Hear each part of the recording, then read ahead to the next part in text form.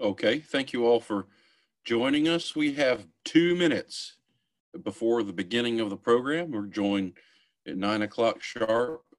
And I thank you all for joining us. Uh, and I'll begin at that point. Thank you very much.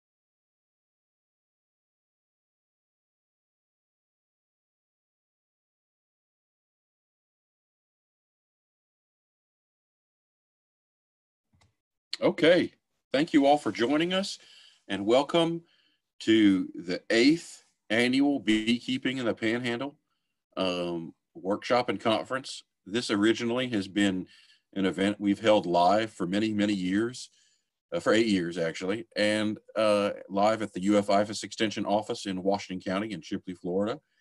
And we've have, uh, this started uh, about 10 years ago, we, we, we skipped a couple of years, so that's, a, it's, well, that's why it's the eighth annual, but uh, with uh, Roy Carter, uh, extension agent of Gulf County, and his uh, successor after he retired, Ray Bodrey, is, is on this, this, uh, this event today uh, in Gulf County. And, and it started with a need for beekeepers requesting education. So we developed this program in conjunction with the UF IFAS Extension Bee Lab, the FDACS, um, Bureau of Apiary Inspection, and uh, with speakers from all around the U.S. that we've, we've, had and the state of Florida. So thank you all for joining us. My name is Matthew Orwat, and I'm the Horticulture Extension Agent for Washington County. And we have a lot of uh, uh, great people here today. Uh, this this is uh, uh, Scott Jackson is here today. He is our lead Zoom person. He, he, is running the Zoom for us, and he's also an expert technology. And he's also the uh, county director and Sea Grant agent in Bay County. And we also have Ray Bodrey with us. And Ray is the um, county director, Sea Grant, and everything else agent in Gulf County. And he, uh, when Roy Carter retired, he has that position now. We have Daniel Leonard here. And Daniel Leonard is from Calhoun County. He's a county director in Calhoun County, and he took Judy Biss's position. And Judy Biss was the uh, chair of this before I was, the uh, Beekeeping in the Panhandle. And due to this coronavirus, we had to move to an online format. And I thank you all for being flexible and, and joining us this morning. We currently have 128 participants and I expect several more.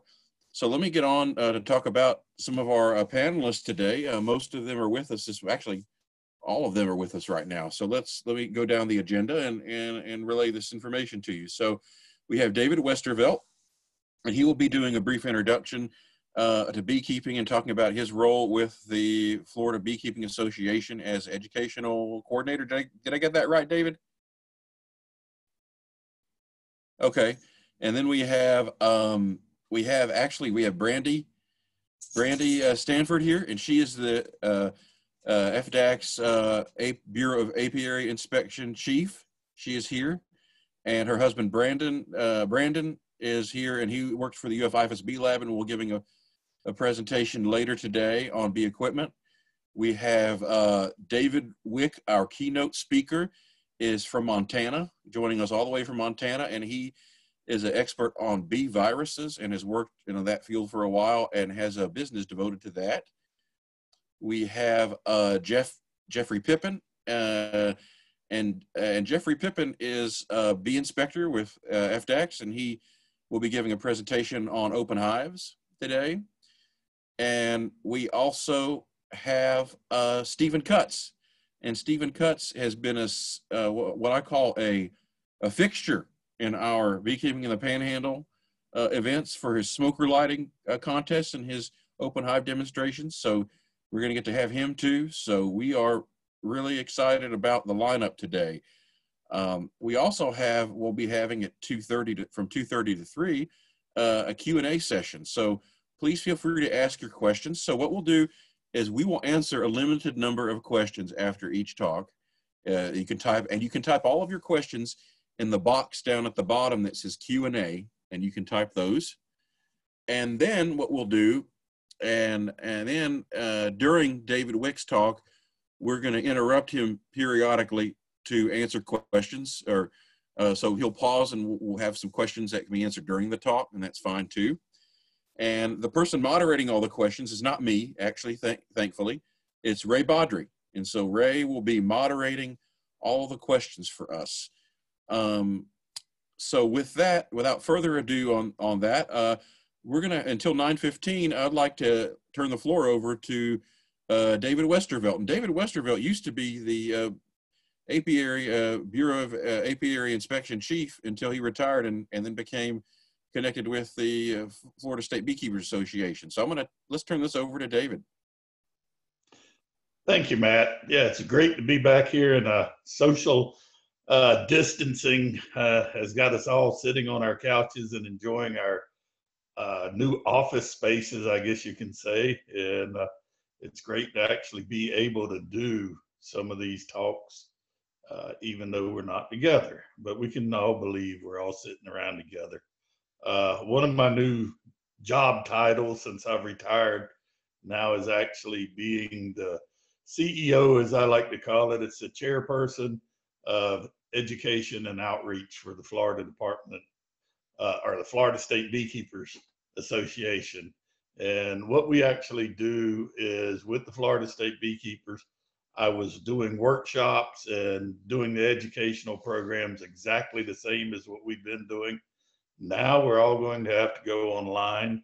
Uh, we've been planning our 100 year anniversary, which as of yesterday, we've decided it's going to have to be uh, online. We're going to do virtually the same, either Zoom or some of the different uh, media programs that are out there, uh, staying in touch with the beekeepers, making sure that everybody can get information that they need. With Florida gaining so many new beekeepers, backyard sideliners, and actually getting new commercial beekeepers in there, we need the education to continue. We need to be able to reach the beekeepers, uh, keep them happy with what's going on. Uh, just in the last three weeks, it's amazing how many new backyard beekeepers. I guess people not being able to get out, they want to do a new hobby. So they're starting by going by beekeeping operations that are still open. They're essential to uh, agriculture. So all of the Dadant, Man Lake, D&J Apiary, South Florida Bee Supply, Millie Bee, all of them are still open, allowing people to purchase bee equipment and uh, that has really gained an interest we're seeing. Uh, we, I've been contacted fairly often, almost every day, by new beekeepers. Uh, the other programs that we're working on still are queen breeding. We're trying to get queen breeders that will be in a sideline facility so that they could actually produce queens uh, certified through the state so that the backyard beekeepers could get the supply of queens, which is something that's very needed right now. Uh, beekeepers in the backyard operations are not able to purchase queens from some of the larger commercial queen producers. So that's something we're working on. The other programs we've been working on was uh, trying to get a bee tag, uh, save the bee.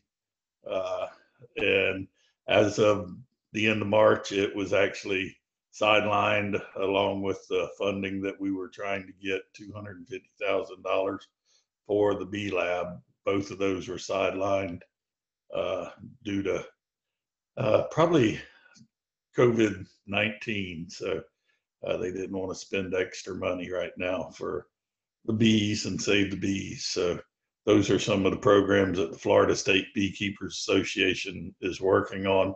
Uh, you can join actually by going on the Florida State Beekeepers Association website. Uh, there's a free application that you can do if you want to be a voting member.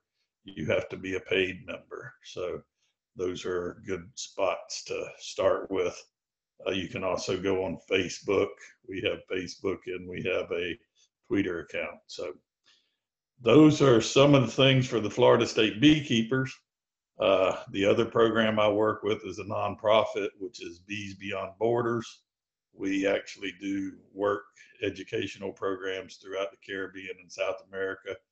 Uh, right now, all of that's been put on hold. We are looking at doing some uh, online outreach with that. Uh, some of the areas we've worked in are Haiti, Barbados, uh, Guyana. So those are areas that we're still looking at to work with. And uh, the other stuff that I actually work with, uh, other title I have, is with uh, chairing the research committee for the American Beekeeping, uh, which uh, the American Beekeeping Federation has a program right now that's uh, citizen science. You can go on, register as a beekeeper, and actually start uh, working with BIP, who does citizen science. Uh, they actually sample your hives once a month and see what they can find virus related and bacteria and make sure your mites and everything uh, it's mainly a citizen science program that uh, the ABF actually pays a part of your fee that the BIP would gain on that. So, with that, I think I'll turn it back over to Matt. I won't eat up all 15 minutes of it. Okay. Um, thank you, uh, David. Uh, somehow my video, Scott, are you going to fix my video here? I can't get the video back. It says because the host has stopped it. So I guess Scott, there we go. Scott fixed it. There we go. Hey, Scott. Okay, thanks. So, um, so what we're uh, doing now is, uh, I, there we go. I, I'm having a hard time seeing myself on here. Scott, can, can anyone, can everyone see me? Can you see me? Yes, I can see it. I can see it, Matt. This is Okay, for some reason, okay, good. So, uh, so what we're doing now is, uh, I just, I just wanted to open it up to Ray in case there are any questions for David. I saw some questions pop up, so let's just let a few minutes go for, uh, maybe two or three minutes of questions for, for David Westervelt, and Ray can moderate those.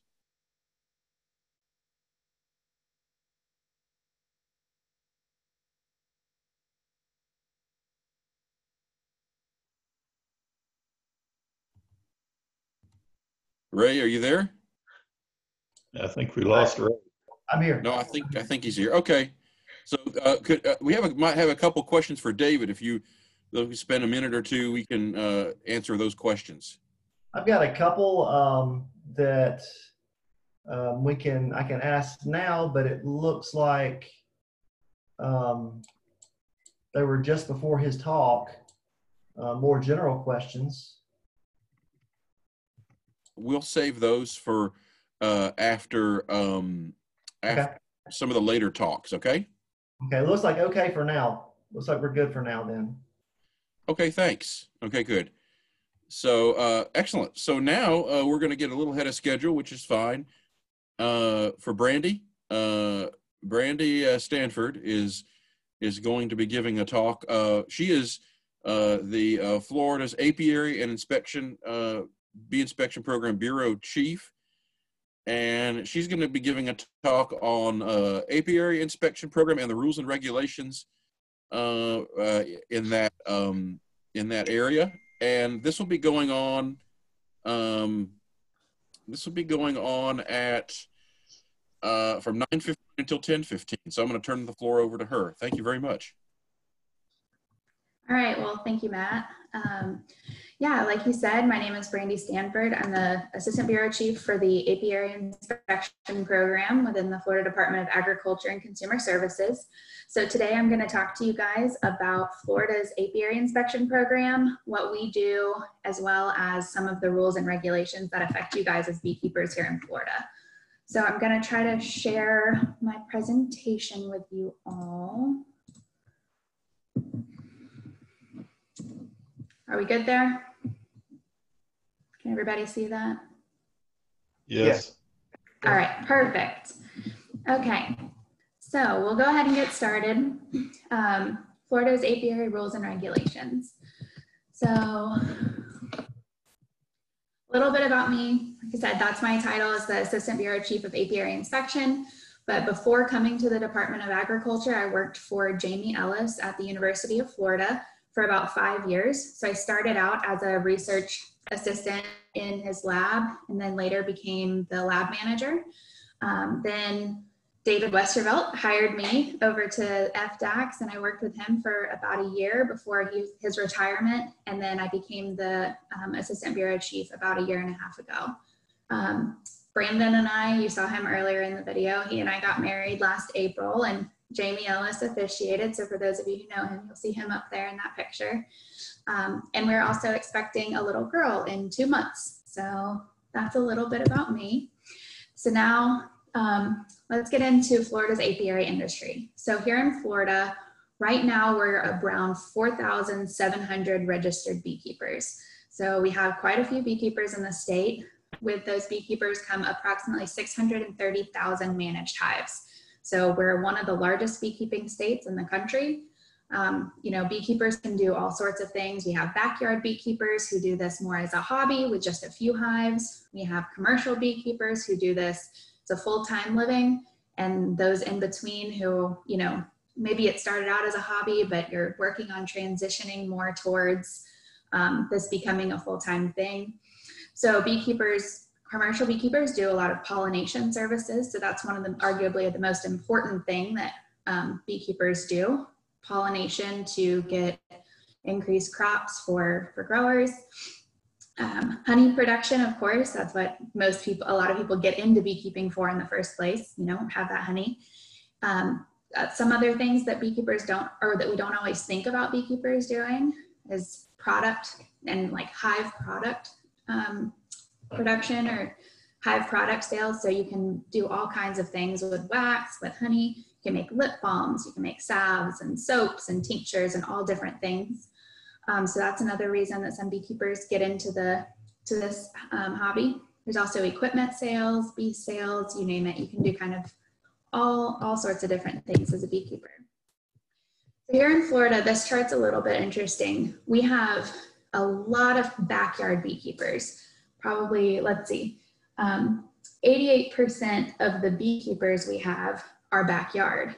But with that, 94% of the colonies that are managed in Florida are managed by commercial beekeepers. So if you think about that, we have so many individual people who keep bees, but those, those individuals keep many fewer colonies than the smaller number of individuals who keep the 94% of the hives here in Florida. So that's just an interesting, you know, breakdown. So you can see that most of our beekeepers are backyard, but most of our bees are operated by commercial beekeepers. So a little bit about our inspection program. We have currently 10 full-time apiary inspectors here in Florida. We have two inspection supervisors. So Florida is split into districts and each inspector is assigned to a district. And then each um, each supervisor is oversees a region. So North Florida region one, and then South Florida is region two. We have an administrative assistant who helps us out with, you know, administrative things, and then also myself. So we have a staff, a full staff of 14 individuals right now. Um, you can see, so these numbers I just pulled yesterday. So we have quite a few beekeepers in some of these districts. We're working on thinning that out a little bit, but if you notice, the teal area has 700 beekeepers to just one inspector. So it makes it a little bit hard sometimes for us to get out to see everybody. Um, but we're, we do our best to make it out there. So about an average, of course, this isn't even across the board, but an average of about 470 beekeepers assigned to each inspector and about 63,000 colonies under each inspector's purview on average. The rules that we follow, or the, the laws and the rules that we regulate under is chapter 586 of the Florida statutes and rule 5B 54 of the Florida Administrative Code. If you guys ever want to have some light reading, those are great places to go, but I'll give you some, I'll try to go over the, the parts that are important to you guys today so that you don't want to go read that paper. Um, you'll get most of the key points out of it. So a little bit about what we do. We do, the biggest thing we do is routine inspections. So that's what our inspection program is here for, to inspect. Um, there's a bacterial disease called American foul brood. That is our primary regulatory focus. So whenever we go out and do these routine health inspections in beekeepers colonies, we're looking for symptoms of American foul brood, as well as any other pest or disease concerns that might pop up. We also monitor apiary compliance with the best management requirements, which I'll get into in a little while. Um, and then just like I mentioned, pests and diseases in general is kind of our, that's what we're here for, is our regulatory mission.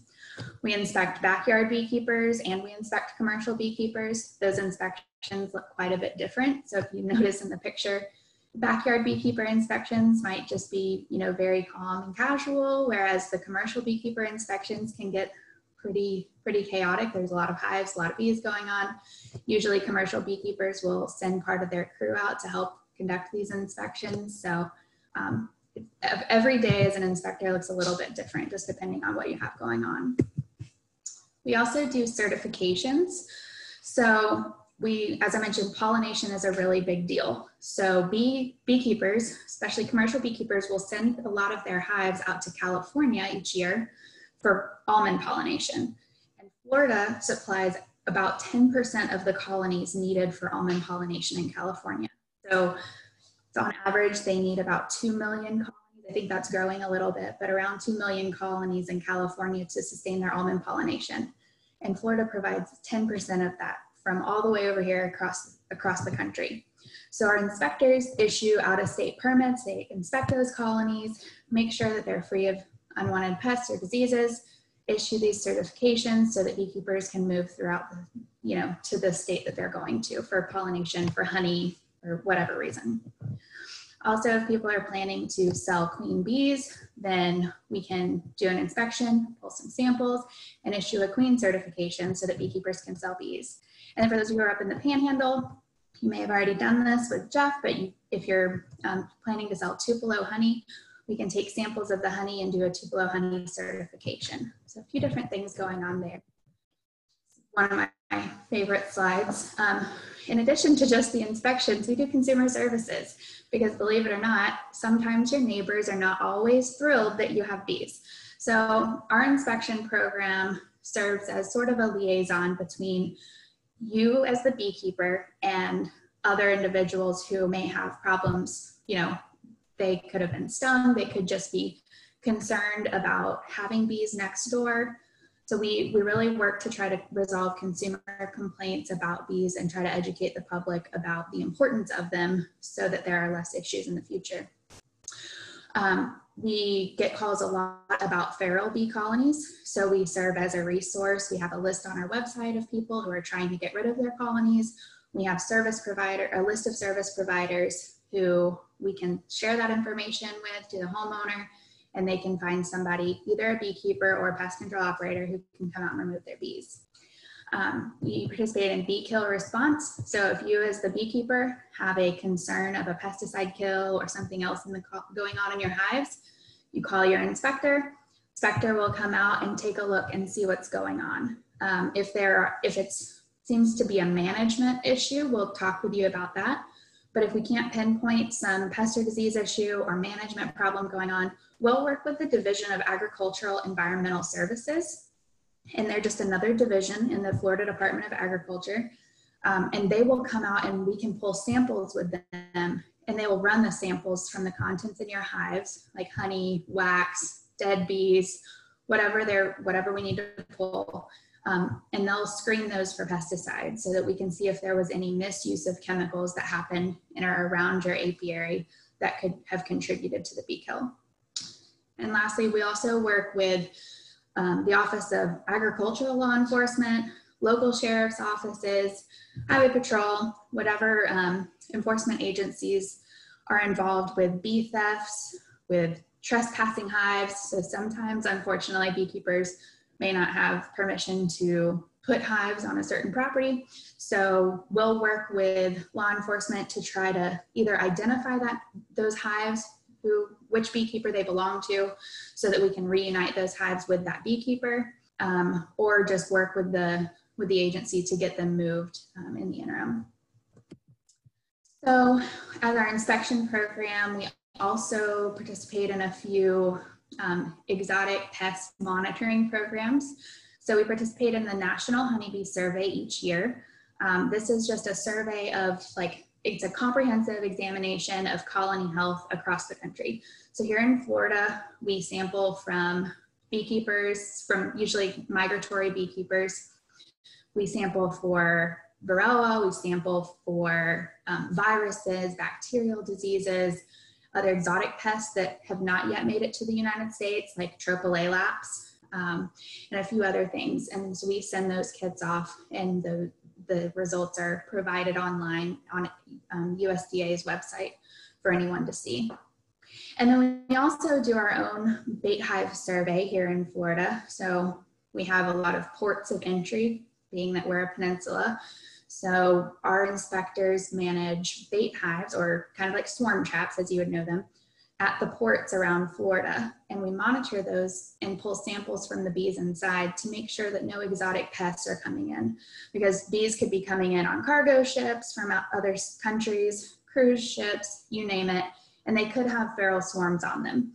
So we just, we maintain these traps to try to protect Florida's beekeeping industry and the rest of the US's beekeeping industry as well um, to make sure that no pests are coming in that come in quietly that we don't find out about until it's too late. And then finally, we do a little bit of outreach here and there. Um, we all, our inspection program always participates at the Florida State Fair. We're heavily involved with Bee College. Um, we work closely with UF IFAS on a lot of these events, like um, like the Panhandle Beekeeping Workshop. So thank you, Matt, and everyone who came together to put this together again. Um, we love being a part of stuff like this, and we're glad that we can talk to you guys about beekeeping and, and the rules. So that's an overview of our program, of our inspection program, and what we do, what we're here for. So now the fun part is what the rules and regulations are. So we'll get into that. Um, I do have some true or false questions. I don't, I don't know if we're able to pull those polls up, but if we are, then you guys are welcome to answer. Otherwise, I'll give you a few seconds to think about the question and then we'll move on and I'll, I'll help you out.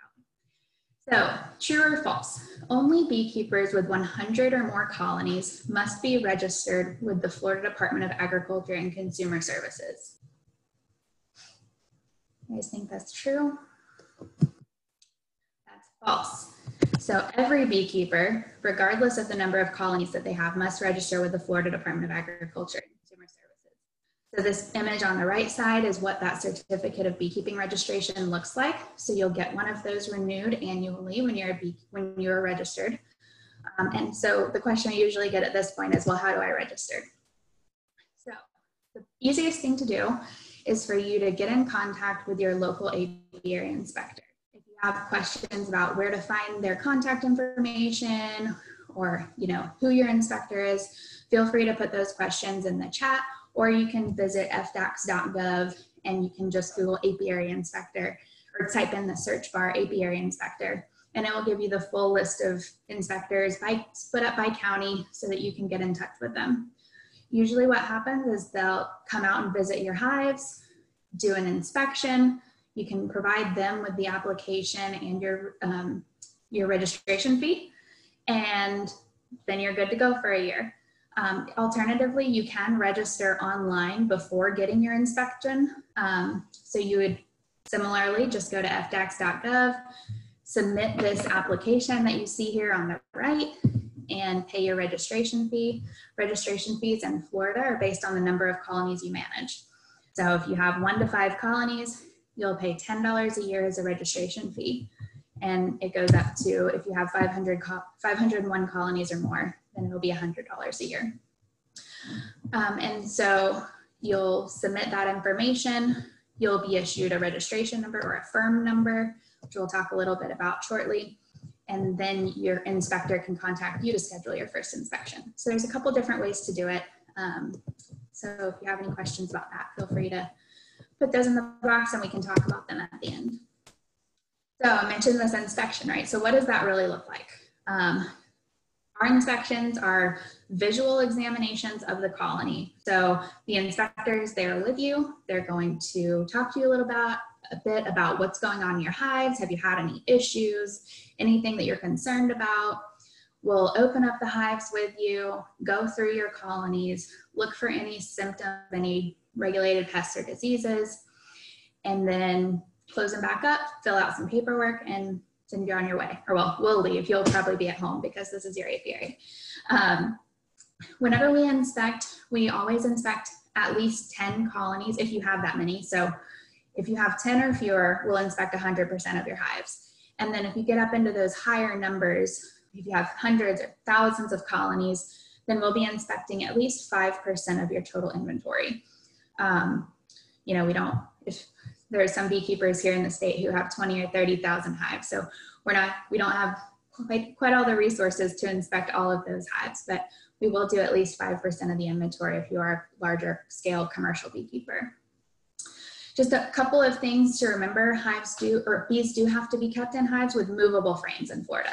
So can't keep bees in like a five gallon bucket that doesn't have movable frames. And the main reason for this is as our, for our inspection program to work, we have to be able to see the brood. So we have to be able to move those frames out so that we can look at the brood, make sure that there are no symptoms of um, regulated diseases like American foul brood.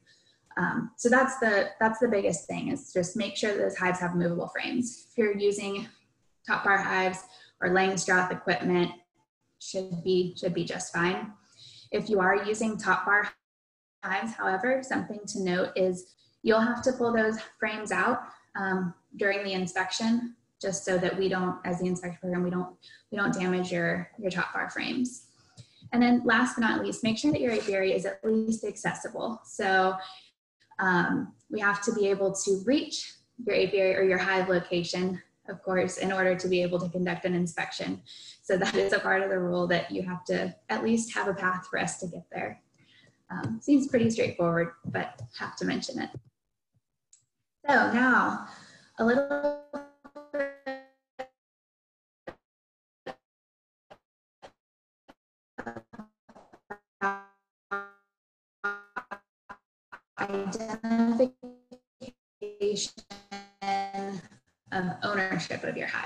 Um, you might have an FL number or registration number. So that's fine. Um, we've transitioned over to using firm numbers back a few years ago. Um, so any new equipment that you're marking or you're branding, you'll need to mark with your firm number. So that's just an eight digit 4800 number that's assigned to you at the time of your registration. It never changes. So you'll just need to mark your hives with that number. This is good for you as a beekeeper and it's also good for us as the inspection program. If any of those hives are ever stolen we can make sure that they are, you know, if if they have your registration number on them, then we can know that they are yours if we if we're able to recover those stolen hives. Also, if law enforcement or emergency management service, medical um, emergency response services come to your property, they need to know whose hives these are. We can, they can give us that number. We can look it up in the database and get in touch with you promptly. So there are a lot of reasons that marking hives is a good idea um, but it's also required by law. So it doesn't, you don't have to have a formal brand like a branding iron.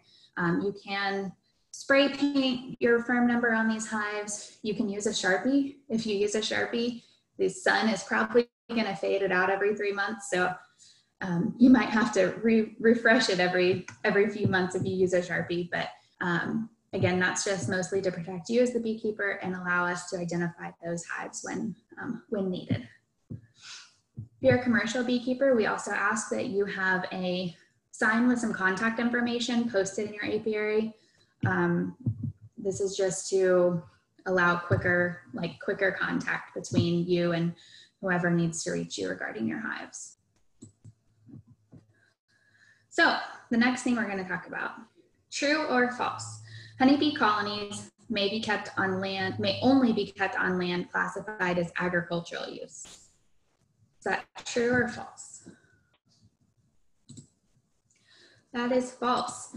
So colonies can be located on land classified as agricultural, or it, they can be placed on land classified as non-agricultural that's integral to a beekeeping operation.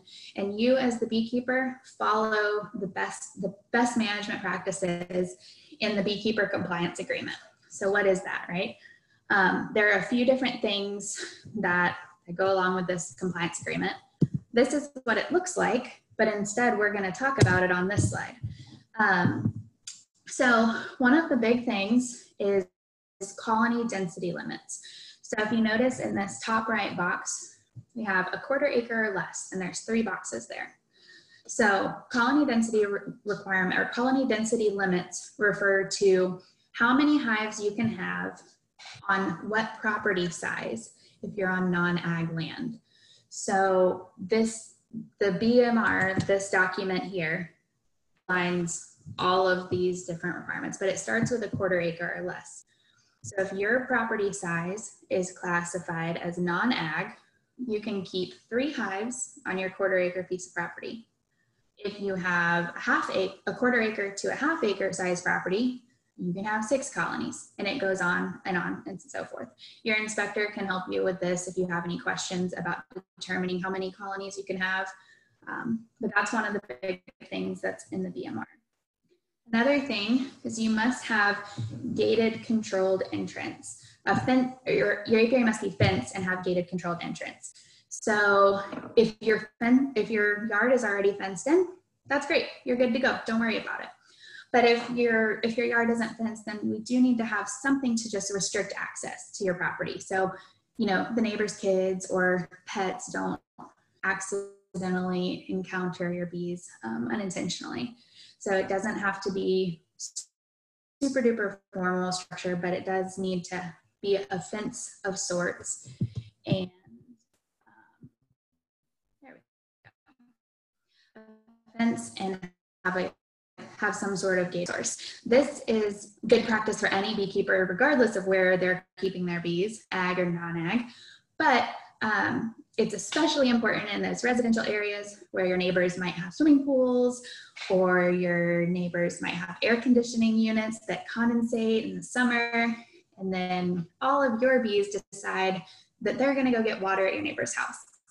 Um, so if you put water closer on your property in your apiary when you set it up, then your hives are gonna learn, this is where I should go to get water um, and hopefully mitigate some future issues with with some of those neighbors.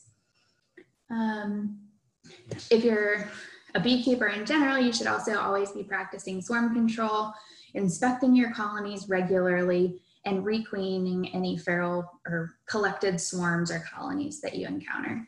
Um, that is a requirement in the BMR, but it's also just a great practice for, for all beekeepers. And then there's one more thing about distance. So if your colonies are located 15 feet or less or closer than 15 feet to your property line, then it is required for you to have a six foot high flyway barrier. So if your colonies are more than 15 feet from your property line, this is not required. So don't, don't even worry about it. But if you do have your hives within 15 feet of your property line, you do need to have a six foot flyway barrier to get those bees flying up and hopefully over your neighbor's property instead of straight through their backyard and causing a nuisance. Um, this could be a, a wall, it could be a six foot privacy fence, it could be a really dense shrub or something of that nature. But again, it does need to extend six foot high. Um, the last thing I'll say about, so, so basically all of these things, all of these rules are part of keeping bees on non-ag land. So we as the Department of Ag have jurisdiction over where you can place bees. Um, back many, many, many years ago, there were certain counties that tried to do away with beekeeping completely, not allow any, any hives in the whole county. Or cities would try to say, all right, no, no beekeeping in this city. There were certain restrictions like you can only have four pets in this city, which is fine, except to them, a colony was not a pet. A bee was a pet. So you weren't able to keep more than four bees, which essentially meant you couldn't be a beekeeper.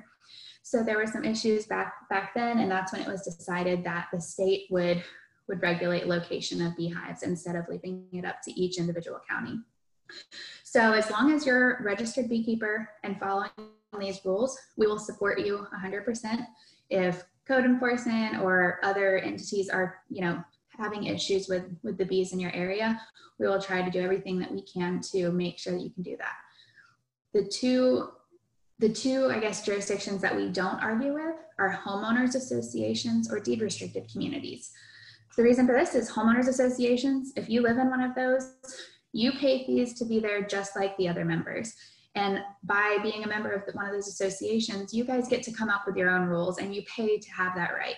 So if your HOA has specific bylaws that say no beekeeping, then this, we're not going to come in and tell them otherwise. And same with same goes for those deed restricted communities. If there's a specific deed restriction in your area that says no beekeeping, no agricultural use or anything like that, then that is the rule. And you as the beekeeper made the, de- the, the, decision to, to live there. You can still be a beekeeper though. You can join your local bee clubs. You can work with friends who have properties that can allow, accommodate beekeeping. Um, and you can still be a beekeeper. You just wouldn't be allowed to have hives on that particular piece of property if those rules were in place. Okay, so I hope that is clear as mud. Again, this is just that, this is that document that outlines all of these things. Um, it can be found on our website. You can email me and I can send it to you. You can get in touch with your inspector. They will go over it with you at the time of your inspection anyway. Um, but it is fully available um, if you would, would like to read it. Um, I can, like I said, I can email it to anyone who's interested. Okay, so moving on from that, true or false, it is legal to keep all races and subspecies of honeybees in Florida as long as they do not appear to be aggressive. Do you think this is true or false? False. So in Florida, we cannot keep African subspecies of honeybees, whether they are defensive or not. So a word, the word aggressive gets thrown around in the bee world sometimes, and we don't like to use that word, um, mostly because bees by nature are defensive creatures. So bees are herbivores, they feed on plants, so they feed on nectar and pollen from plants. And what do plants not do? They don't really move around. They don't need to be stalked or attacked. So bees don't come with the natural instinct to attack um, or to be aggressive. They will, however, defend. So if you disturb their colony or disturb their nest, they will defend themselves. They will defend the brood. They will defend their food resources. So we like to say honeybees and bees in general are defensive, not aggressive. Um, wasps and yellow jackets, hornets, things like that, they prey on caterpillars, spiders, other insects. So they actually can be described as aggressive because they are, you know, they actually have to go attack something to get their food. So that's a little bit of a sidebar, but I just wanted to clarify the difference between defensive and, and aggressive when it comes to honeybees. So bees in general uh, in Florida well, I think pretty much the whole US says that you can only keep European species of honeybees, subspecies of honeybees.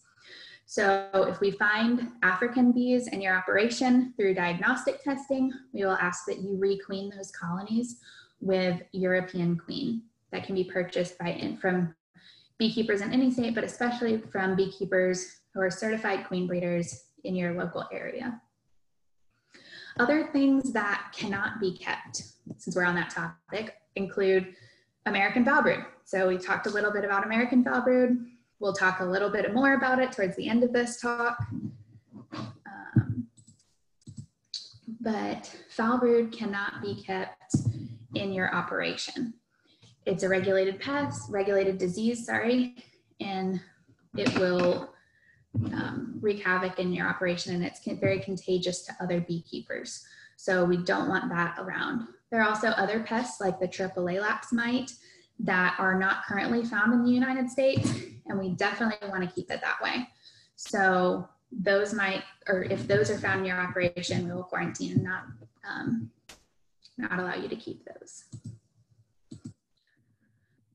So a few of the other things that we do here or that we require here in Florida is if you're moving your colonies, you have to have your certificate of beekeeping registration. So if you're moving out of state, you have to have your certificate of beekeeping registration.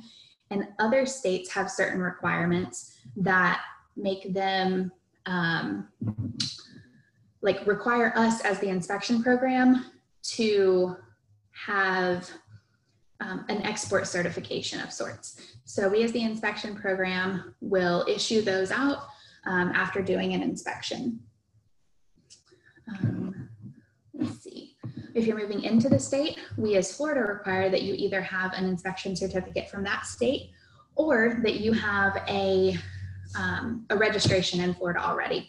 This is so that we know that you as the beekeeper um, who's bringing hives into the state have clean hives. They're not going to negatively impact Florida's beekeeping industry. Um, so that's that's really important for us. And then if you're moving hives from apiary to apiary within the state, again, we just ask that you have that certificate of beekeeping registration. It should show that the numbers on your boxes match the certificate of registration you have, proves ownership of your hives, and it makes sure that if you get pulled over, if you're stopped by law enforcement, you can prove these are mine. I didn't I didn't steal them from anywhere, and you will be set on your way. So the last thing I had was um, we're going to get into a little bit about American foul brood here. So true or false? Any colony showing symptoms of American foul brood must be destroyed by fire. This is true.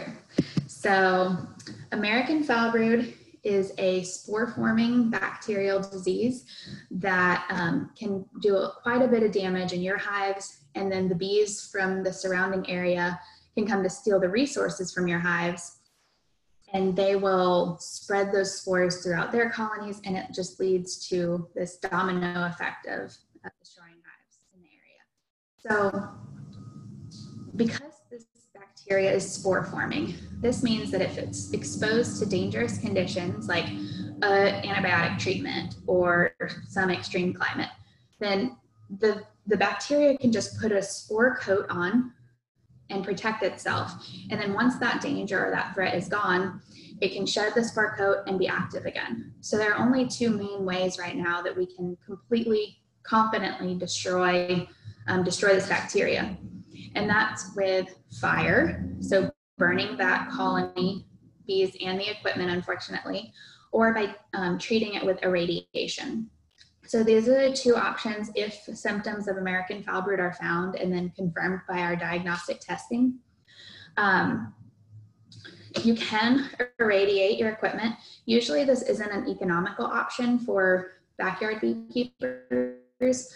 Usually irradiation services are fairly pricey and they're done on a large scale. Um, but that is an option if you prefer to go that route instead of um, instead of burning the equipment. So if you want to treat prophylactically for foul brood in your in your operation, um, you have an option to treat with antibiotics. Again, once American foul brood is found, we do have to burn it. But some beekeepers choose to treat preventatively for both European foul brood, which is a non-spore forming bacteria, as well as American foul brood.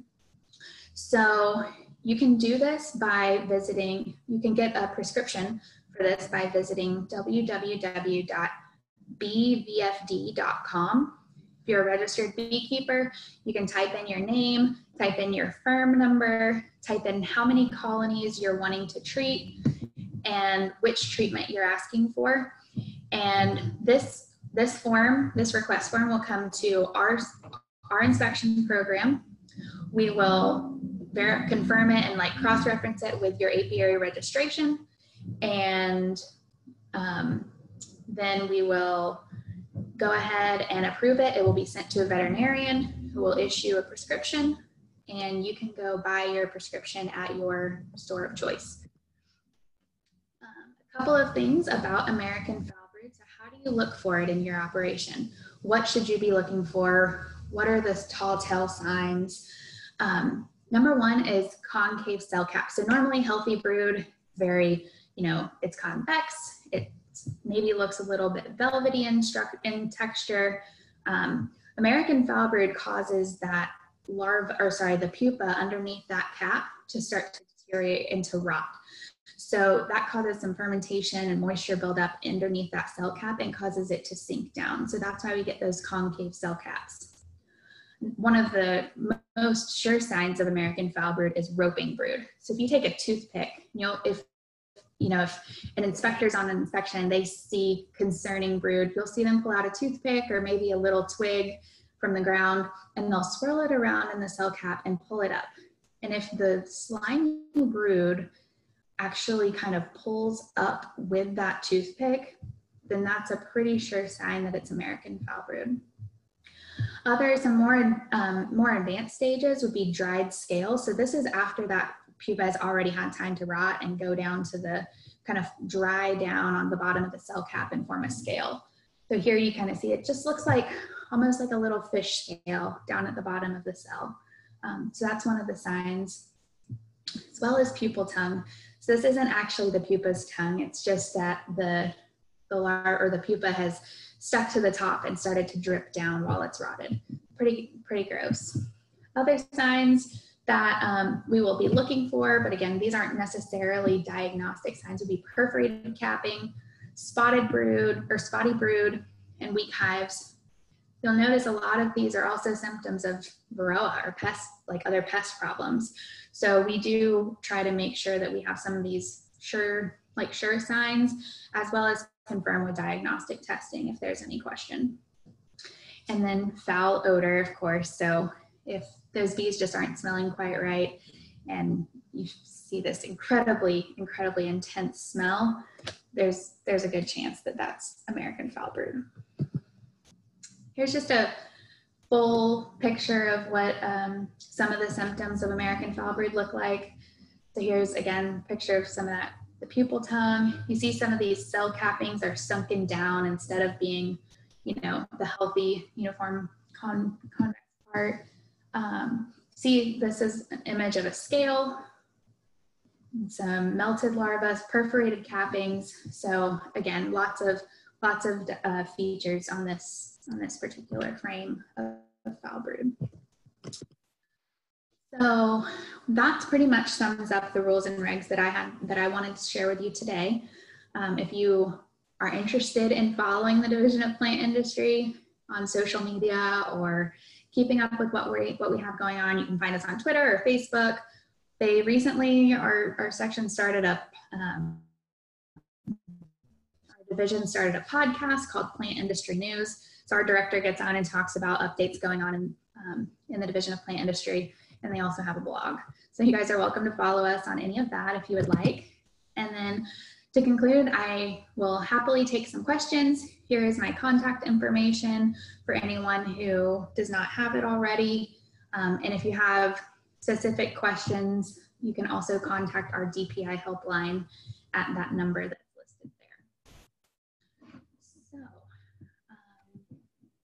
Okay, thank you, Brandi. Yeah, absolutely. Just a quick uh, recap that everything that we're doing now is being recorded, so you'll be able to view uh, this presentation uh, at a later date. We're going to post it, and it will be available.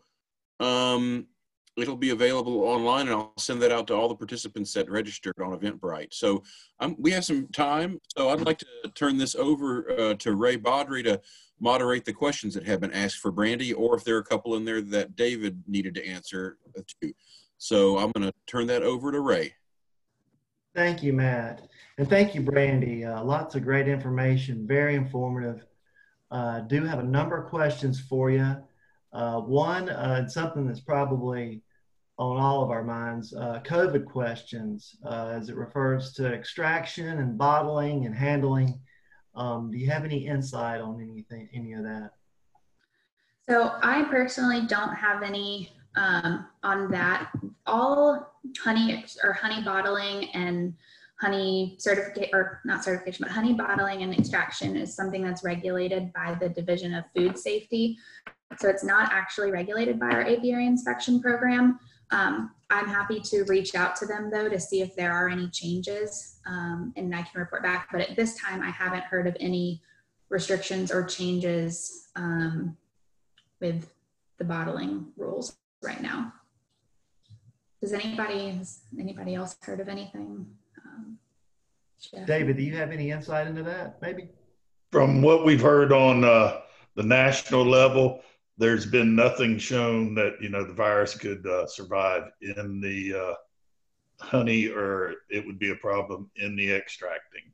Uh, Dave Wick may have a little bit more on that, but uh, at the national level, we've not heard anything on food processing and uh, the extracting. So. we have tested for COVID 19 in honey and in bees. And we, uh, over the few hundred samples that we've looked at, we are blank. We're not seeing anything in the honey or the bees. And that's using mass spec proteomics, looking for genetic markers. All right. Um, so, Brandi, another question for you. Um, uh, is bee theft really a big issue? So it comes up every now and then. We actually had a few, a beekeeper who unfortunately had a few hives stolen up in the um, Nassau or Duval County area not too long ago, actually. Um, especially as the pollinations, like California almond pollination season comes around, we do unfortunately see some bee theft. It's not like it's, you know, it's something that's reported daily by any means or even weekly, but it does come up um, as pollination prices continue to rise um, and contracts need to be fulfilled. Sometimes we unfortunately do see some, some hives go missing.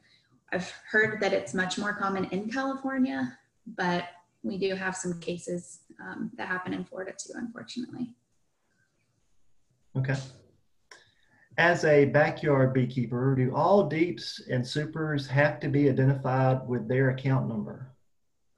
No, so only if um, we ask that every like one box in every stack, if you will, um, is is identified. So basically, we just require that the brood box is is marked and you don't have to brand all of your supers and any, um, whether they're deep or medium supers on top. Just, just that brood box so that we can um, know that that colony belongs to you. Okay.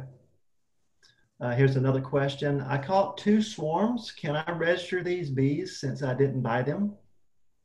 Yes, absolutely. And we would encourage you to do so. Um, we will ask that you requeen those with a European honeybee queen just to make sure that, you know, you have strong genetics going on in that hive.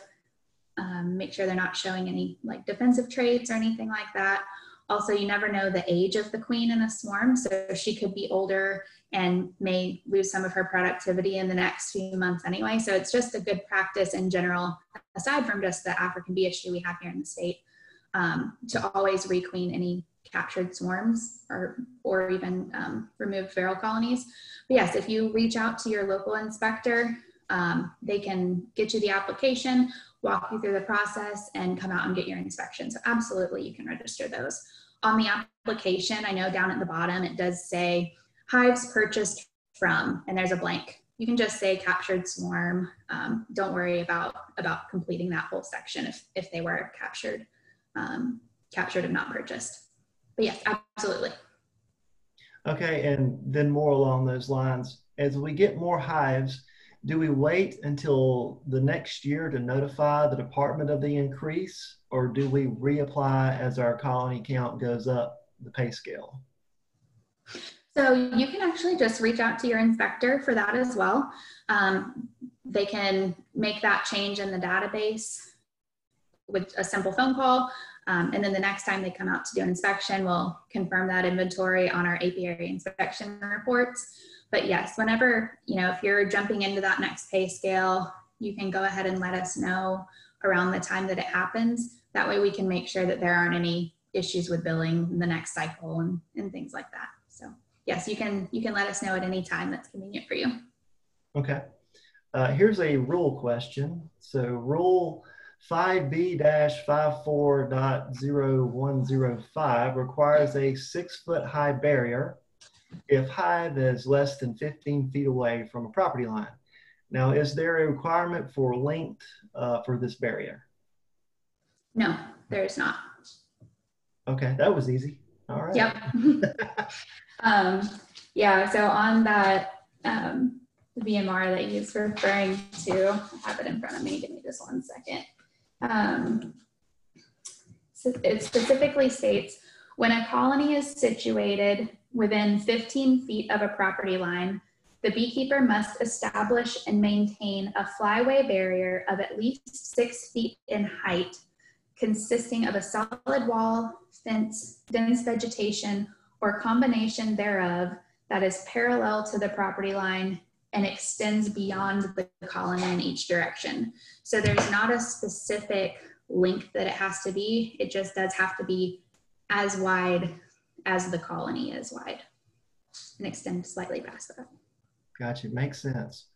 Mm-hmm. Uh, okay, next question. Um, let's see. Covenants frequently prohibit livestock. Are bees considered livestock? So I've gotten this question a couple of times. There are certain areas, like in the USDA, that it's kind of refers to bees as livestock. There, I think there was one place on in the Florida statutes that referred to bees as livestock. There's nothing specifically in Rule 5B54, which is the rule, of course, that I'm very familiar with. Um, so I will have to, is there a way, Ray, to get contact or like to find out who asked that afterwards so maybe I can follow up with them? Um, I just want to be able to accurately answer that question instead of just kind of yes, I believe, I, I believe we can do that. Okay. All right. I'll follow up with you on that question just so okay. that I give you accurate information. Okay. Um, here's another question for you. Uh, I have a flyaway barrier, which is a loosely weaved bamboo fence, six foot high, but the ivy hasn't filled in yet. Is that a problem? Uh, note that it faces a city, uh, huge retaining water ditch where an old unused railroad line was. Hmm. So I would probably, in that case, defer to the inspector for that answer. Um, once they go out and actually visit the location, they can see if you know if it seems appropriate to fit in with our rules. Um, there are some things that aren't always just super black and white, right? So um, that sounds like one of those that I would work with your local inspector. If if for some reason they say, yeah, you know, we need a little bit more here right now until the ivy fills in, then you might be able to move it back to be 15 feet away from that property line.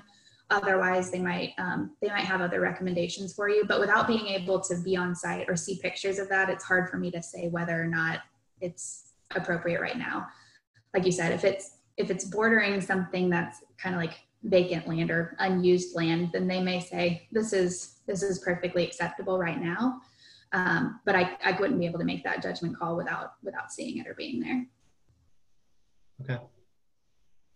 Um, here's another question. Where can we find a list of certified queen breeders? So you can send us an email, um, either your inspector or myself, and we can pull that in the data um, from our database. We don't have it posted online because queen certificates expire annually, and so to have that, you know, being updated every single day online, our tech, our like software programmers just don't have the staff to be able to do that.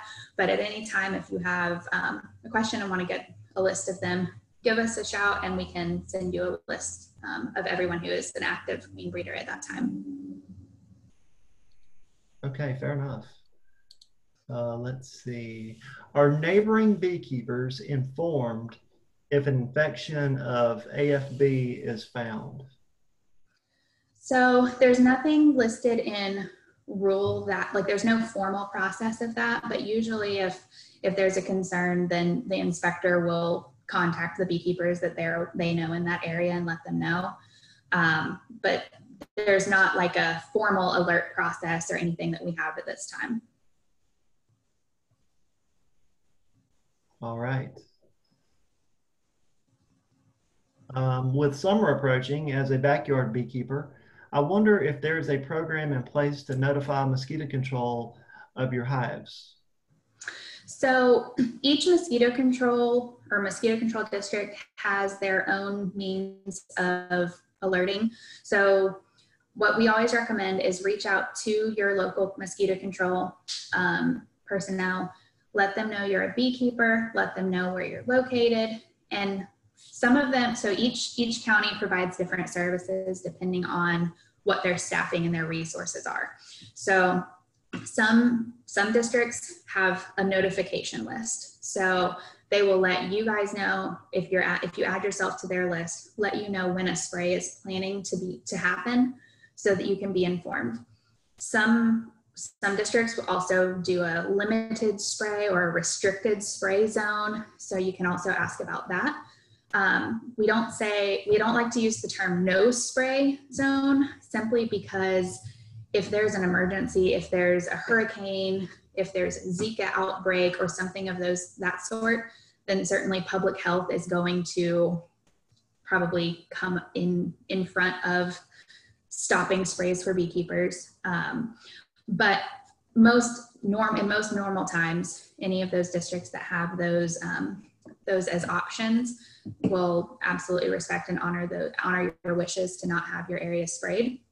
A couple of other things that you can do as a beekeeper if you are concerned about um, mosquito spraying in your area is this is one of the reasons we like to say backyard beekeepers, right? So if a truck spray is happening on the road in your front yard, then you know put your bees towards the back so that it limits the exposure that they have. It's also good that beekeeping or mosquito applications, adulticide missions happen at night. So most of your bees are home. Um, they're not out foraging at that time um, and things like that. So, but yes, absolutely. If you want to get registered or if you want to find out about notification lists or restricted spray areas, contact your mosquito control district and they should be able to provide you with all of that information. Okay.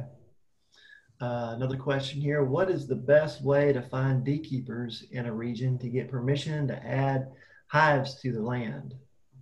To that land, I should say. So to find beekeepers in the area, we the list of all the registered beekeepers is available on our website. Um, so you could contact beekeepers that way. If you're looking for property or like apiary locations, beekeepers may or may not want to share depending on how much property they have available.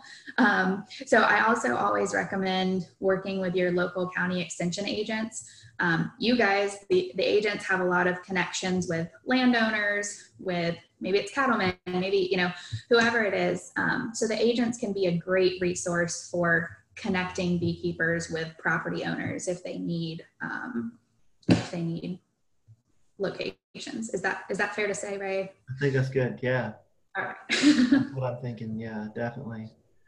Um, it's a good way to put it. Let's see. Uh, I got a few more questions here. Um, do queen breeders prefer out-of-state breeding stock to increase genetic diversity? It's a good question. That's a good question. So I think that's completely it's just a it's just a preference. So I can't there's no like yes everyone does or no no one does kind of answer. We certainly have queen breeders who purchase queens from Hawaii to breed from. We have beekeepers who back whenever we the border to Canada was open, they would purchase some bees from Canada, queens from Canada to breed from. Um, but then a lot of beekeepers prefer the local stock. Um, the reasoning for that is usually your they assume that your local bees are more adapted to Florida climates. So therefore, you know, having bees from this area are going to be more suited towards our year-round brood production, our year-round, you know, basic, well, mostly year-round like forage availability. So it's it's totally a matter of preference. Um, I think a lot of beekeepers who have been doing this for a long time have tried many, many things and through trial and error decided what works best for their operation. So yeah, it's it's just a, a matter of preference for for that beekeeper, whether they go out of state or stay local with their queens. And we'll have we'll have questions for uh, five more minutes, and then we'll move on to uh, the break period. Okay. Works for me. Thank you. Okay, let's see. Uh, here's a branding question. Is branding a hive part of the registration or is it a separate requirement or process? Um, so it's just like once you're registered, you, will be given a firm number and then that number should be placed on your hive. So it that certainly doesn't, it actually can't happen simultaneously um, because you won't yet have that, um, that firm number assigned to you. Um, but once, once you're registered, we'll ask you to go ahead and apply that, um, that number to your hives. Okay. Um, let's see. I'm starting to raise mated queens for my use, my own use. Is it legal to sell them to other beekeepers? Yeah, so you absolutely can, but what we ask is that you um, let your inspector know that you're planning on selling queens so that they can come out and take a sample of the from the um, the hives that you're planning to graft from or to rear queens from. Um, and we can run those to make sure that you're keeping European stock. And then we can issue you a queen certificate. The certification is $25 per year to be a queen breeder. Um, and so our inspectors can certainly talk to you about that process. We, um, it's if you're rearing queens for your own use, there isn't a requirement to be a queen breeder or a, a, certified queen breeder. But if you're planning on selling or trading any queens, then then that is a requirement. Okay. Let's see, I've got a question here. When you requeen, are you taking away the advantage of the survivor colonies? Um, so this is a, let's see. So certain certain people do feel that um, you know feral bees are of this survival. There's a survival stock that goes on. Um, I don't I don't have research that specifically can talk about that. But what I will say is the main reason that we require the requeening is to prevent the spread of Africanized honeybees um, and make sure that the managed colonies that are being kept here in Florida are in fact European. So um, anything that, any disadvantages that may come, may or may not come with that are unfortunately still required by, by law uh, or by rule. So we, um, we still require it regardless of any um, potential impacts to survival stock, if you will. Okay. I've got another uh, registration question here. How soon after starting your first hive and receiving first package of bees should you register? So as soon as possible is always a good a good um, way to put it. Um, we don't. There's no I guess as soon as possible is the best answer because the rule says that anyone keeping honeybees must be registered. So essentially, once you get your hives, you should go ahead and do that. But um, if you're starting a package with brand new comb or brand new foundation, obviously you're not the you know you don't want an inspector coming out and opening those up the day after you installed your package. So certainly wait until those bees get established. You can go ahead and submit the application online if you would prefer to do that. And that way um, you'll go ahead and have your reg or your firm number. So after you've installed your package, your bees have established, you can put your firm number on your hives and then your inspector can come out and do the inspection. That's perfectly fine. Or if you, you know, if you prefer to do it right from the start, then get in touch with your inspector and let them know you're getting bees and they can go ahead and come out um, earlier if you if you prefer that but certainly you know give your hives time to get established and and settled into your to your colony before we we look, take a look through them okay uh, maybe one more question for you Brandi um, sure. if you are moving to florida how do you go about getting bees from another state uh, here illegal, legally? Yeah, so if you're coming from another state, your state likely has some sort of apiary inspector um, who can issue a health certificate or a, um, an inspection certificate. If for some reason there are a few states who don't have apiary inspection programs, so if you're coming from one of those states, let us know ahead of time um, we can bring you in through the ag station under like a quarantine. And basically what that will trigger is your, the inspector in the county that you're moving to in Florida will come out a little bit quicker to make sure that, you know, once you offload your bees in the next couple days, we'll try to come out and do a full inspection, make sure that there's no pests or diseases that we need to be concerned about, get you registered, and then you'll be good to go. But ideally, best case scenario is that when you're moving from another state, you bring a health certificate or a certificate of inspection from that state with you. Because Florida does have agricultural inspection stations or interdiction stations at most of the incoming um, interstates in Florida. So they will stop you. You'll have to stop there because you're transporting agricultural products, which are beehives, um, and they'll check paperwork at those stations. So that's um, that's where you would want to provide that certificate or inspect uh, health certificate if you have it. All right. Thank you, Ray. I uh, appreciate your uh, assistance with this. And thank you, Brandon, for all those extremely informative answers and, and, quick, and really quick thinking answers. So I appreciate that too. Thank you for your help. Thank I know, you guys for having me. You're welcome. And I know there are a number of questions that didn't get answered. That's uh, the good news is we have a setup for that. We're going to have at 2.30 to 3 from 2.30 to 3 we're going to have a uh, devoted q&a question and answer session for all the panelists so we'll be able to answer a bunch of questions that don't get answered after the talks uh, at that time.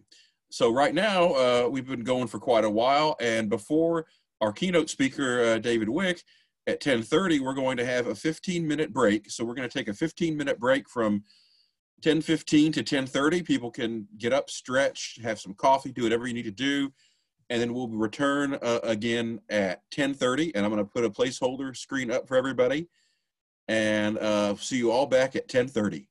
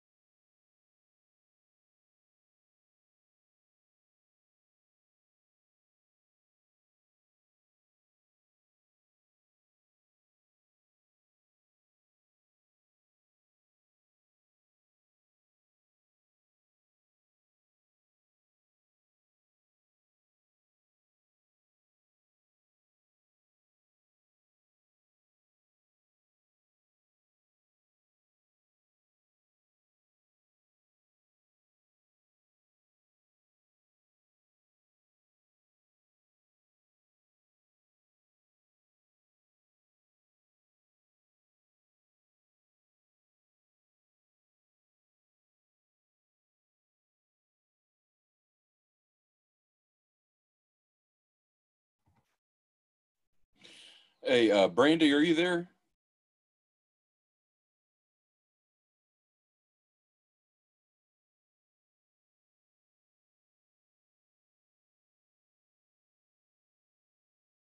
Yes.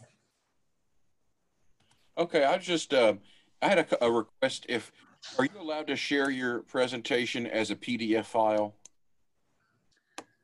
Um, not supposed to share the presentation, but I can share the like accompanying documents. I can share the BMR and I can share a brief summary of the rules, which kind of is just like a white paper shortened Sounds good. version of all this. If you'll, um, if you don't mind emailing that to me and I'll send it out to the panelists when we are, uh, when this is concluded, I'll send a email out to the panelists with all the information. Okay, yeah, not a problem. And uh, thank you. Yeah, yeah. And any speaker that is able to share presentations, if y'all would, um, my, if, if, if you are able, I'm not saying, I'm not trying to, you know, make that a rule or anything, but if you, you could put it in a PDF file and then, uh, I be, would be able to share it if that's something you're willing to do. Thanks. Hey, Matthew, did you uh, get my PDF presentation? Um, I, did you just send it? No, I sent it uh, yesterday, email. I'll, I'll check. If you have it, you can share it. If not, I'll share it with you. It doesn't have quite everything because I modified everything last minute this morning. Right? Okay, well, that's fine. That's great. Thank you. I'll uh I'll check my email uh and and if I don't have it, I'll send you an email uh, back. Okay. Okay. Thanks. And Matt, also on sharing our contact information, I'll send you the contact for Bees Beyond Borders, uh, uh, State Okay. Association and my contact information. I'll share all that in an email with all attendees after the event. Good. There All you right. Uh, you said panelists earlier, and I, I think you meant all attendees. Attendees. That's what I meant. All Everybody. attendees. So Everybody. uh, attendees, yeah. So everybody will get a. Uh, I'll post all this on our county page, and I'll send a link to everybody through Eventbrite through the email system. Thank you.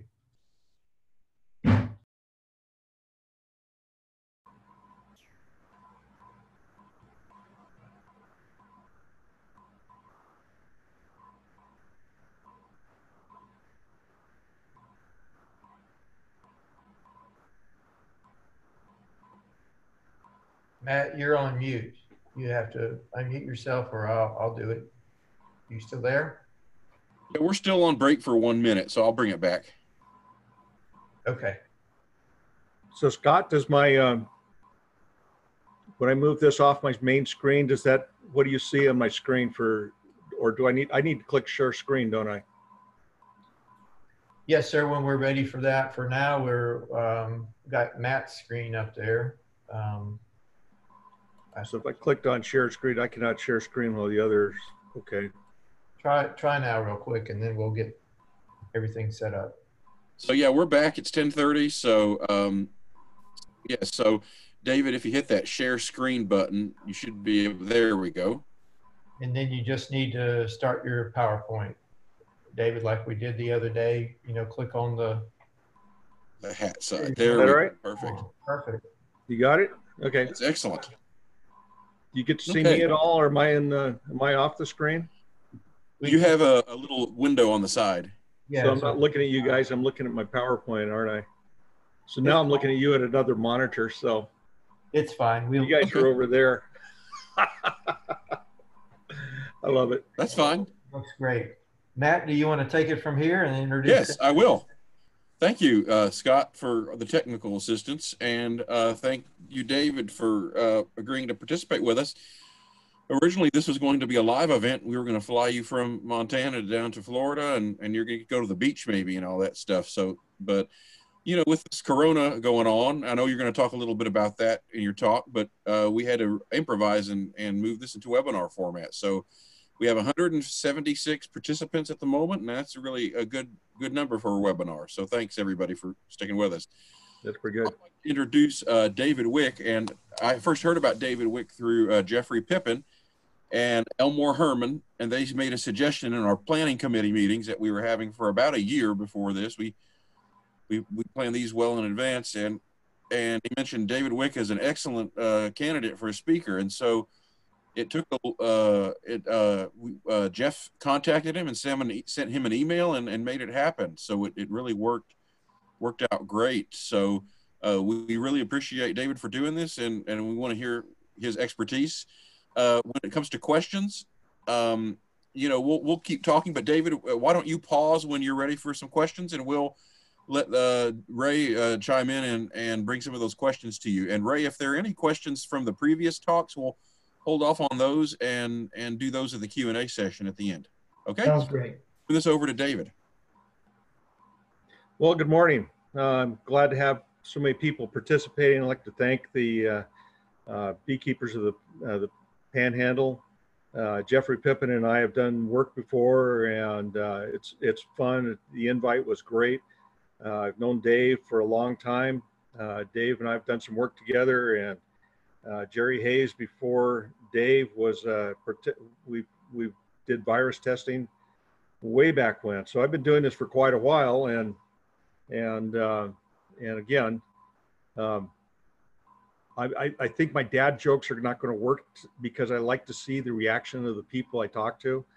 So we'll just kind of go along. If you have any questions, uh, because it goes along quite a quite a bit on different details. If you've got a question of a, of a, what I'm talking about, uh, feel free to send that off to uh, Matthew or to uh, uh, uh, Ray. I guess would be the one. Anyway, let's get going. I'm I'm up in Montana. There's my my name, address, phone number. Those are the beautiful beautiful Bitterroot Mountains across the valley from me. That's about four miles from my house and about uh, 6,000 feet higher than my house. So let's see if I can get this thing to work. There we go. So I'm going to talk about a little bit about research and I'm going to talk about testing. We're going to hit viruses, nosema, nutrition, gut bacteria, pesticides, mites, chemicals, and their interactions a bit. And as uh, you know, I can probably go on for an hour and a half for each one of these things. So ask questions. First, we're going to start with viruses, and they're there. And next thing you know, they're a little bit more intensive, and then they get a little bit more intensive. And then all of a sudden, you're going, I got, I think I got viruses. And then, boom, they're everywhere and they're moving around. And you're going, okay, now, oh, wait, now they're starting to disappear. They're going down. They're going down. They're going down. And I'm back to just a little bit of virus. They're back again. Welcome to the world of viruses. Viruses are really small. One micron equals a thousand nanometers. Uh, those nosema spores that you look at under your microscope are about 15 to 25 microns. That makes them 15,000 to 25,000 nanometers in size. Most B viruses are in the 17 to 46 nanometer size range. They are really small. You can't see them in your microscope. Uh, it takes uh, uh, a little bit of innovative equipment to be able to see them, or you can go to molecular biology and pick those up. Long time ago, we had a uh, uh, electron microscope. Don't have that anymore. Uh, it was it'd be an antique now. Anyway, so you can see them. There are pictures of them. There's my equipment. This little piece right here is the electrospray. That's where we aerosol the viruses. This little jar right here is where I stick your sample in. Uh, this is the uh, this is what separates the viruses out by their size. This is a nice little condensation particle counter that simply counts the viruses that are released by the uh, the DMA. This big box right here is just an airflow generator that we grabbed from another type of technology that was a particle counter uh, exhaust fume, aerosol, picked up the particles in uh, exhaust fuels, uh, diesel fuels. And then we just put it into a computer onto the software and we go from there. It's based on the physics of nanometer size particle movement through a charged atmosphere. The electrospray converts this liquid samples to aerosol state and charges the particles. The differential mobility analyzer collects and groups the particles by size, and the particle counter just simply counts them. Uh, this B samples, uh, we uh, get them in with baggies. You guys put them in nice little baggies, you mark them. I put them in a blender and uh, we grind them all up and, and um, liquefy them, add a little, uh, we filter them out, out the big chunks, and then we uh, go back in and enter them into the electrospray. We, uh, we can do that with people. The attorneys have a real tough time on, on getting into the blender, so we don't tend to use them very often. But that aside, uh, everybody else uh, we have done off and on. We've done just saliva testing, we've done sputum, those samples, and we'll get into that a little bit later.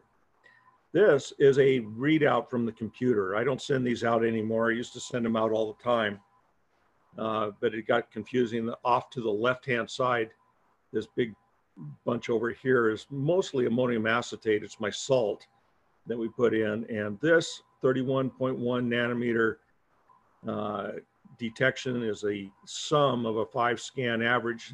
And you can see the two peaks, one's down below, a little bit lower.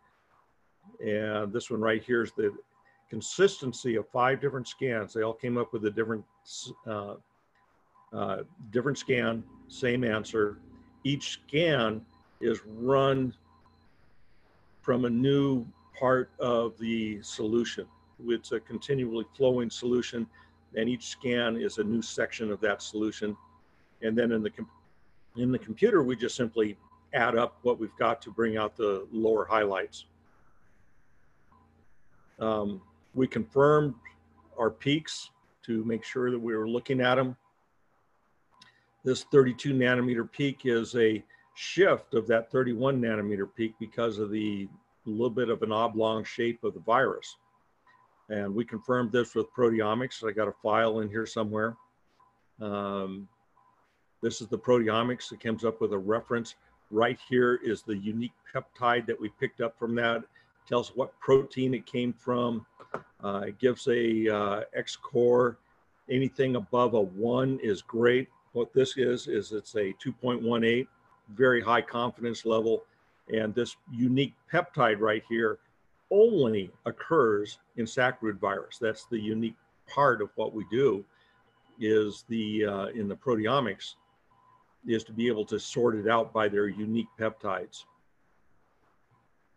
We also did a sacbrood virus real-time PCR validation uh, because I was having some people saying, well, you can't see viruses without a reagent. So we went back to the reagent modes and this is a reagent mode and it showed a, a very strong validation for the um, uh, sacbrood virus.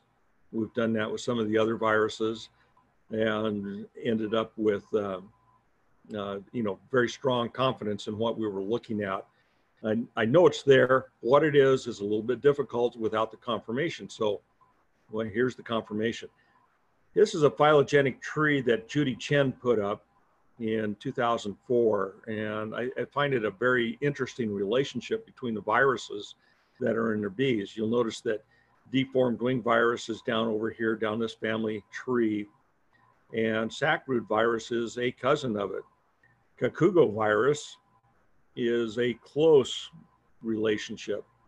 Um, and so when you're looking at PCR, you have to be really specific. And if there's any changes in the gene sequence, you might get uh, PCR might show up a deformed wing virus when actually you have sacbrood virus.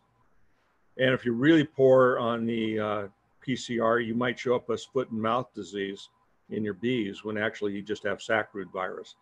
So it's it helps to be able to be uh, very specific on what we're looking at you can see the black queen cells up over here. I don't actually see it very much, but I think that might be because it's related to one of these other viruses. And my PCR is, uh, uh, might be looking at the wrong set of sequences. Acute B paralysis virus, Kashmir bee virus are very closely related. Their uh, symptoms are very similar. Um, and I find black queen cell virus is related to the broad bean wilt virus. And I've picked that up too when we were earlier on when we were doing it, which is very interesting. The viruses are all, and, and try to put all these under a microscope. These are um, uh, an electron microscope. These are all 30 to, uh, I take that back, they're about 22, 35 nanometers in all of these viruses that are shown here and it's uh, you can go in and they're they're very small. Proteomic, proteomic uh, data example, again, you're looking at the uh, probability score on the left. Uh, you're looking at the unique peptides. You're looking at the uh, the reference database that they came from out of NCBI. And then we got the definition as to what they were. And there's a corona-like virus that we picked up in here belongs to several different uh, honeybees, honeybee viruses. Uh, we have iridescent virus that there was a paper written on, and it's a it shows up once in a while. It's very interesting. It does iridescent. It does have an iridescent look to it out of the uh, um, centrifuge tube when you pull it out. Uh, very nice. Uh, and we did pick up sacbrood virus, and the scores are pretty high. You'll also notice that we picked up herpes virus in these. It was piggybacked on the on the bee, uh, and we're working on um, quantifying the viruses in the bees using the proteomic data. It's interesting when we go back and look at the uh, uh, the viral particle counter detection. I don't see the herpes virus. I don't see the uh, the permanuda virus, uh, which means that I have the sequence, but I don't have an intact virion, which is uh, a, a, key part of what I do, both in uh, the uh, the honeybees and in the uh, human or mammal mammalian uh, viral samples I do. I've done bighorn sheep, I've done birds, I've done cattle, and uh, we play with people at times. So deformed wing virus. You got viruses everywhere. Deformed wing virus seems to be pretty, pretty popular. Uh, it's in adult honeybees. Usually everybody knows what it looks like, but we have also found that uh, yeah, we can pick up deformed wing virus before it is symptomatic.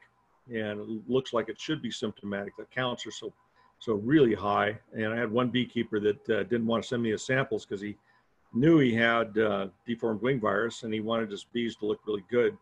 So he treated his bees and got rid of the mites and gave them nutrition and all the wonderful things. And his uh, symptoms went away. The bees were looking good. Sent me the sample and boom, I had an incredible count of deformed wing virus that was that was impressive. Um, it appears to reduce the lifespan of the bee, uh, impaired learning uh, capabilities. Other papers have been written on that, and we'll cover some of those. Uh, typical disease symptoms include shrunken, crumpled wings, decreased body size, discoloration in adult bees, um, and why it causes those morphological deformities of the infections, it is unclear. Probably in the genetics somewhere, probably interfering. Kashmir bee virus, back in the 70s, uh, more or less harmless. And I find out unless it's associated with other pathogens such as Nosema or Varroa. So Nosema ceranae is also in there. Uh, it appears to be activated to a lethal state by mites feeding on the bees. Okay, so I need to qualify this. The virus isn't activated to a lethal state. It is uh, the last sentence down here, once introduced to the bee hemolymph, it can cause more mortality within three days. It's not the only one that'll do that. So all the varroa mite does is put a hole in the bee and starts feeding on the hemolymph. And if you got uh, Kashmir bee virus floating around uh, and it gets in there, boom, your bees are going to get sick and they're going to die.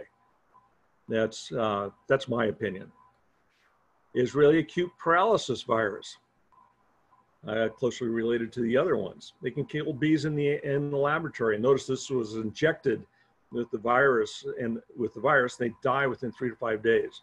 So on the on the bee, you kind of pull the leg off. Oh, this is great.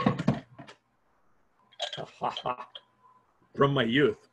So you take and you go back, not the first leg, but the second leg back, and you put an injection right there when you inject the bee, right? okay. There's my bee joke for the day. Uh, when it's presented in their food, the death rate is about 80%. So you have to really work on getting these bees in the laboratory. You know, it's one thing in the field, it's a different thing. Uh, you have to watch out for it. So you pay attention to it. I pick up Israeli acute paralysis virus probably about 20% of the time, and I'll show you that later. Acute bee paralysis is thought not to cause disease symptoms in bees. Really. It can be common in non-infectious form in seemingly healthy bees without mites, but is activated by feeding, and that's feeding by the mites.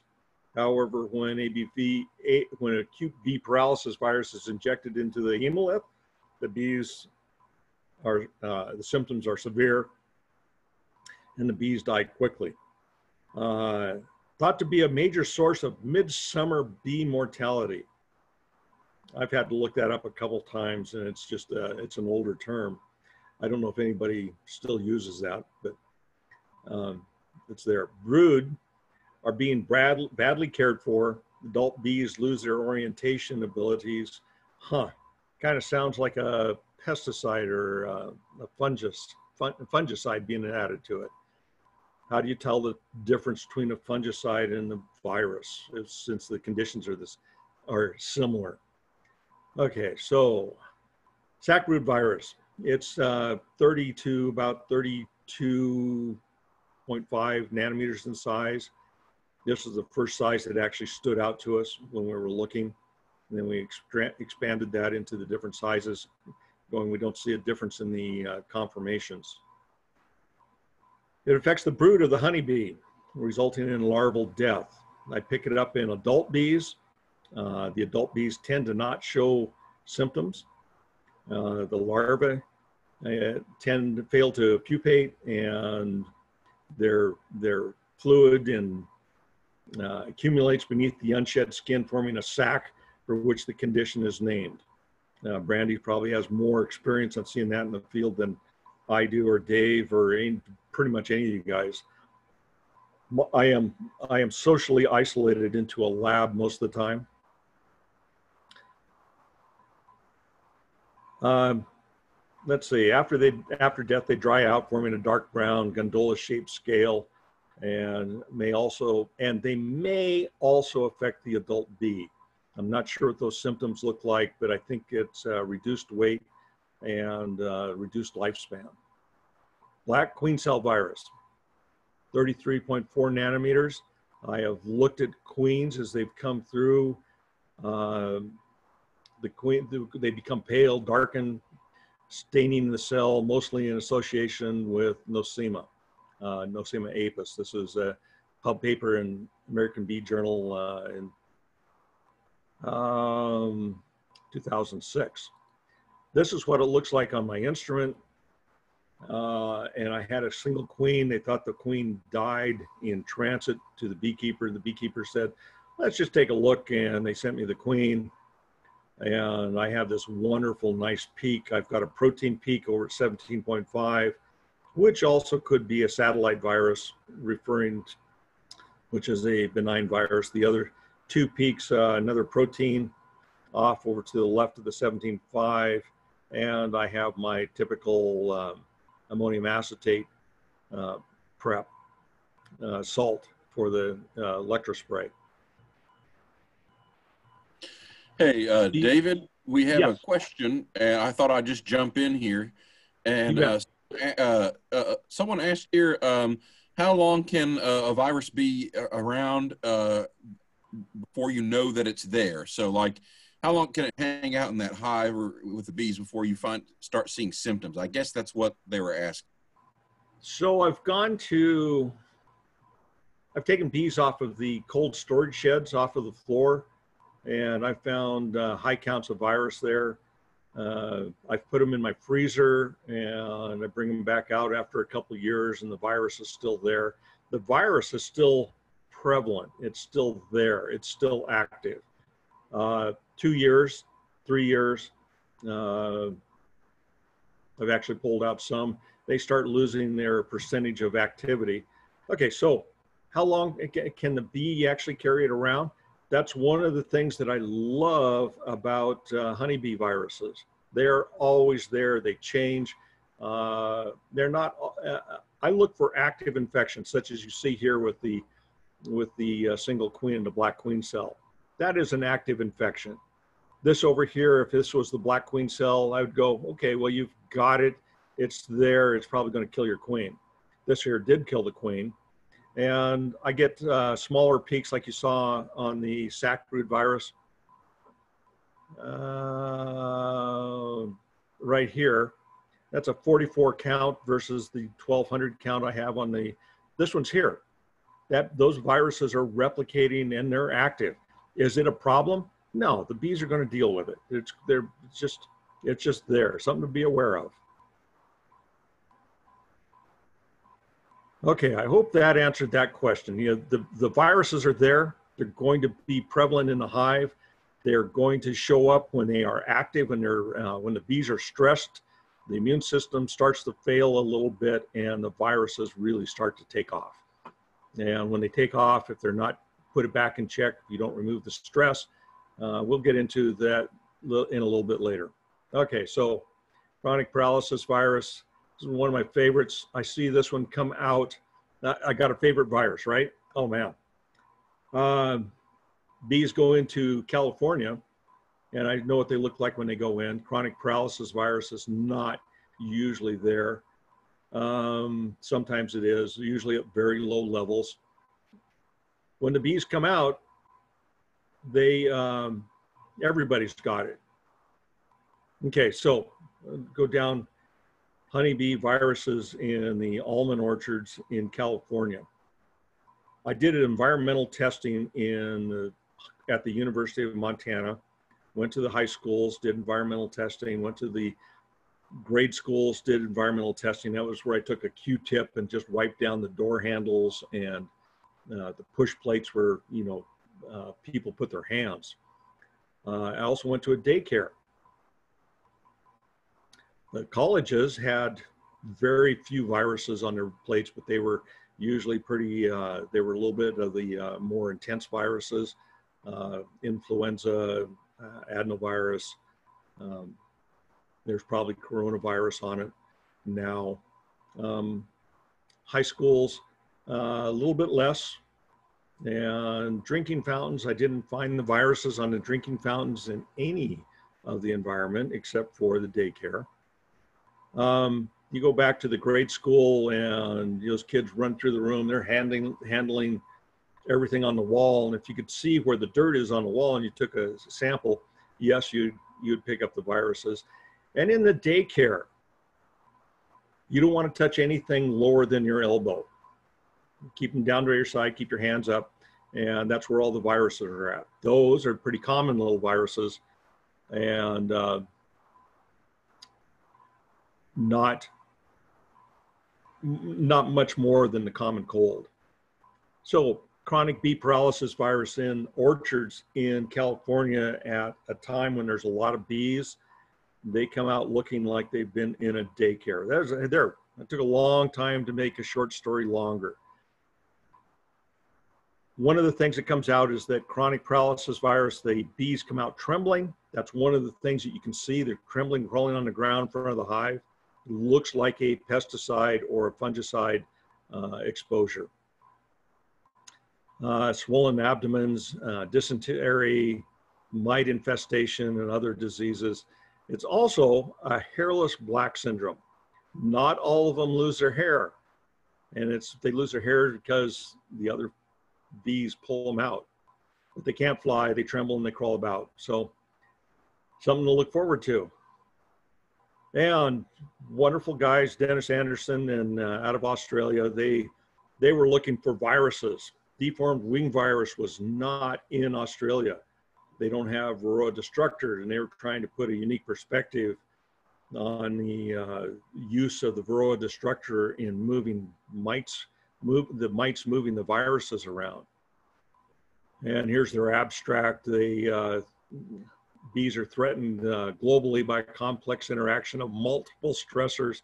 You got to have fun writing these things, including the parasitic mite, Varroa destructor, and a number of uh, pathogenic viruses uh, unique opportunity that they had. They found five viruses, black queen cell, sacbrood, IAPV, Lake Sinai viruses, one and two.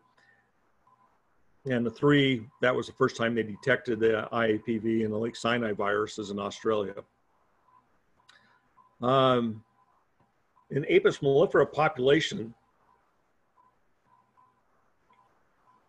you can see that the Varroa destructor uh, the viruses were showing up in spite of not having the Varroa destructor mite.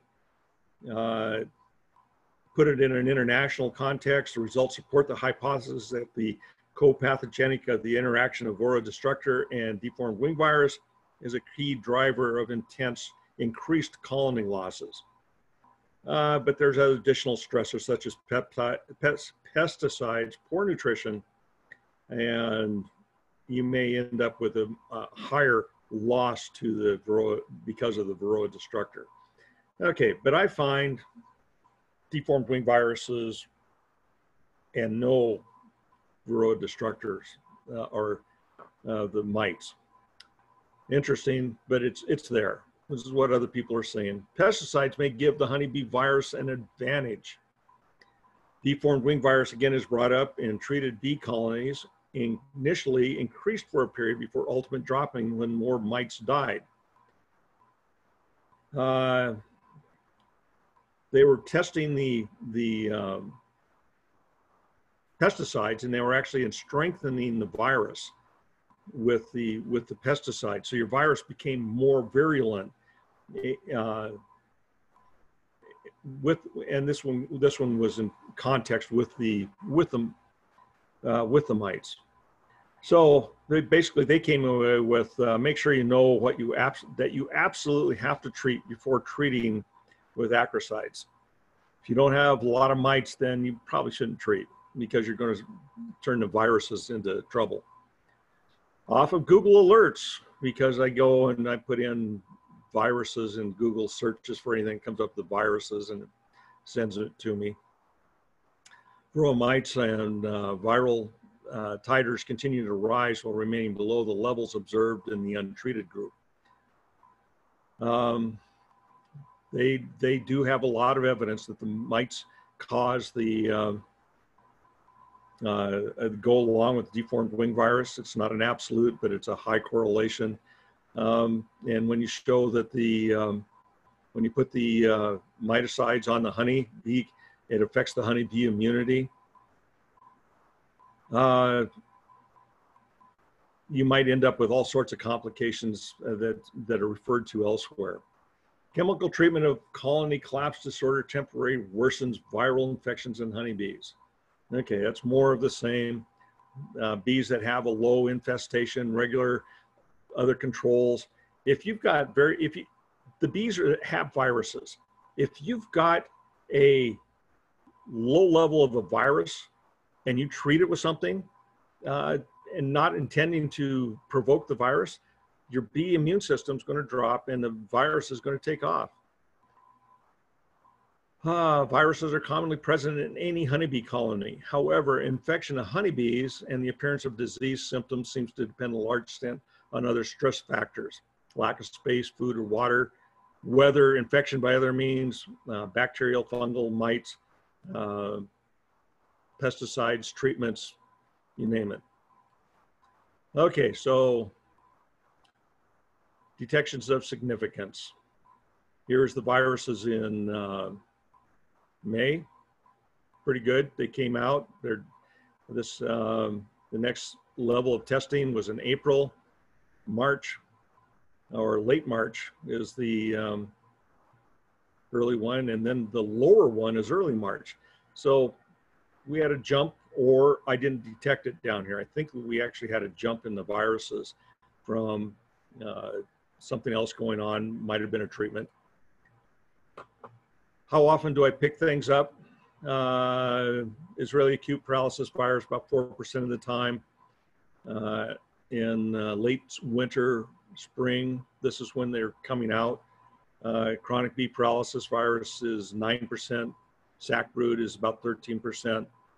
Um, deformed wing virus is over in the 2% range down over in this area on the left. Uh, it changes spring, summer. Uh, 47%, half of the, basically half of the samples I look at have deformed or have, sorry, sacbrood virus. Uh, chronic bee paralysis virus goes up and so does IAPV, so does, so does deformed wing virus. And I've actually have two detections here at 47 and 31. If you add those together, it goes up to a higher count. And you can do the same with the range that I have for IAPV and chronic bee paralysis virus. Late fall, bees are at the end and 44, 10, and 20%. It changes over time, it changes. Okay, so you guys all know Heather Gamper. Heather Gamper was did a study and I did the testing and this is up in the panhandle. This is up in your guys' neck of the woods. From my perspective, it's probably next door to you guys. Sacbrood virus in January. There's the distribution. She put it on this map.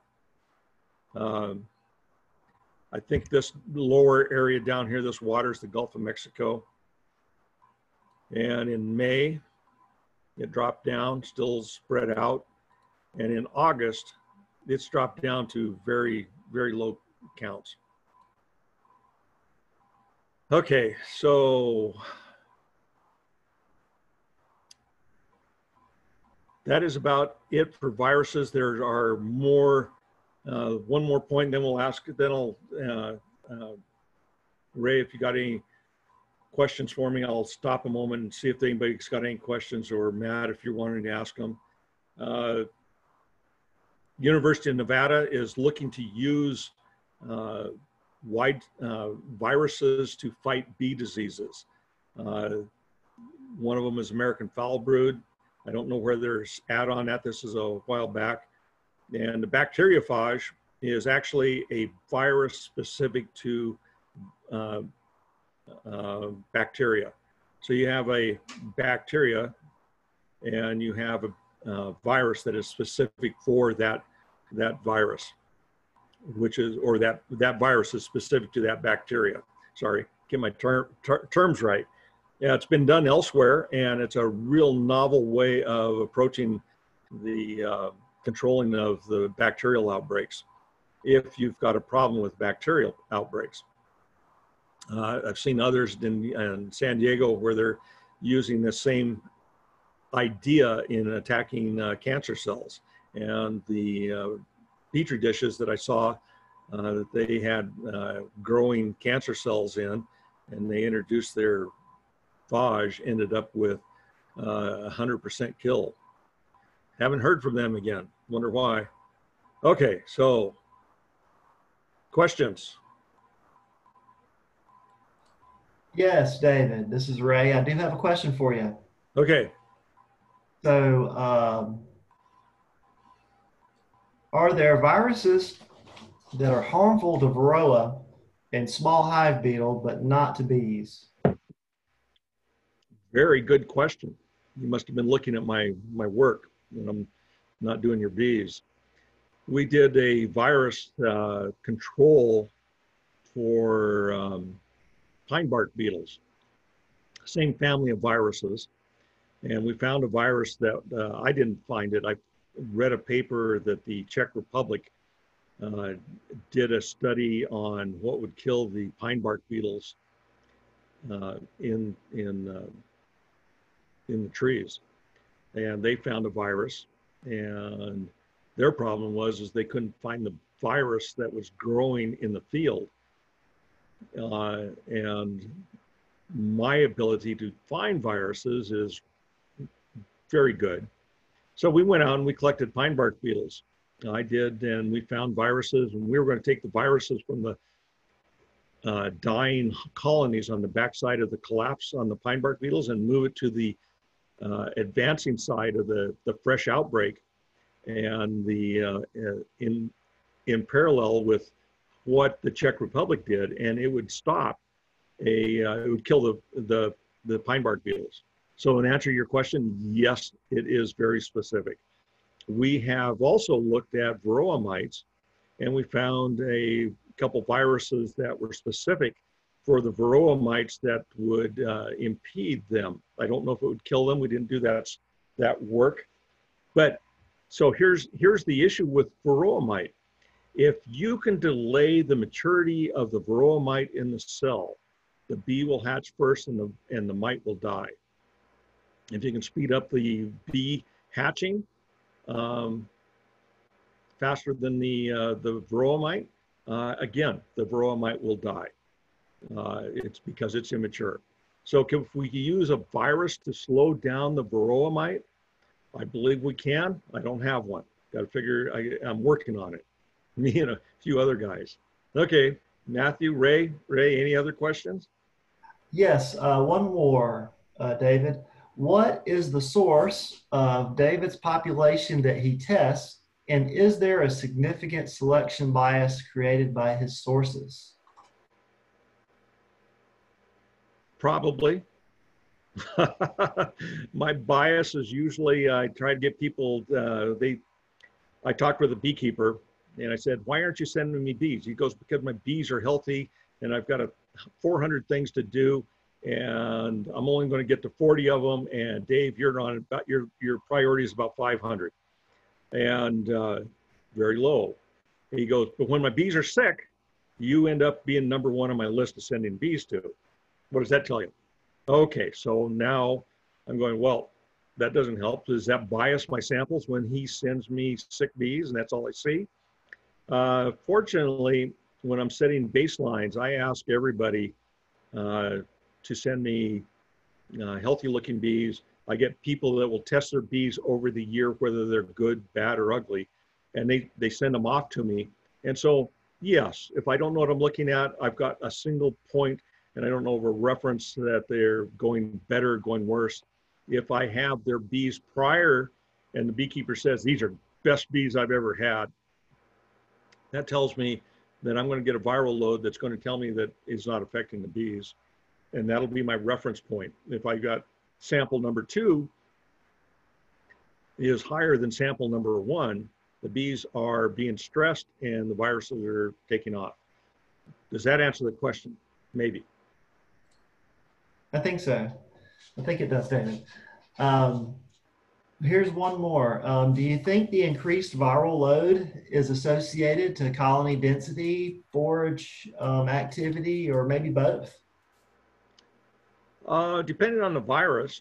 Uh, okay, so you've got several parts to that. If you've got a virus, um,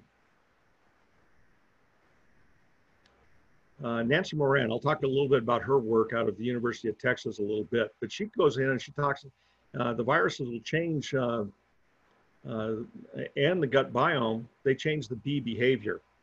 And, and that it does affect the bees and on their ability to forage and um,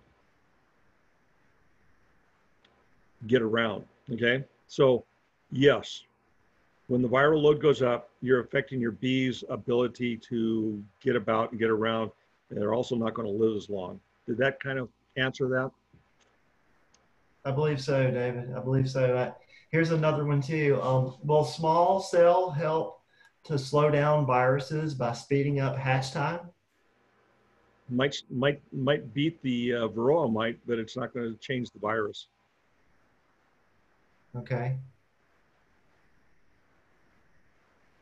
Okay, so let's let's move on.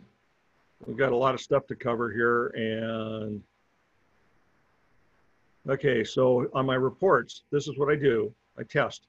So I'm testing for viruses. Here's a here's a header that I put on, just kind of a summary chart.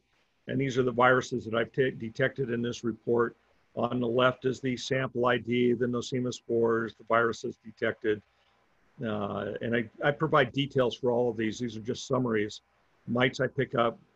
Uh, interesting thing about mites in uh, I found in my testing is that when the people send me bees in a baggie, I throw them in the freezer because I want them dead when I pull them out to put them in the blender, it, they really don't cooperate going into the blender when they're flying around. It just causes problems in the lab. How do I know that? Well, you talk to you later. The mites drop off the bees when the bees die, and the mites die after the bees, and the bees and the mites are just little specks of sand in the baggie. We just simply count them. We've correlated that with what I, uh, beekeepers are telling me they're getting from their washes uh, in their field testing. We're really close. And even sometimes I will pick up mites where they did not on their, uh, on their testing. And sometimes, um, you know, if we had a little bit of discussion, we might be picking up those uber mites, bringing in bees from the neighbors. And we've got a pesticide chemical scale of testing, and I will pick up your treatments on that. Okay, so here's going back to one of your previous questions. How do I know uh, if the uh, what the trend is? Here's a beekeeper that we've tested for a long time out of California. October 16, he was uh, he was just recovering from a good collapse, and he started testing his bees often. And in October 16, we were picking up high loads of mites. High, I don't know if you guys can see the yellow bars in that but they're in there down in this region. Here's uh, coming up. They um, uh, he had high uh, uh, uh Nosema ceranae spores. Uh, he had sacbrood virus. His bee weight was well okay, but you know it was still there. he treated his bees, he treated the nosema, he put some nutrition on, went through winter. That next August, okay, a lot happens between then and August. And then August comes along and his bees are, have no real viral load. We've got one over here, that tall red peak, peak, and that's probably from the end of a uh, a honey flow form. Um, the, because his bee weight is so high, or it could be that the bees are getting ready to collapse. Off in September, uh, he's maintained his bees, and he doesn't have the viral load. He doesn't have the the uh, Nosema ceranae. His bee weight is really good, uh, and so yeah, there you we can track it. We can help management uh, over time with your bees. Okay, so going back to an earlier question, dose response curve for Nosema uh, treatment. This is, um, uh, the beekeeper didn't like that I, we did this, but uh, not that I, my data was wrong. But um, prior to treatment, he's the red line. That's uh, this one right here in the middle right? That, that's what he started with. And so he treated with Fumagillin and treatment plus 10 days, his viral load went up. Fumagillin is uh, also used as a immune suppressant in mammals at the veterinary lab. Isn't that interesting? And the viral load went up. Treatment plus 16 days, he's all the way down here at the bottom. His bees, are looking really good virus wise doing well. Okay, so the viruses as a biomarker, which is what I've really found is the useful part of these.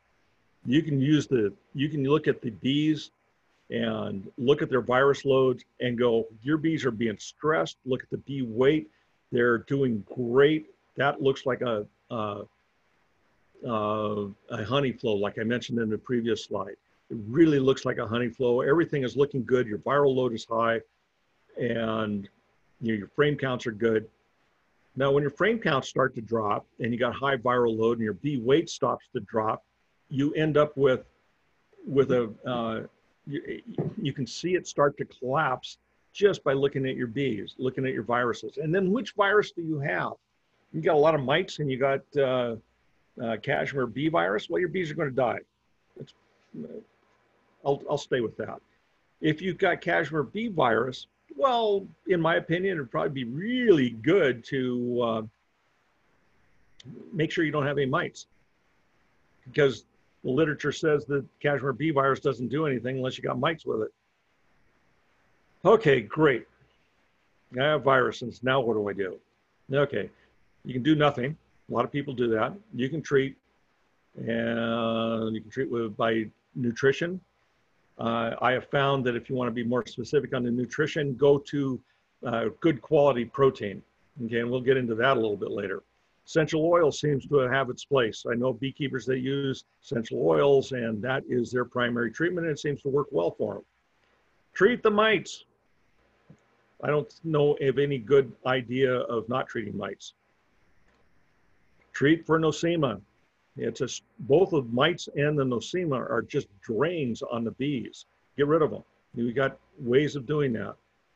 Use of probiotics. I've just added this in the last uh, probably couple of years of using the probiotics because it helps that bee immune system. Use them. Use the viruses as measurement tools. Use regular virus monitoring as a tool for evaluating your bees. How are my bee health doing? Are we going up? Are we going down? Or where are we? uh, and their reaction to outside factors. I think, uh, Brandi, you had a question about uh, um, mosquito spray coming in out of Florida. We've done a fair amount of Florida testing on I, my bees got hit with with with a pesticide. Yeah, well, okay.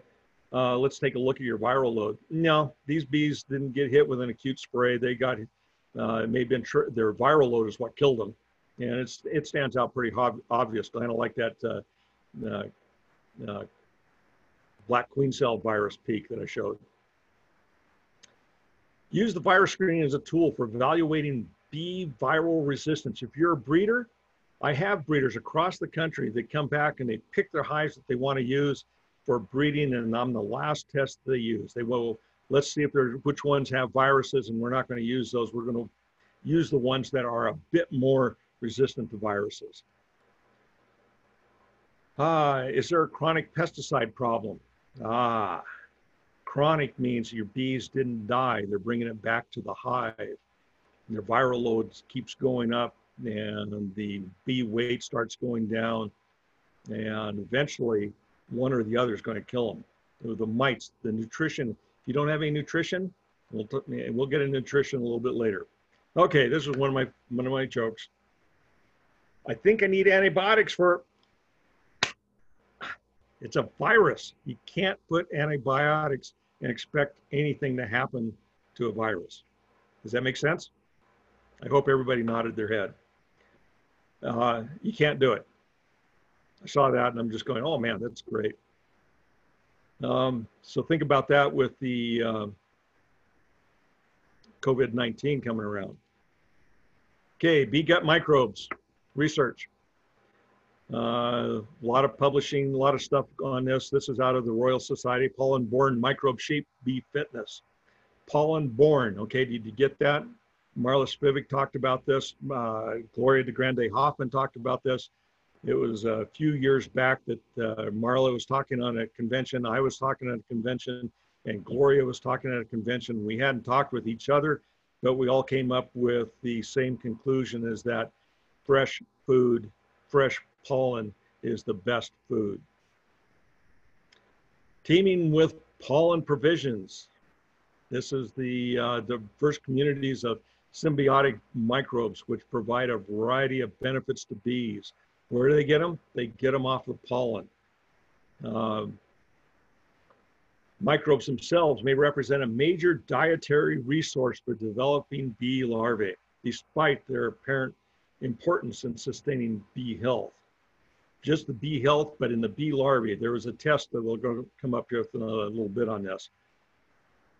Convergent findings from amino acid and fatty acid trophic biomarker analysis revealed that larvae derive a substantial amount of nutrition from microbial prey and occupied a significantly higher trophic position than that of strict herbivores. They thought the bees were herbivores, well, they're out farming the bacteria. Uh, larvae feeding on increasing sterile diets experience significant adverse effects on its growth rate, biomass, and survivorship. This is your larvae. When compared, when completely deprived of pollen-borne microbes, the larvae consistently existed marked decline in fitness. And one of the things that they did, measured for fitness was uh, weight. We've got a chart that we'll uh, come up to on that. Uh, microbes associated with age pollen provisions are central to bee health. Okay, go back to your probiotics. Do the probiotics have everything in them that they need? Maybe, maybe not.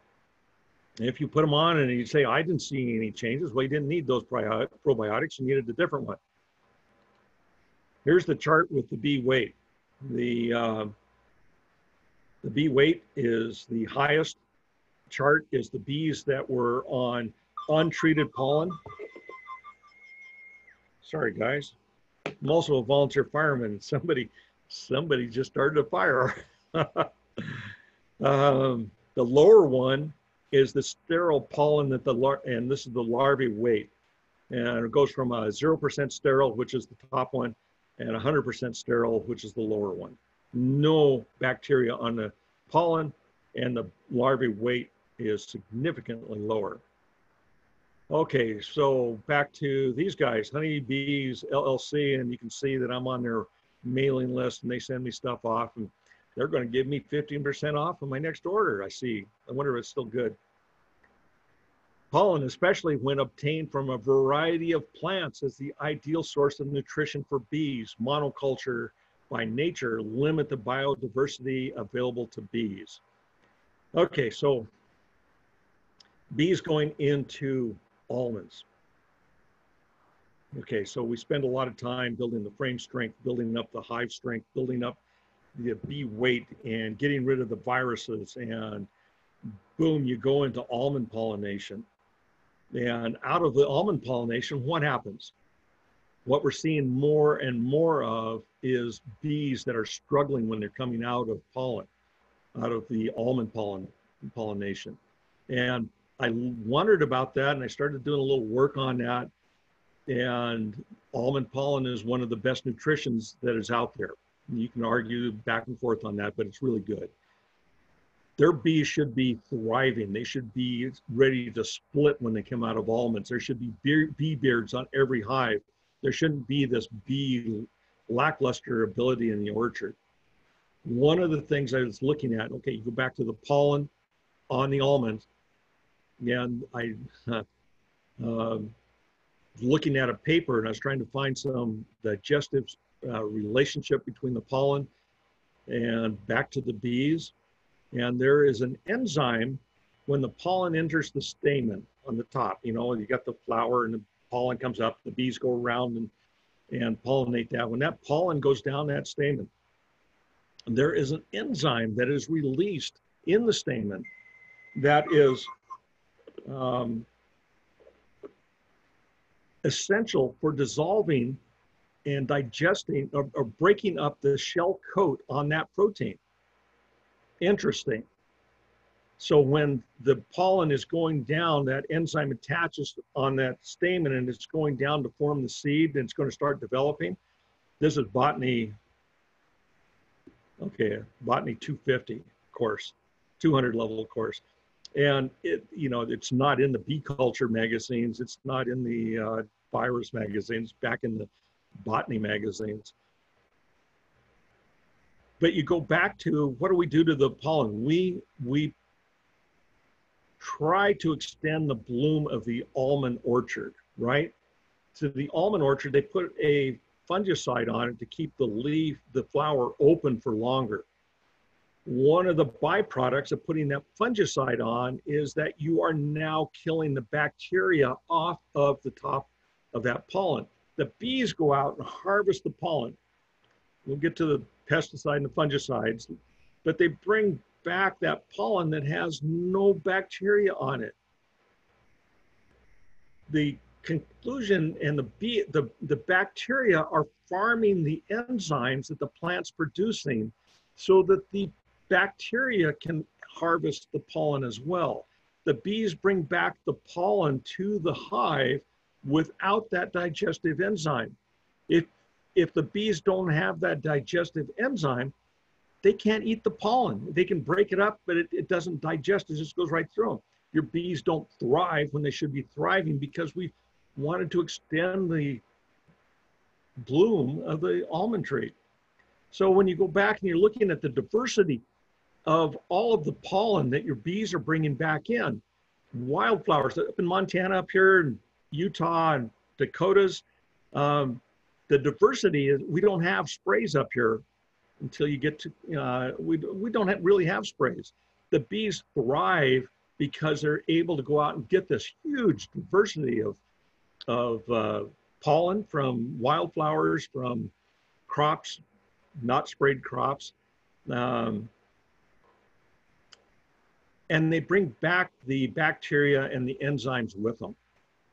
Boom, your bees thrive.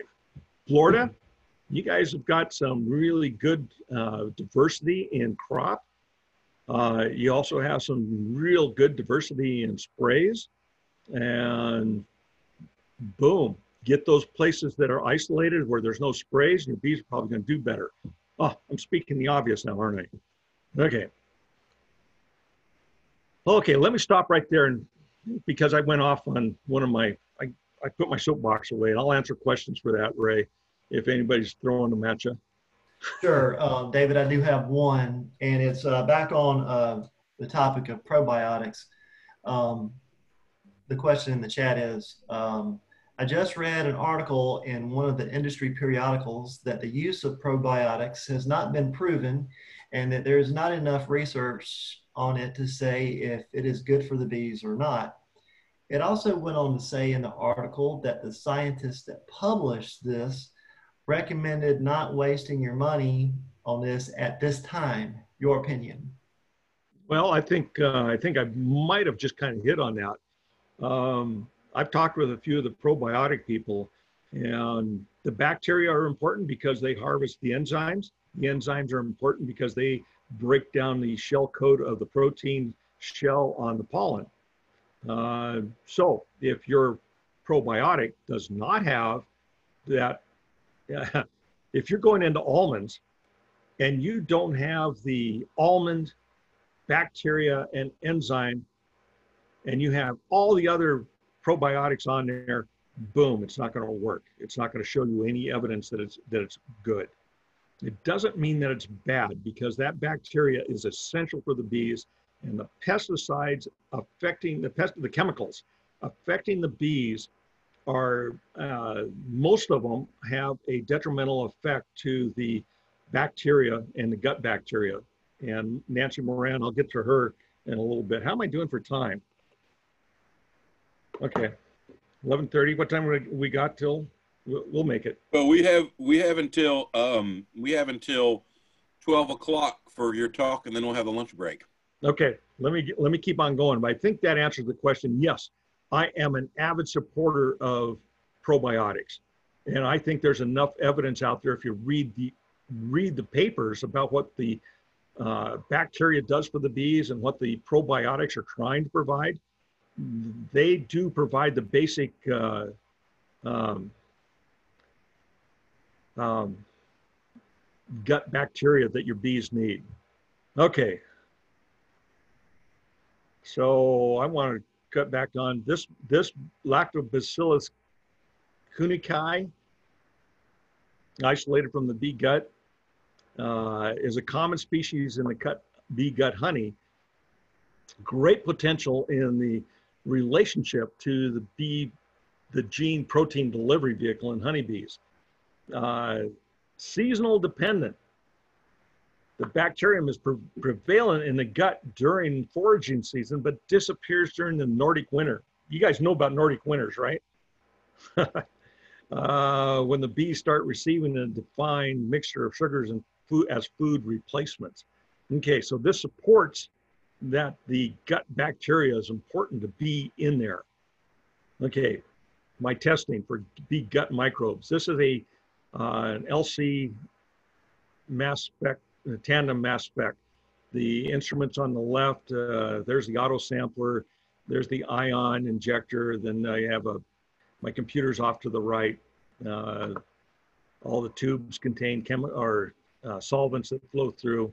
This little thing near the tag on it is the column that spreads out the items, and this happens to be set up in the uh, chemical testing.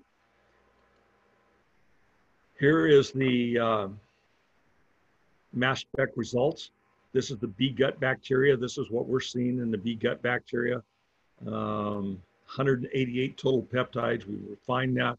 I'm up in the eight to 900 peptides that were unique peptides. There's thousands of them. Um, here's the groups. There are seven of them. These are the ones that we have in our instrument. We're always looking and adding more to it as we go along. Here's, here's what comes out on a report. The numbers are the sample number on the top, and then your ID number. This is four samples from a beekeeper and the uh, numbers are the number of unique peptides. There is no data that I can refer this to that I've been able to go, what's my standard? I'm going to be making the standard. We're going to compare these numbers over time with uh, beekeepers and watch these numbers go up and down. And that's where you can sit there and going, well, do I have the right gut bacteria? Is it effective? And when I see a probiotic on, these numbers will go to zero because they're they have an, I mean, the total column will go to zero uh, because I'll have an interfering uh, group of uh, bacteria that we're looking at. Uh, we're working on that as well. That means we don't have a complete set. We're working on it. This data is new for your reports. It appears that the consistency of the numbers across the different samples is good and the values appear normal the zeros may be normal because they don't need that bacteria. As it said in the earlier article, they go away. It appears that a higher count would be better.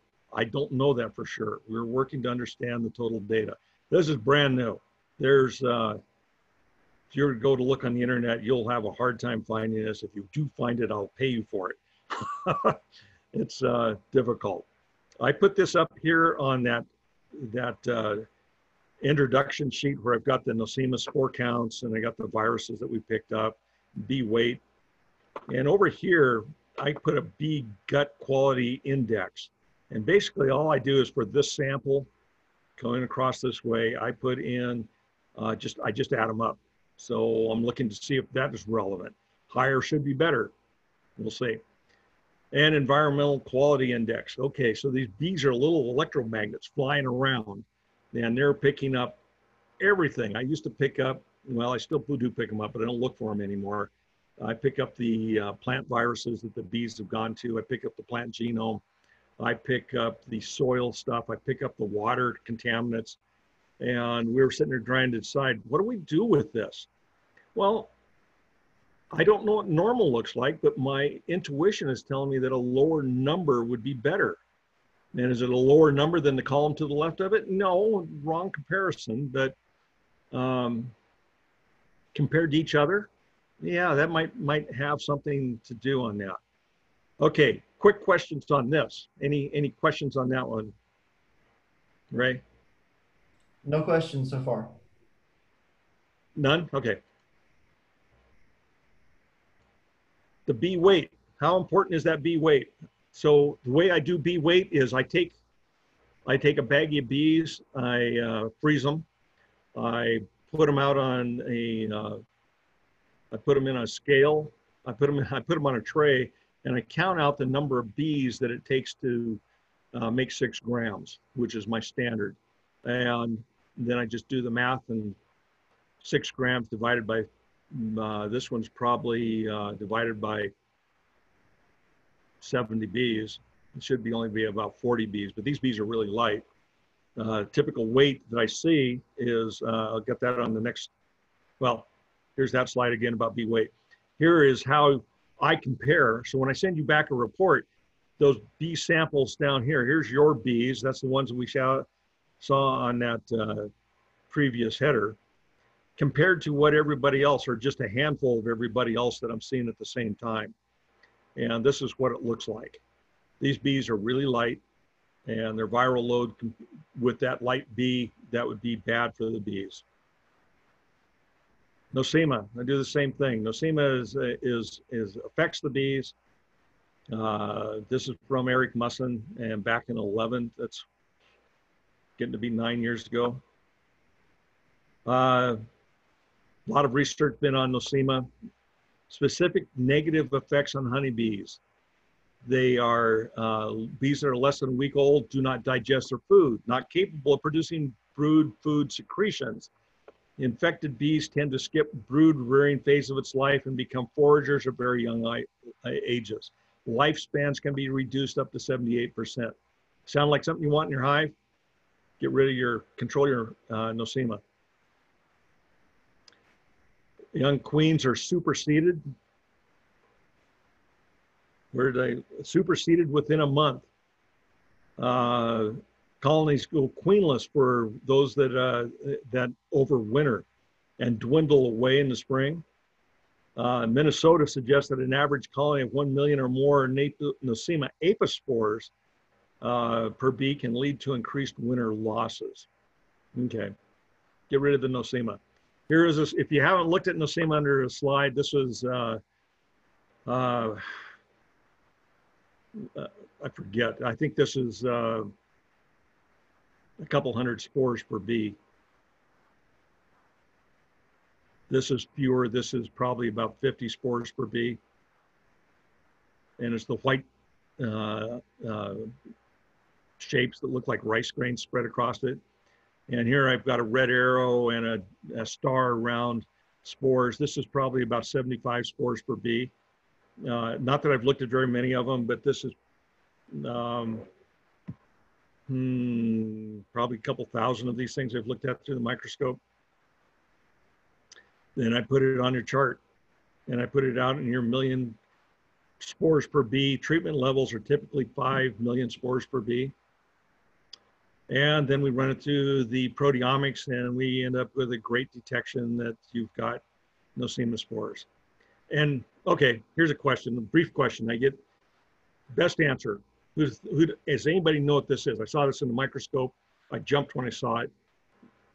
Anybody got a quick answer for this one?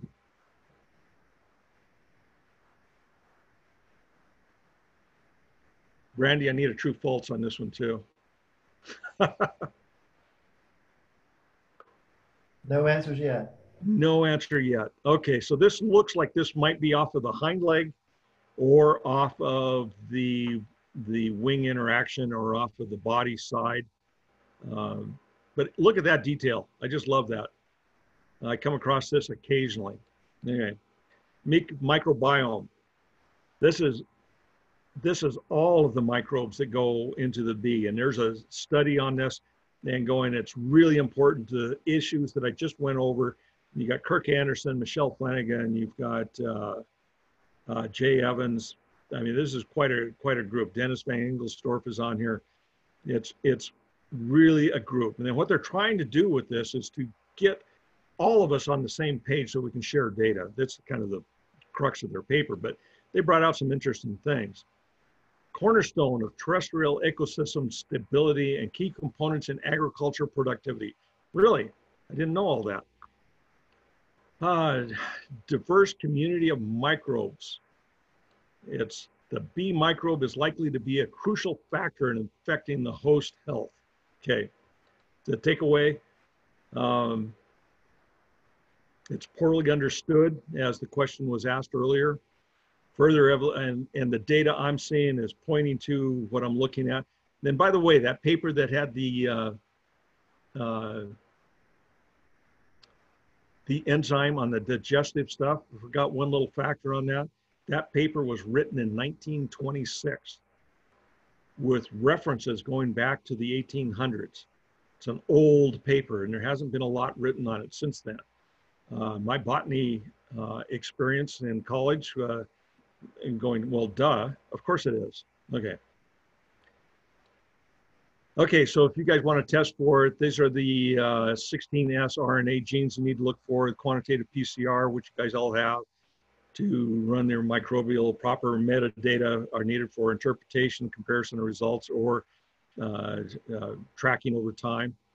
Standardization of protocols, this is what they want. I agree with that. Insulation, uh, isolation of host, bacterial and viral RNA DNA is necessary for cross-study analysis. Right? You guys have all that equipment. You guys can push, process that through. When I opened it up and I started looking at a, a few bee samples, this is many bee samples that I looked at. I want to see what a trend was.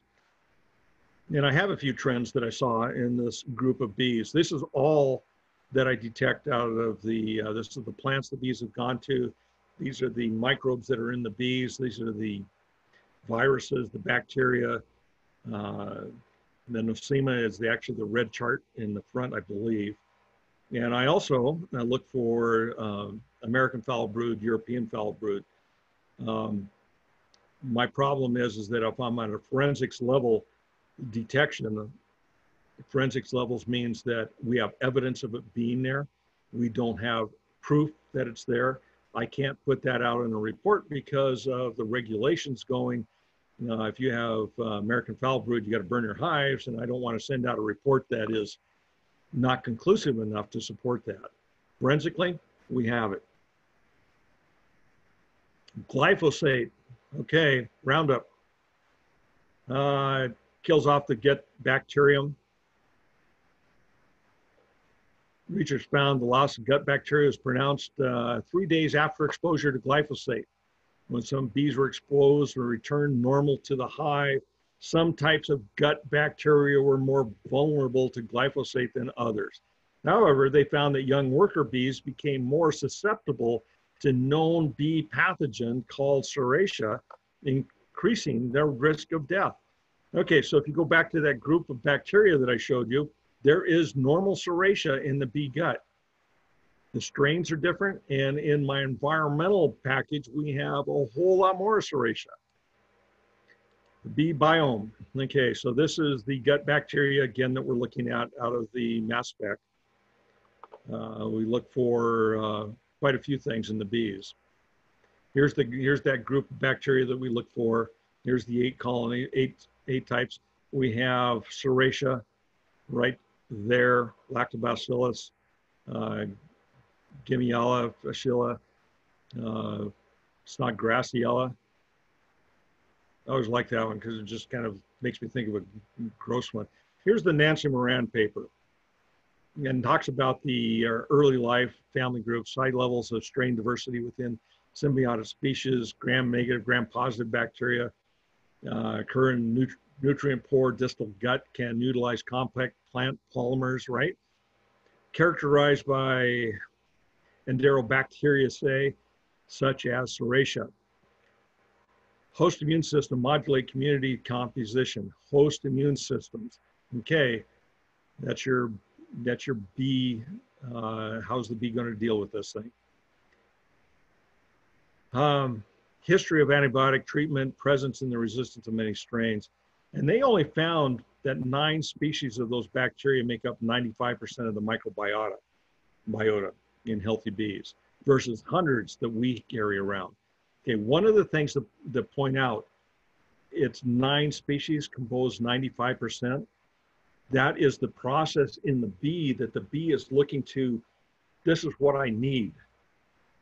And then that incredible diversity of all those flowers, I just need that small part to, do, to make everything else work out of that flower. I need that one little enzyme coming in with that bacteria. And so that's where a lot of this data ends up on our reports. Chemicals. I haven't done a lot of chemicals before. Uh, glyphosate perturbs the gut microbiota of in honeybees. You ever heard that? And that's again from that's from Nancy Moran.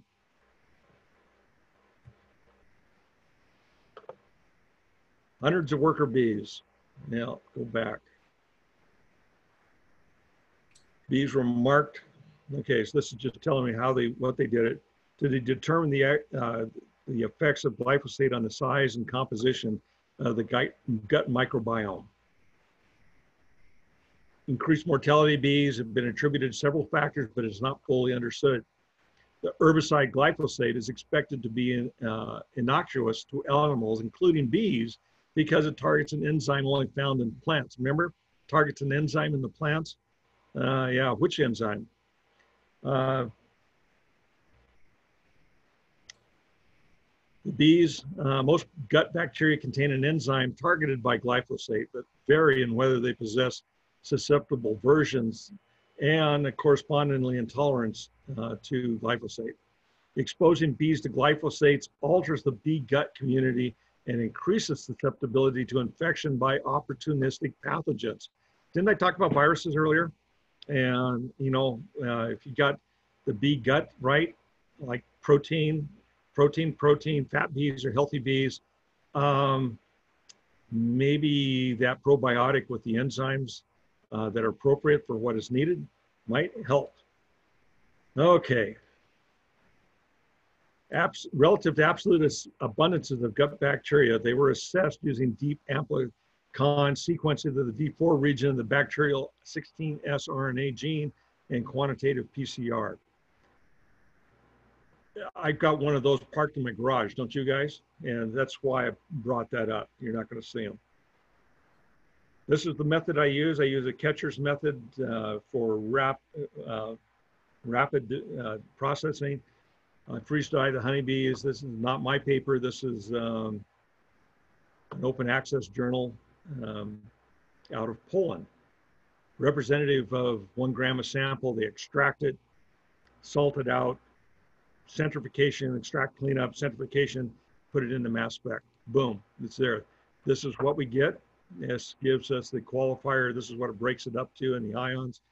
Um, it's not too hard to follow. You get the molecular weight of Allicor. It's this that's uh, when you hit it with a, a uh, uh, the energy coming out of the mass spec. It is the energy over here is 13 and 6, 13. You hit it with a energy charge of 13, it breaks it up and you produce these things. It also shows up and you can quantify it by adding up how many of those things end up in the, I knew you guys wanted to know that. Hey, David, do you have a second for a couple I of do. questions? Go for it. Okay. Um, uh, from the chat box here, uh, in your samples, is it only the workers you test, or are drones a part of the makeup? And do viruses react differently with drones? I've tested a few drones. Drones are going to be susceptible to the viruses like everybody else. And I take, I usually ask for worker bees because they're older and it gives the viruses a little more time to replicate. So I get a good idea as to uh, what is the, uh, the virus community look like in the hive. Uh, it's a correlation to the uh, brood bees. I get brood bees and I sample those all the time. It's nice to know on the, when the sample comes in and which is which. Um, I can usually guess by the bee weight and the viral load uh, and the appearance of the bee. Um, so yeah, the the viral load's a little bit different, but uh, in a in, when I take a yard sample, which means I get a little bit of bees from everywhere, uh, I get a good feel for what the yard looks like and what the health of the yard looks like. Uh, single samples out of single colonies, yes, sick bees look different than healthy bees, and it doesn't matter if it's from the uh, brood brood chamber or from the uh, whether it's drones or whether it's uh, uh, worker bees. Any more? Okay. Yeah. Um, what about um, are viruses able to genetically be transferred via mating? Via what? Via mating. Mating. I don't know what that is. Mating. M A T. Oh, mating, mating. Well, Sorry about that. uh, not if they go through social isolation and mating. the viruses are transmitted through, uh, they carry them on their backs. They, uh, they pick it up in their hygienic methods. They uh, pick it up in the fecal matter. They pick it up in uh, saliva. They pick it up in, uh, in their digestive juices if they're quick. They'll pick it up off the mites. They'll pick it up out of the uh, um, um, the frames. They'll pick it if it's if it's covered with um, if it's covered up, the virus is still there. When the bees die, break down that and they uncover that virus, that virus is still viable. So yeah, it kind of depends on how many viruses you got. Okay. I asked Jay Evans. I said, Jay, how, many viruses, how many virions does it take to make an active infection? And he came back and laughed at me and goes, "Well, you know the obvious answer, Dave. It's uh, we don't know that. we don't. So bacteria, you can actually grow it up in a petri dish and know how many, uh, what form, what makes a plaque forming unit. How many bacteria do you need before it starts growing? We have not been very successful at doing that with viruses. somehow, but it's not it's not easy to do. Any any more, Ray? Yes. Um, if bees are not within foraging range of agriculture and chemicals associated with so associated with that, do you feel that a probiotic supplementation is still necessary? Uh, it's only necessary if the bees are lacking the bacteria in their gut. How do you know whether it's there or not? You can test for it. If I get all the bacteria, I could I could tell you. Uh, it's it that's going to be a that's going to be a sorry for the pun that's going to be a gut instinct of the beekeeper okay. Okay. Sorry. Okay. Um, some some people here's another question. Some people suggest that you can safely treat unwanted plants with glyphosate when bees are inactive in the evening. Is this true? Uh, finding the glyphosate will be around for a couple days. I don't care what they say on the label. So the bees go to it the next day. It'll they'll, it'll be there. And they'll bring it back to the plant, and that that would lend itself to a uh, chronic infection of glyphosate. You like my background? Chronic infection, chronic contamination response. um, one more question, David. Um, uh, going back, we talked. You talked a little bit about um, bee weight a while back, um, and about a good bee weight, what would be a, a good, healthy bee weight? Uh, The lowest I've seen on live bees is 0.6 grams. 0.06. And the best I've seen is 0.14 grams. You can do that in a bathroom scale. You know, if it doesn't raise it that low, you just hold it in your hand and step on the scale, right? Right. That's right. okay, so the um, the best bee weight we came out of a beekeeper in New York, a hobbyist, and she had been losing her hive every year. Starts over, loses her hive, starts over, loses her hive. The last year that I did any testing for her, and she, we were doing bee weight, and her bee weight was down, virus loads were up, you know, Nosema was out of control. And she got all of that under control and she sent her the last sample of bees I did for her. And she had the heaviest bees I've ever seen. Isn't that nice? Okay. So that's the range of, of what I see. Okay. Okay, let's see if we can get through this and have a few questions at the end. Pesticide or chemical scale, I use a Raman instrument to come up with this. Raman is a. Uh, I just stick the sample in. It actually takes longer for me to write the, the uh,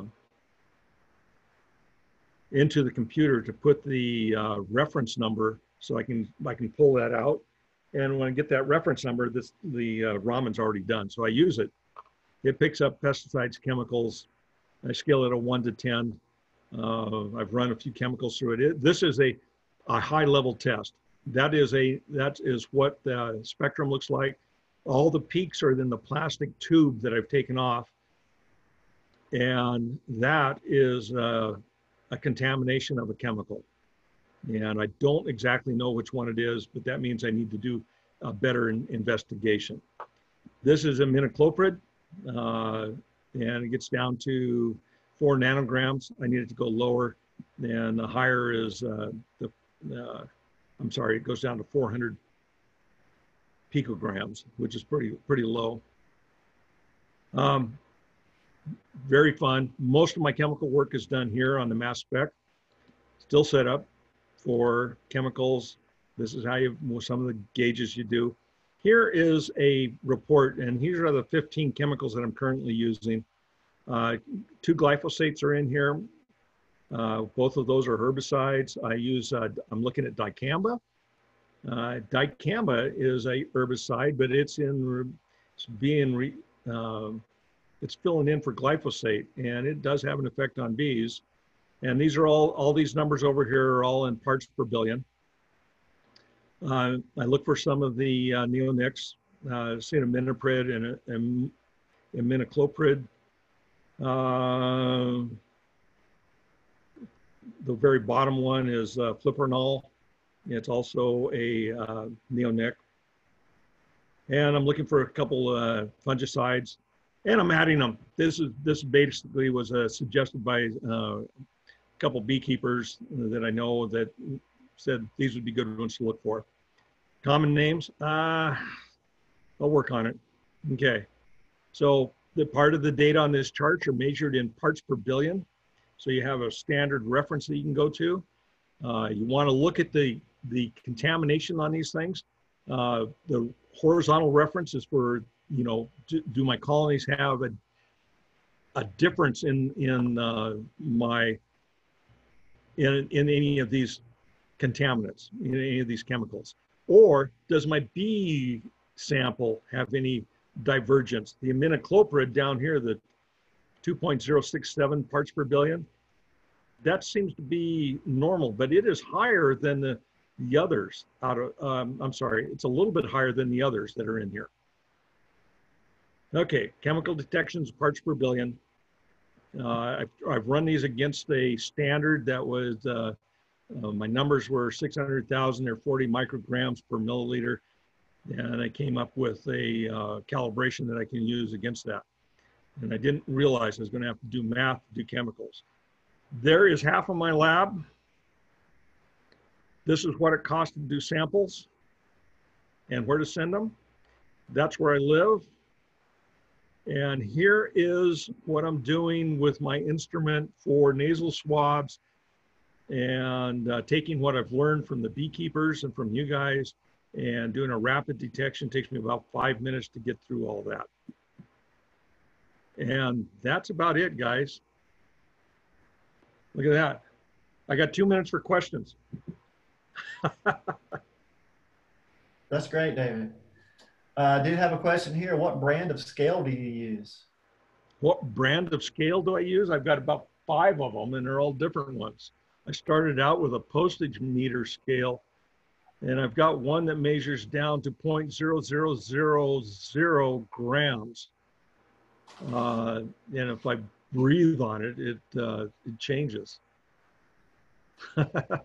I, I got one, I got a couple out of lab supply that were that were pretty basic. They go down to 0.00 grams. Okay. That works Uh, really, any well. me. recommended tests a backyard beekeeper can conduct without really breaking the bank? You know,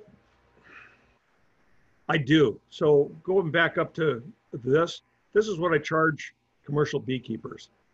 If you've got a bee club, I will charge the bee club $29 a month to maintain the cost. And the sample rate is $50 a sample. That just covers my my plastic test tubes, my swabs, my baggies, my gases, my chemicals. Um, I wish it would cover my coffee, but it doesn't. And um, it just covers the expense of the lab.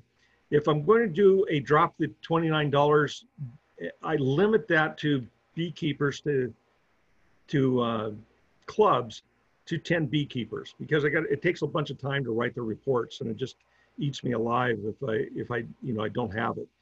So $29 for a bee club. Wow, that works. 10 beekeepers. If you have 20 beekeepers, do buy two subscriptions. Then your cost is $50 a sample. If I do if I do an individual beekeeper, it's $10 a month to guarantee your sample rate. The sample rate is 75 bucks a sample. And actually, I just looked at another chart and for my, my group rate for beekeeper for clubs is uh, actually $65 a sample, mostly because I got to write, it's not one report, I got to write 10 reports. Is that, uh, and I, you know, it's what I do. It's what you guys hired me to do as beekeepers.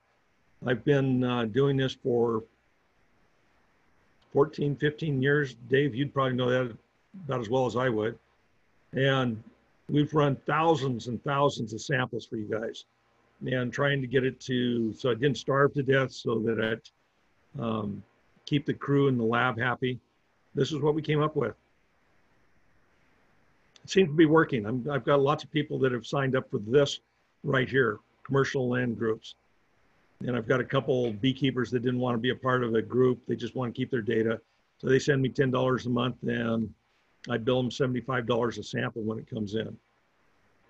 I used to have a flat rate for the year of a thousand bucks.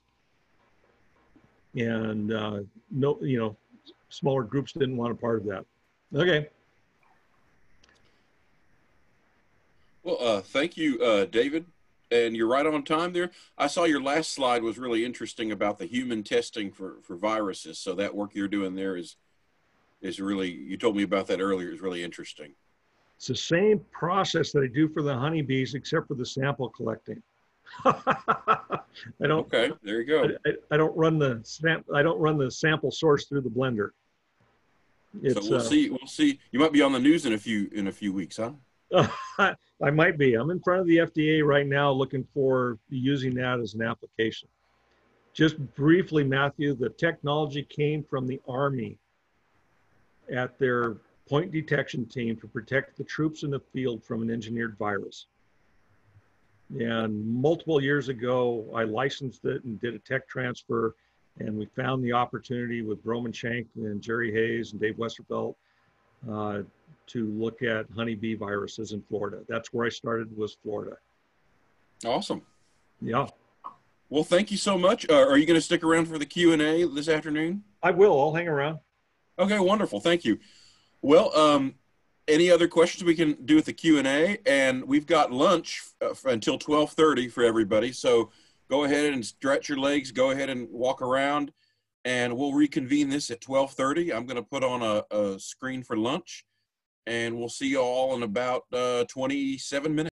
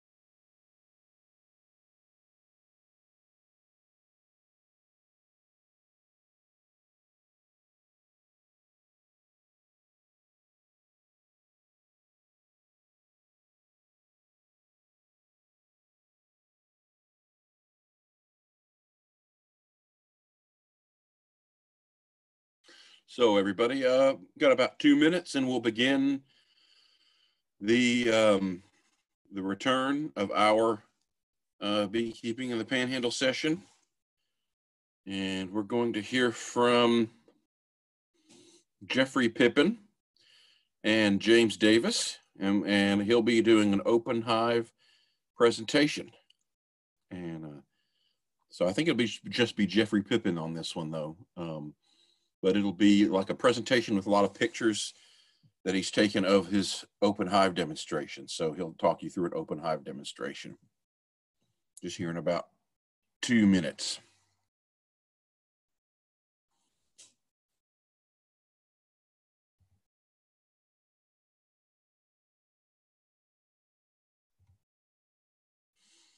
I see you getting ready there, Jeff. yeah. Awesome. See if I can pull up this. Here, here we go. Do that share screen button deal. How's that? Is that looking good? Let's see. Uh, pretty good. Um, if you'll on that PowerPoint, there's at the lower right hand corner. There you go. You got it. Yeah. Perfect. All right. So I guess you know have like one minute. Just Okay. just that says twelve thirty. We'll just get make everyone will be back from their lunch and we'll we'll get started with this. All right. Okay. And you can you can actually share your keep sharing your screen actually. Okay. Because we're about to. That's a good placeholder too. And there. Do what? Uh, okay. There we go. Can you see me? Perfect. Okay. Yes. Perfect.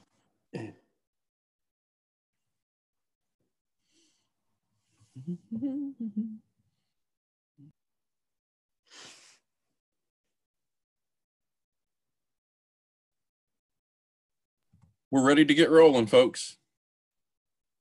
Ready to roll. Uh, let me introduce um, Jeff Pippin here. Jeff Pippin has been a fixture in beekeeping inspections in Florida for a number of years, and he's been uh, one of our uh, most avid participants. When, when all this started, we had David Westervelt and Doug Corbin and uh, Elmore Herman and uh, Jeff Pippin. I mean, and uh, Gary Van Cleef, you know, our o- old crew there. And so, um, and just been with with this for many years and and doing our open hive demonstrations out at the when we have this in person in Chipley, Florida. So uh, he's been. I'd like to thank him again for coming and giving this talk today. And we will, uh, without further ado, let's uh, let Jeff Pippin uh, uh, begin his talk. Thank you. well, uh, he's introduced me. Um, what I've done here, I've got a little PowerPoint set up, and uh, we're basically going to go as if we were inspecting a hive. Um, there is a few points I'd like to pull up, though, about uh, what Dave Wick just told you. Um, I know a lot of you guys are new to beekeeping, and you're getting all kinds of data, and you get overwhelmed with a lot of this. What he's generally telling you is if you keep your hives healthy, keep healthy, strong bees, working on a good source so they're getting mixed nutrition, lots of different pollens, lots of different nectars, they're going to be a lot healthier and able to fight off most of these viruses and just about any of these other pathogens that they're going to face. So it's just super important that you uh, keep in mind the health of that bee is probably the crux of all of this. What I'm going to do is walk you through a bee yard, just like we were coming up to the bee yard, and tell you some things to look for and things that will help make your bee yard a little stronger. Um, this second slide here is uh, Dr. Jamie Ellis's information from University of Florida Extension. Jamie has some excellent videos posted. You can pull them up on YouTube or you can go to the University of Florida site and pull them up.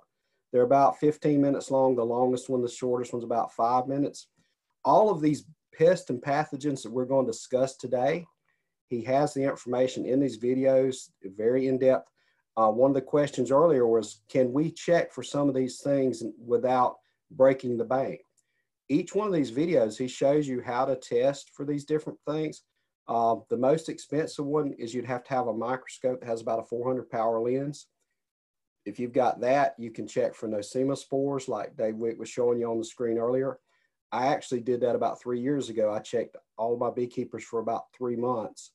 What I found is we did have those nosema spores in about a third of the bees that I was checking. So it is important to monitor the health of your bees. But Jamie can give you a lot of good information on the specifics. I'm going to try to stay away from the specifics and just kind of skim across and show you what you're seeing in the hive and describe what it is instead of going too in depth because I've got 45 minutes and that's a lot of ground to cover. So let's move on. Now, here is a sample, um, the viruses and stuff that Dave Wick's been talking about. These bee kills from back in the 1800s, different portions of the world and different portions of the United States were unexplained massive bee kills. They were probably could be contributed to the viral loads and a little bit of lack of nutrition because we didn't have varroa mite and most of these pests I'm going to show you today were not prevalent in our bees until the 1980s. But you can see these bee kills were occurring all over the world long before that. So nutrition is very, very important for your hives. Now this first uh, slide here of placement of bees. When I walk up to an apiary, one of the first things I do is I look and see which way the hives are oriented. If you orient the entrance of that hive towards the southeast, not only does that mean in the really cold months of the year when you've got that northwesterly wind, it's not blowing in the entrance that hive and taking the heat away from it. Um, it also, you'll see the trees behind these here. You have that morning sun that rises in the southeast generally, and it warms that hive up, shines some light in the entrance, and your bee activity will start a little earlier. Well, the earlier they start and the later they work, the more nutrition they're going to be able to bring into that hive. You're going to have a stronger, better hive. Also, you'll notice the tree line behind the bees. If that tree line is behind them like that, they'll get really good morning sun, which will warm up that hive really well. But in the hot summer, they'll have a little bit of shading in the afternoon as the sun moves over behind those trees. So that's that would be an ideal placement. Now, you're not going to be in an ideal situation. Sometimes your, your land, you have a small plot of land, you have to put them in whatever corner you can get them into. But this is just an ideal situation, and you just have to get as close to that as possible. Here's another example, um, larger apiary here, but you see the nice tall pine trees there. When the sun gets over in the west, you know, in the afternoon, you get a nice shade from that. Um, morning warmth also keeps hive beetles from infesting your hives. About 80% of the, the beetles that would be there if it was in a nice shady area will not be there if they're out in a nice open sun. So that's one of the biggest factors in fighting off hive beetles in your hives is keep them so that they're getting good sun till like late afternoon. Okay, there's always questions in the summer about bees laying out on the front of the hive. So I've got a couple examples here. This first one, you've got a few bees laid out on the front of the hive. This does not mean this hive is going to swarm. It does not mean they're overpopulated. It simply means that the hive's a little warm inside. The bees will come out so that there's more airspace in the hive. The bees actually fan and circulate a current of air in one side of that hive, up and through it, and out the other side. And they will carry water droplets in there and place it in there. And that air circulation, those water droplets help maintain that temperature in the hive during the summer. They're trying to keep the hive at around 92 degrees. And by doing that, if you've got a 102 degree day, they can keep that hive down to that 92 degrees. Um, generally, you'll start seeing this type of appearance on a hive about this month, April, and you'll generally see this right on until we get into cold weather. So like late September, early October, if the hive's really strong. Now, you won't necessarily see them out there as hive's developing and growing. If there's not a lot of population in the hive, they can make enough airspace without laying out. Here's one that's very healthy inside. Now, if you see one that's laying out this much, you might want to check inside and see if you need to add another super and give them a little more space inside. Um, you, generally, this means there's a lot of honey in there and the bees are kind of cramped and they're coming outside to make space in there so that they can fan and circulate that air. They also use that circulation to dry out nectar, get the moisture out of it before they cap it off as honey. So when you see a lot of bees out like this, you may have a super good nectar flow going on. Check inside, see if you need to add another box. Now you see these bees are kind of hanging down under the bottom of the entranceway there. Now this is not an absolute, yes, there's going to be a swarm from this hive, but it's a pretty good indicator. A lot of times when a queen comes out to do a flight, if she's going to swarm, she'll touch on whatever area she wants to the bees to cluster to and leave a little of her scent, her pheromone and she'll fly away and she'll come back and touch it again and fly away. And she'll leave a little that pheromone. The bees will cluster to that scent And when they start clustering to the scent, there's a ball about this size, the queen will land on it and the rest of the bees in the air will gather onto the swarm. So if you see this, you may have had a young queen that was doing some mating flights. She may have flown out, came back, landed on the bottom board here, crawled in. She may do that a couple times. If her pheromones on that bottom board, the bees smell it, think maybe she's there, and you'll see a little clump like this. So this can indicate, hey, there's going to be a swarm out of this hive in the next week or so. I need to keep an eye on it. Swarms will generally come out in the morning time after the dew's dried between 9, 10, 11 o'clock, something like that. Probably 75% of your swarms come out between 10 o'clock and about 1 o'clock. So if you do see this on your hives, you might want to check out around the hives every morning around that period of time for a few days. Um, they generally will swarm out of the hive, fly around the air, and settle them out 20 or 30 feet of the hive, sometimes 50 feet, but they're usually fairly close when they first settle. So you may be able to hive your first swarm, but just keep an eye out if you see this, it can indicate there's going to be swarming. Okay. Now these hives, um, you see one hive over here, there's no bees on the entrance. The other one, there's few bees. The reason for that is we'd just been in this hive and we'd shaken some bees off to do our mite roll, which you'll see here in a minute. And these bees were the returning bees that coming back in after we disturbed the hive. That's not uncommon after you go into your hive because you have a lot of bees that will come out and get a little stir. That's nothing to worry about. That little ball of bees, they'll go in, that hive will calm right back down within an hour. What I'm looking for here is I'm looking on the ground in front of the hive. If you see an excessive amount of dead bees on the ground, it can indicate that there's problems within the hive. Now, I don't see any dead bees out here. Um, I just took this picture a couple days ago. I was trying to find some hives that had some dead bees. I wasn't very successful. When I'm talking about excessive dead bees, I'm talking about several hundred dead bees on the ground. Normally, when bees bring out a, a bee that's sick or dying, they will fly off with it a certain distance and drop it. Or if a bee knows that it's sick and dying, it will try to get away from the hive, crawl away from the hive and die. So you should see, shouldn't see a great accumulation of dead bees on the ground in front of a hive unless you've had a poisoning incident or there is a really bad viral kill or mite kill or something going on within the hive. If you see an excessive number of bees on the ground, you need to go in that hive and inspect it. Just another shot of the ground here. You can see it's nice and clean. I don't even see the first dead bee. It's not uncommon to see 10 or 20 dead bees on the ground out here in front of this, but this is very clean. These were very healthy bees. This is another symptom you can look for. Um, if you see bees crawling up the grass out in front of a hive and, and disturbed and falling off, trembling, as Dave Wick was describing a lot of the viral symptoms earlier, Many times when a bee knows they're dying, they'll try to crawl away from the hive. And if they're too weak to get very far, you'll find them trembling or shaking or laying on the ground in front of it. If you see bees doing this, you need to check the hive. Here's another sign you look for on the entrance of a hive. You see these brownish streaks on the front of the hive here?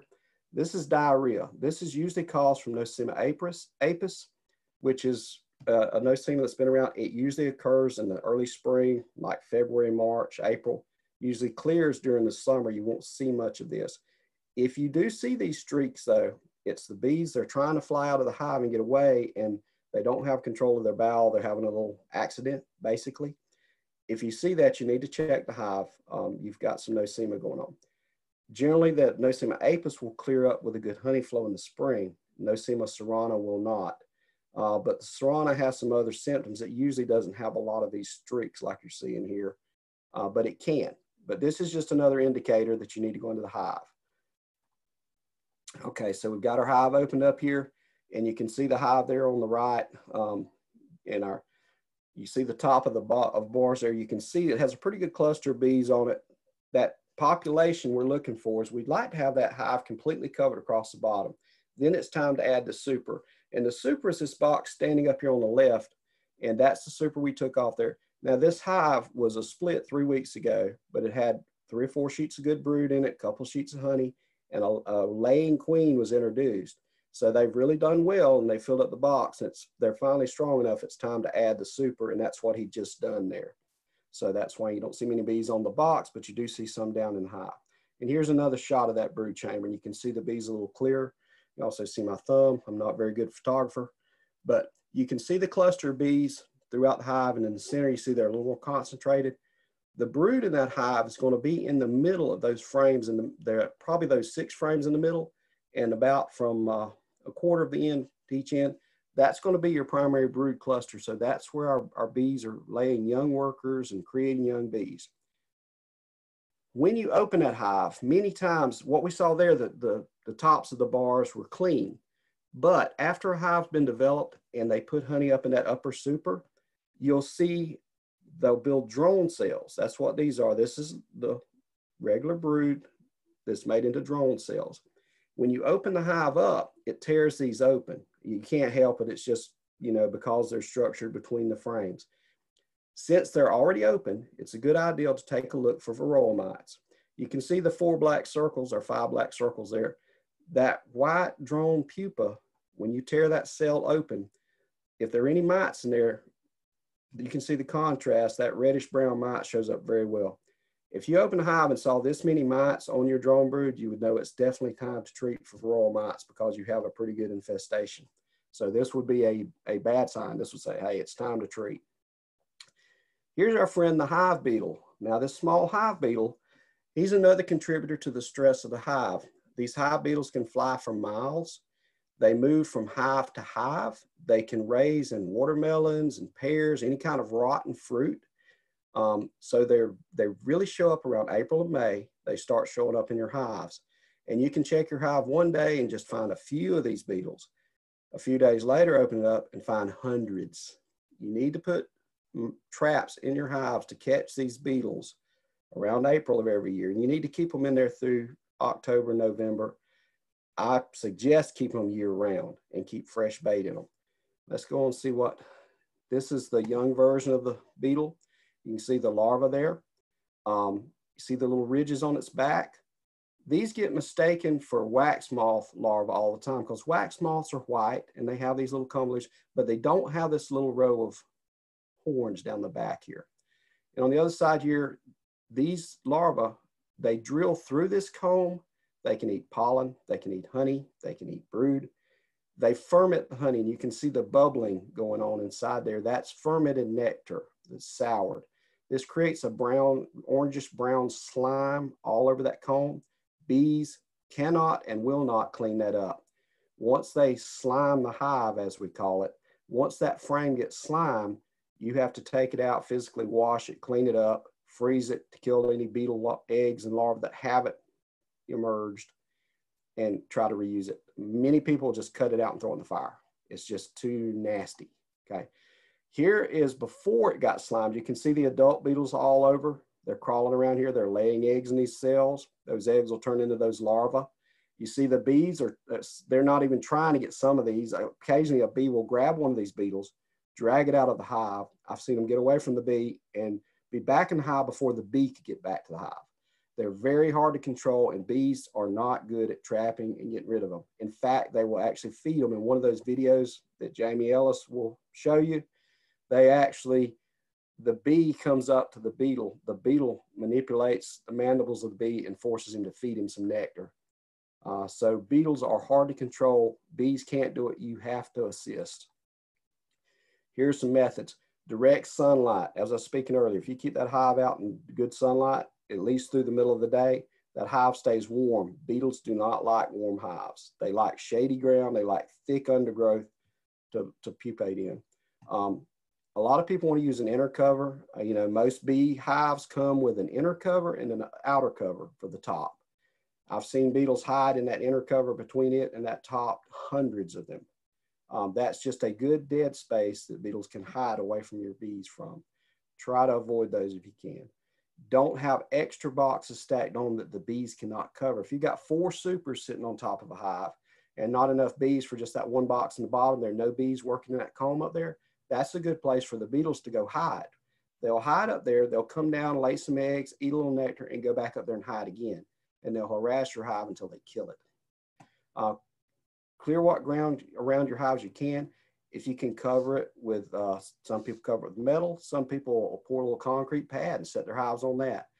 Beetles, when they form into that larva, they crawl into the ground and pupate to form the adult. If you have that ground covered so they can't crawl into the ground, they can't complete their, transition into a beetle.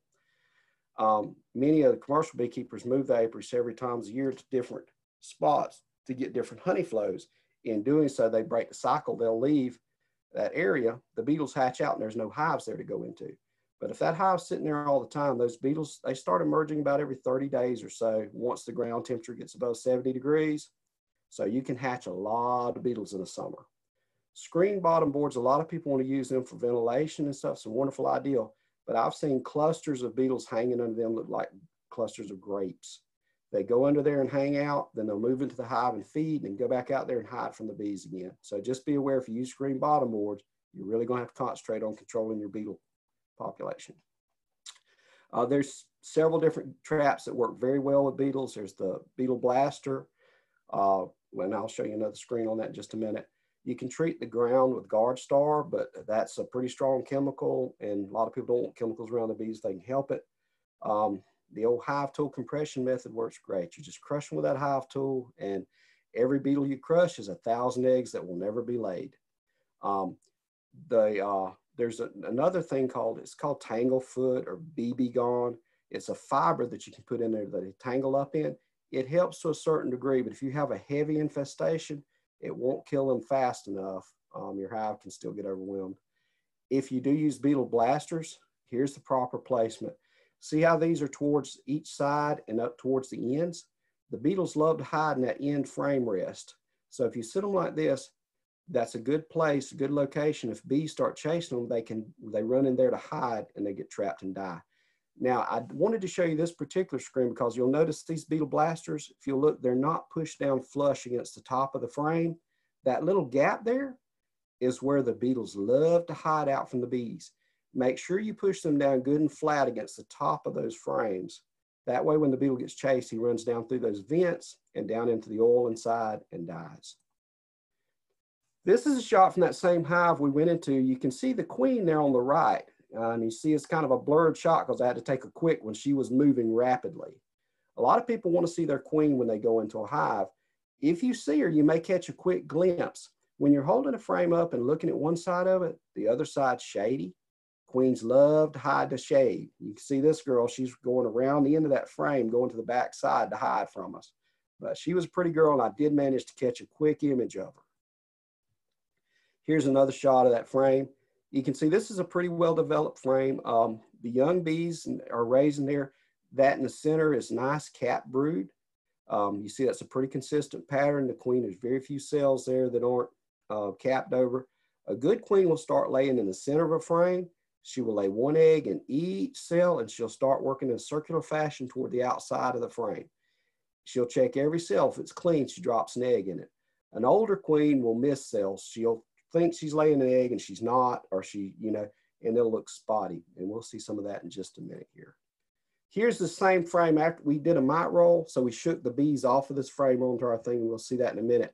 But this is after we shook them off. You can see that pattern's pretty good. There's a few empty cells there. Most of those, if you'll look down on them, there's some pollen or a little nectar where the bees put in there. Um, that's not uncommon, but that's a pretty good pattern. And those, if you'll notice, uh, the top of those, each one of those brood cells, it's got a nice dome over it. If that bee is, when they cap it over, if, if that larva is very healthy inside, it'll spin a nice cocoon and you'll have a nice raised uh, cap over that cell. Down in the, towards the left and on the bottom there, you see those cells look a little different. What happened with this frame, there was a portion of that cone that was cut out, probably from some wax damage, wax moth damage or something. When the bees build it back, you'll notice the size of those cells is a little bit larger than the size of the cells up on the frame there. When bees replace comb like that, when they add in build comb, they generally build that cell a little bit larger. The reason is when a queen sticks her head down into a cell to see if it's clean so that she can lay an egg in it, she's measuring the size of that cell also. If that cell is very large inside, when she drops that egg, she drops that egg and she does not put any sperm on it, she leaves it unfertilized. That will form into a drone, which is the male bee. If she puts it into a regular cell, she and says, okay, this is for worker bee. She drops that egg and she puts one sperm on it so that it'll be fertilized and it'll turn into a worker. So she can determine what that bee will be. And generally, by the size of the cell she lays in, that's how her decision's made. Okay, here's one you can see all, all this yellow and, and reddish color around. You see that there's nice brood there in the middle, but down in those cells, there's a lot of yellow and stuff. That's pollen. And what happened, these things are on a tremendous honey flow right now. And they're getting a lot of pollen. And this queen's laying as fast as she can, but they're putting pollen in fast too. So they're, they're kind of overwhelming each other a little bit. Um, this is not a bad queen. It's just that they're on a really great pollen flow. Okay, now this frame is one from another hive that we went into. The queen here is laying more poorly. You'll see a lot of cells there that are missed. There's no pollen in it. There's no nectar. It's just an empty cell. What happened, the queen, she put her tail in there and tried to lay, but there was, she didn't lay. She thought she was, but she didn't. She's running low. Another way you can tell is on about the 11 o'clock position on that frame up there, you can see a couple of bumps that stick up there higher than the other brood. Those are drones.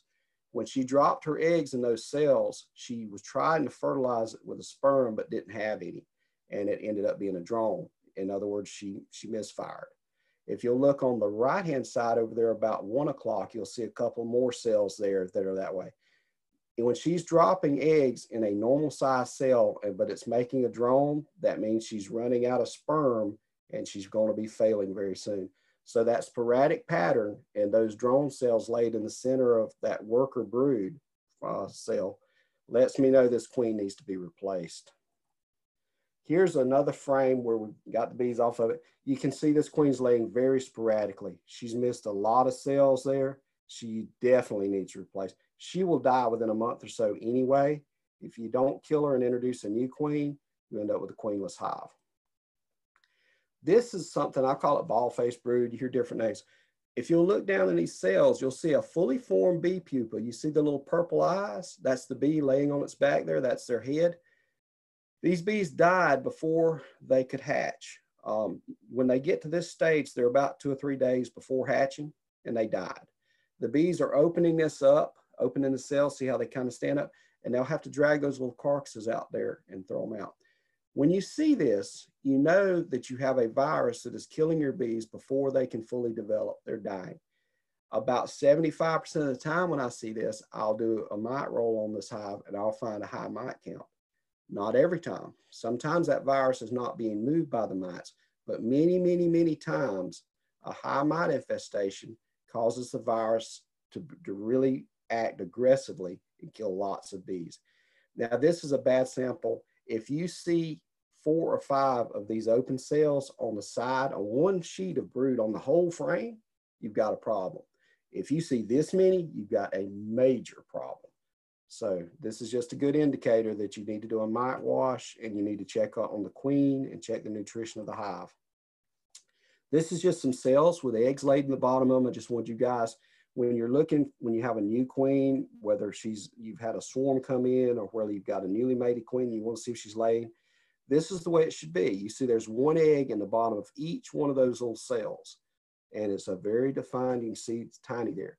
Um, you may have to get glass or magnifying glass and get the sun behind you just right, but you can see those eggs. And I just want you to have an example to, to go by. Now this is about two or three day old um, larvae. What's happened here, that egg is hatched and they've, you see that milky substance in the bottom? That's royal jelly. That's produced on a gland on the top of the worker bee's head. When they're first hatched young nurse bee, after a few days of age, they'll, they'll start to develop these glands on their head that they can secrete this royal jelly. A regular worker bee is fed this royal jelly for just three or four days. Then they'll start feeding them a mixture of the pollen and nectar they bring in. They call it bee bread. That gives them the protein and the nutrition to grow and develop into a nice strong larva. And then, you know, they'll cap it, they spin out and become a bee. But if you're going to develop a queen, a queen is fed this same royal jelly the entire time it's a developing larva. That increases the hormones and stuff in that queen that helps her develop the spermatheca to hold the sperm for mating and helps her ovaries be a little more developed so she can lay eggs longer. But that's the difference in a worker and a queen. That worker's just only fed royal jelly a couple of days, whereas the queen fed royal jelly the whole seven days before they're capped. I just want to show you a shot of that. These are some very nice little sea worms. Now see, these worms are probably about four or five days old. They're nice, they're pearlescent white, they're very healthy looking. And that's, that's what you like to see, okay? And here's just a good shot of pollen. It's a good close up. You can see the different colors here. They're getting pollen from a lot of different sources. See, some of this is yellow and orange and white, and they'll mix it in one cell. You'll have two or three different types of pollen. When you see multiple colors of pollen coming in, that means they're getting a, a broad band of nutrition, and that's usually a very healthy sign for your hive.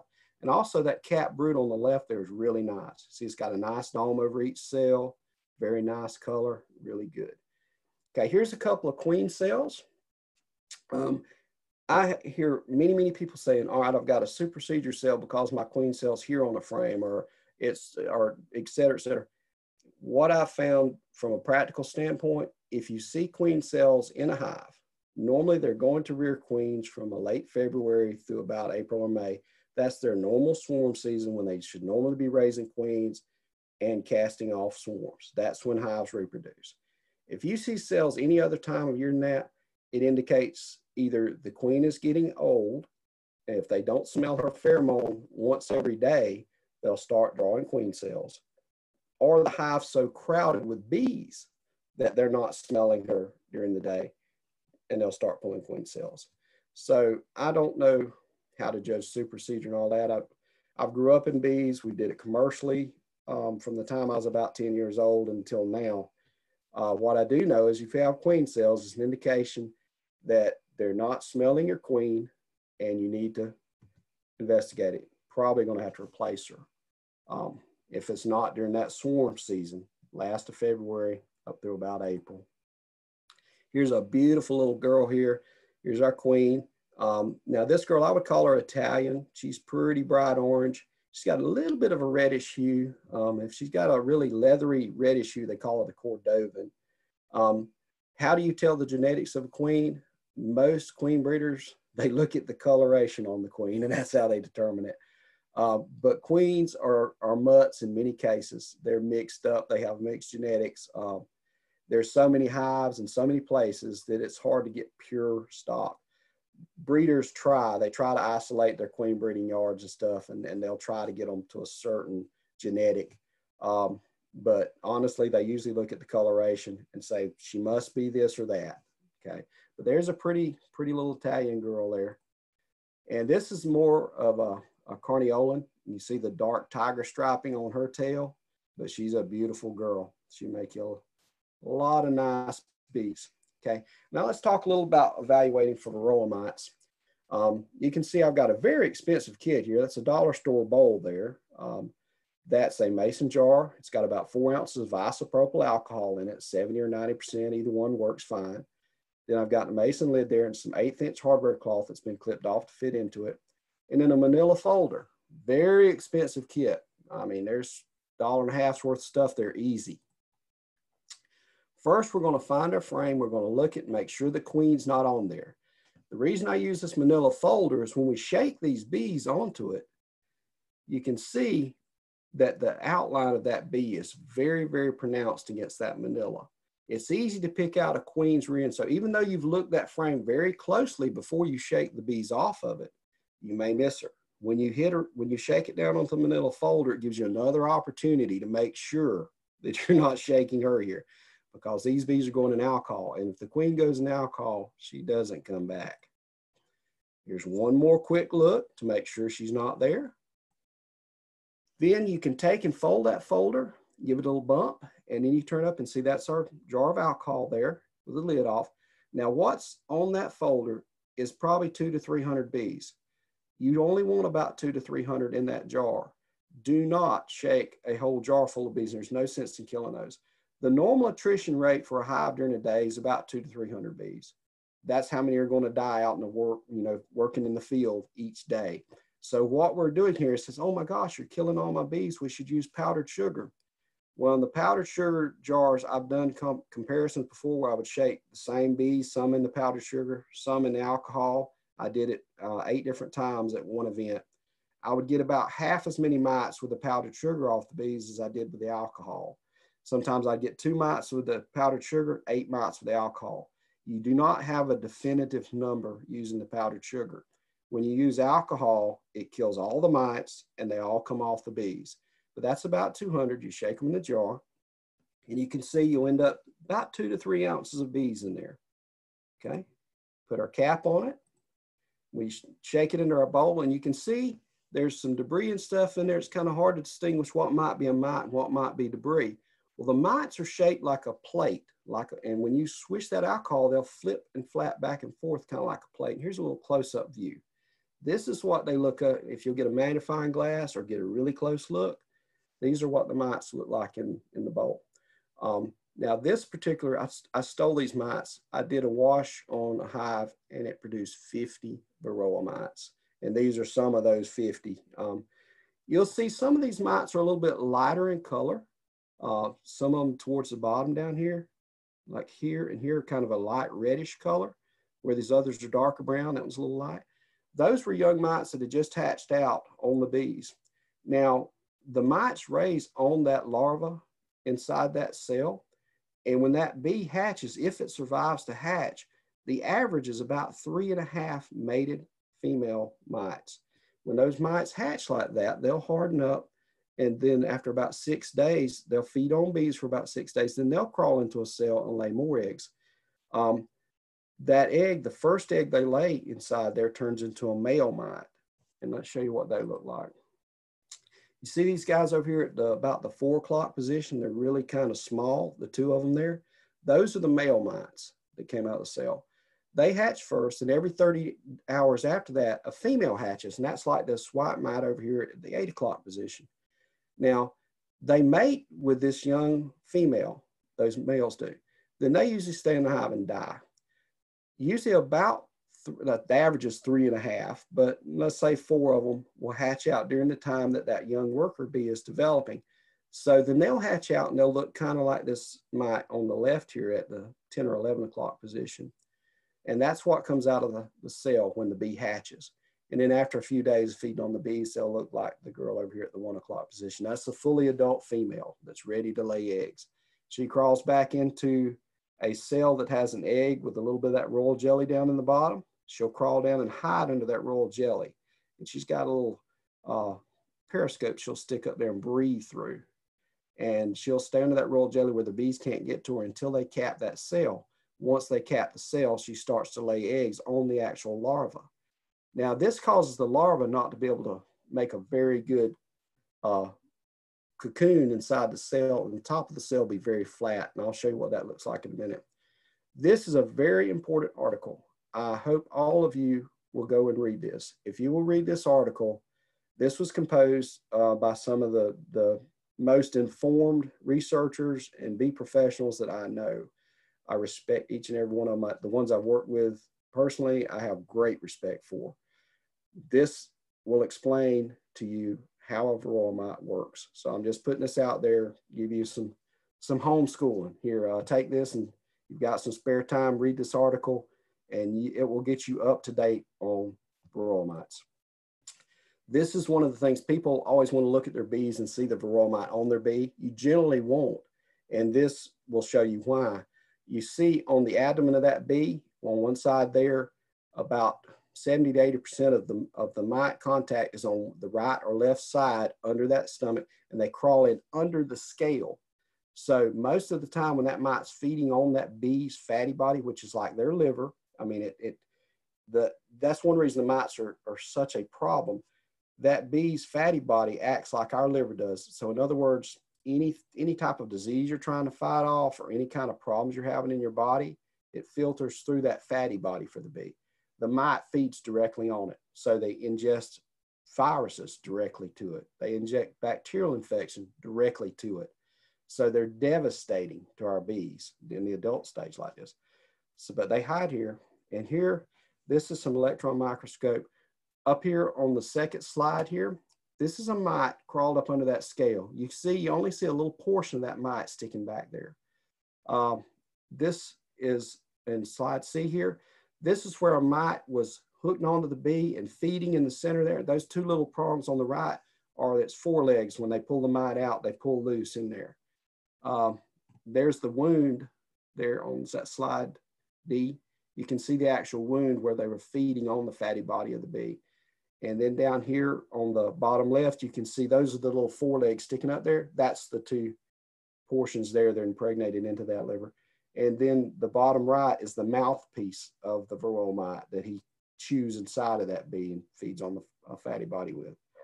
And I just thought these were some very good images. They're in that article and uh, their, their description of each one. Now here's, let's talk about something positive for a change. Everybody says that I'm a downer because all I talk about is the pestilence and everything else. This same hive, this was one of the frames uh, that we pulled out of the top and you can see the nice fresh nectar here and there's some pretty good cap across here. People ask me, when do you pull a frame, when do you extract it? This frame is about 35% covered. You want it to be at least 75% cap before you sling it because a lot of this open nectar, it hasn't been dried out enough, still has a lot of high moisture content. So a frame like this, in order to extract it, it should have a nice cap coating over about 75, 80% at least. Better if it's capped all the way, then you get really good honey out of it. Okay. Now here's just a really nice sheet of brood. You see the, the nice, you know, most of the brood we've been looking at, the covering on it's been kind of a tannish color. And this is really bright yellow. The reason is this is a brand new frame of wax. So just pull the wax out and you have that nice cap. As they raise brood after just a matter of a month or two, most of that comb will turn to a brownish color. And that's because each time a bee spins a cocoon in there, they leave a little bit of fiber. And the bees will go in and remove some of that fiber, but it does cause some discoloration to the wax and you will have a, a comb. So when you first put them in, it'll look like this. Then it'll turn to that brownish tan. Don't panic. That's natural. It should do that. But this is a beautiful pattern. You can see a little bit of honey on the left and right up at the top where they've got it capped over. Nice brood in the middle. And if you look on the left down here toward the bottom corner on the left, you can notice some little white uh, sea worms down in those cells. Just a beautiful frame of brood. Now this is that flattened capping I talked about that I said we'd see early, a little bit later. Um, when you have mites in the cell with that larva, or if that larva gets infected with um, any type of virus or bacteria thing, it doesn't spin that nice cocoon and you don't have that nice domed cover over the frame. And you look at each one of these cells, you'll see they're flat. They're almost as flat as this honey you see across the top bar there. They're not raised up. Each individual cell is not pronounced. You don't see that nice little dome. Uh, this tells you you've got a problem. This hive, when we rolled it, we found 12 mites in our alcohol wash. So that was the problem with this one. They had a heavy mite infestation. Um, most of the time, that's what you find when you see a comb like this. Sometimes it's viral, but generally the mites are there exacerbating the viral infection. Here's another shot of the same frame. You can see a little clearer. These cells are really flat. They're just not pronounced at all. Okay.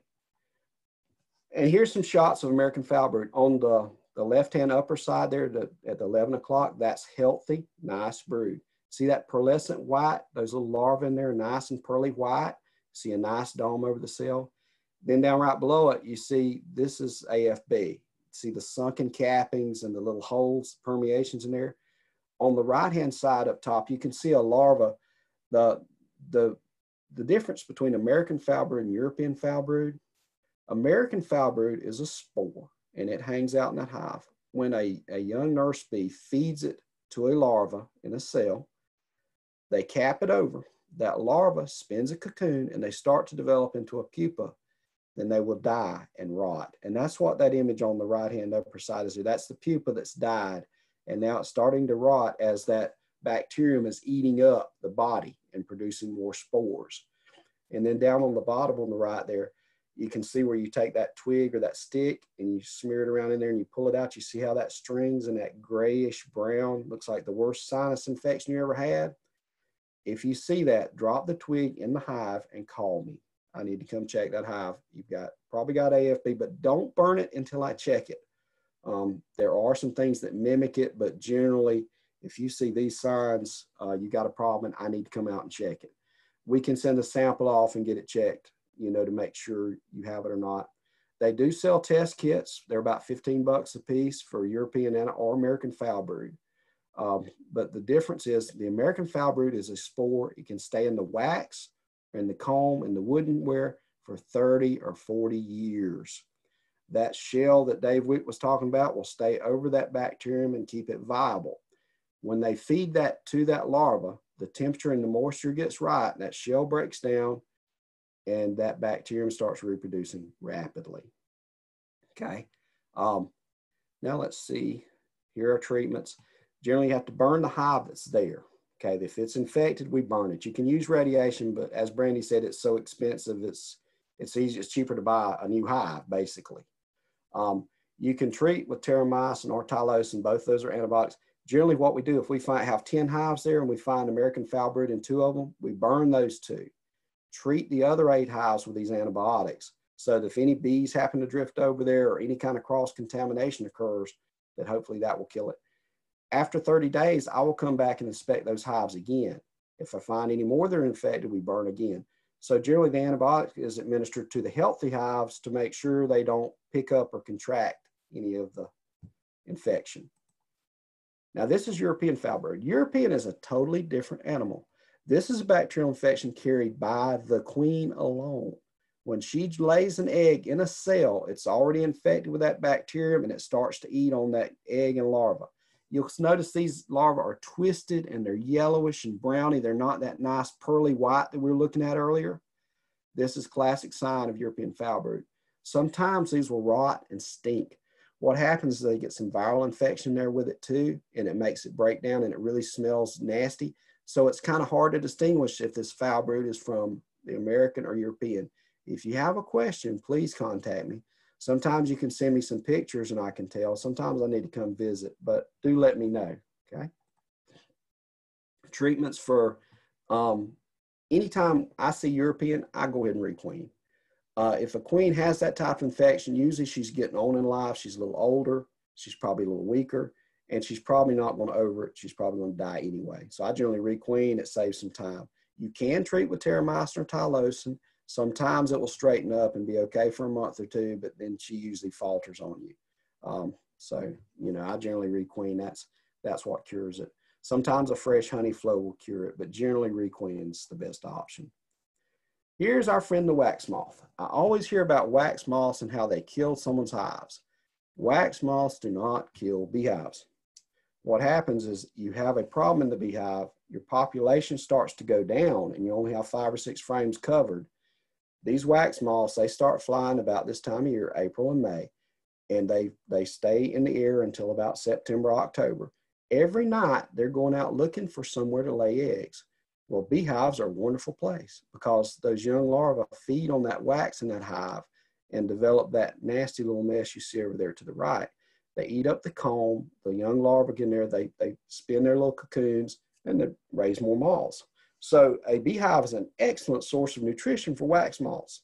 They will try to get in the entrance of the hive every night. Okay. If you have a nice, strong, healthy hive and they have all the frames covered, they won't be able to get in there. If it gets a little weak, they will. And they will lay eggs in there, and you'll have half your hive covered with webs, and the bees will be on the other side. An indication, if you look on the entrance of that hive, and on either side, if you see something that looks like Copenhagen snuff just a little mound of black granules on either side there. What those granules represent is bees normally keep the hive swept clean. When you have wax moths starting to do damage in there, they will try to clean that out. And those little black, black granules will be showing up on the entrance because there's not enough bees there to keep it cleaned up and cleaned out. And they're just getting into the entrance of the hive. If you see those signs that day, go into that hive and see what's wrong. Because you've got a queen that's gone bad, you may have a queenless hive, you may have a mite problem, but something has weakened the hive to the point that they cannot keep that damage cleaned out. So when you see that, that's your indication. I need to check this hive today. If you don't, those wax moths lay eggs every night, and it doesn't. Be, it's not long before the whole hive's covered with web.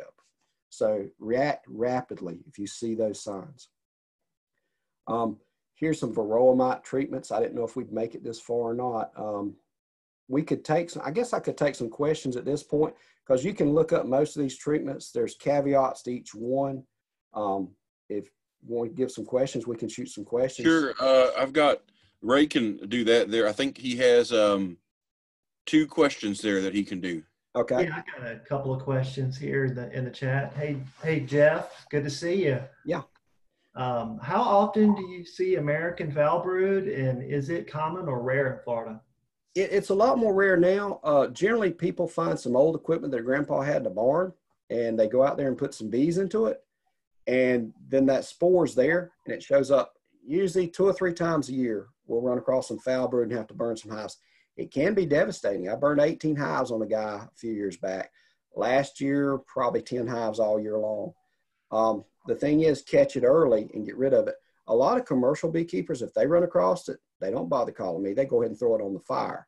Um, and, you know, they may call me to help check some more of their stuff, but they react to it rapidly because they know it can devastate your entire apiary. That hive gets weakened from the foul brood. Other bees come in there and rob out the honey and stuff from that hive. And when they take it back to their hive, they're taking spores with them. So you don't just have one hive in the hive die from it. The whole apiary can end up dead. So they react rapidly to it. It used to be very, very bad until the varroa mites and stuff showed up in the 80s, and a lot of the hollow trees and stuff were killed out. And the beetles and the varroa mites ate most of that comb out of there. Um, and I think that's where a lot of our spores were hanging out because it was a constant trouble in the 70s and early 80s. And once the mites got here and most of the hollow trees were killed out, our AFB problem went down considerably. But it is still there. We still burn some every year. Okay. And also, what what percentage would you say maybe of American foul brood cases are first identified by the beekeeper instead of the inspector? Uh, probably about half. Uh, and I'd say that because most of the commercial guys, they'll catch it and go ahead and deal with it. We catch it usually in the backyard beekeepers. Um, if they're, especially if they're doing cutouts and stuff like that or hiving these when we try to check them but just beware of any equipment that's more than 20 years old. If your grandpa used to have bees in it in the 80s or the 70s, do not put bees in it because you will have foul brood. Good deal. Thank you, Jeff. Okay. okay. Right, Excellent. Yeah. Uh, so the use of vintage equipment of being equipment collector is not a good thing for old hive boxes. Not for American foul brood. it's not good okay. So how's our time? About well, we're just you're just right there at like okay. 119, so we're, we're we're cruising right along. Okay. So uh, I've got um, Branden uh, Stanford there for 115 to two o'clock. So um, uh, I'd like to uh, turn the floor, uh, introduce him, and turn the floor over. Okay. Um, so I, have never, I, I don't believe I've met Branden um, in person, but um, he he works at the uh, at the UF IFAS Bee lab um, over there at the University of Florida with Jamie Ellis's lab. And Branden, why don't you tell us uh, what you uh, do over there? Yeah, absolutely. Um, let me.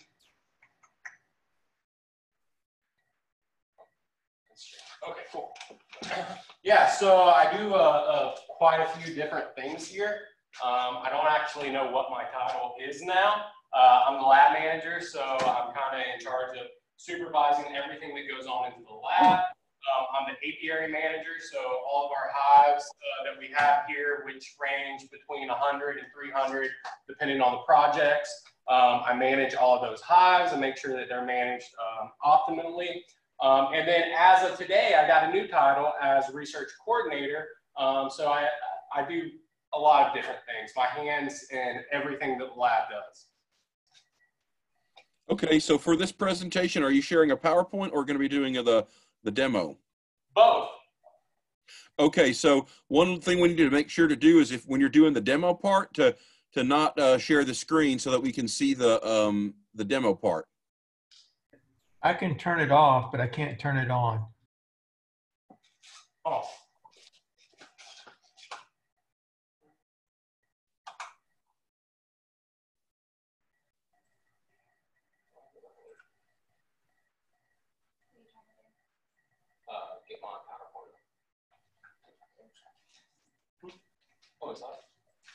Okay.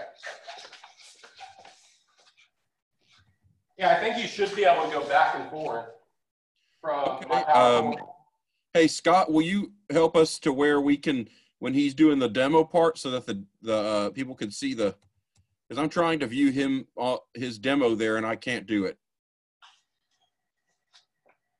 Can you do it? Yeah, I can turn it off, but I can't turn it back on, I believe. I'll try.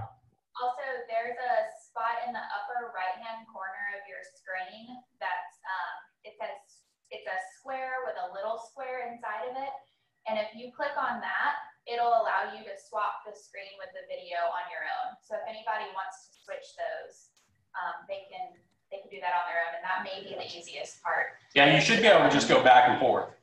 Okay. You see that button? Do you, do you see the button?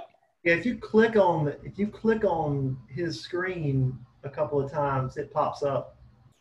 Okay, good. Thank you. You ready? Yes, sir. Thanks. Okay, awesome.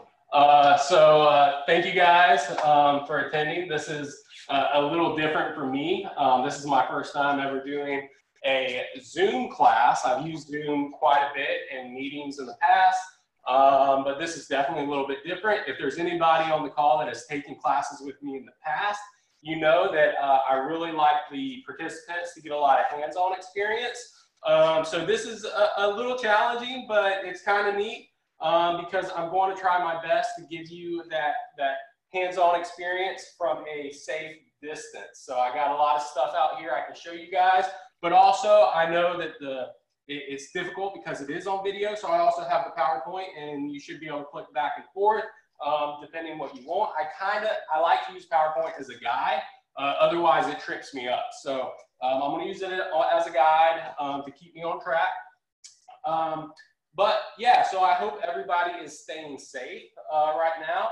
Um, and it's very unfortunate, uh, everything that is currently going on. But I also think that uh, if there is a positive, it, it gets us out of our comfort zone. So us as educators, we're learning how to uh, reach people. And we're learning how to reach even bigger audiences where we can, can do these types of things. So that's pretty cool. Um, uh, I think Penn State has a, a Beekeeping 101 certificate that they're doing, and Auburn had a weekly conference where they have 5,000 participants. And Matt had to uh, completely reorganize the beekeeping in the panhandle in order for us to do that.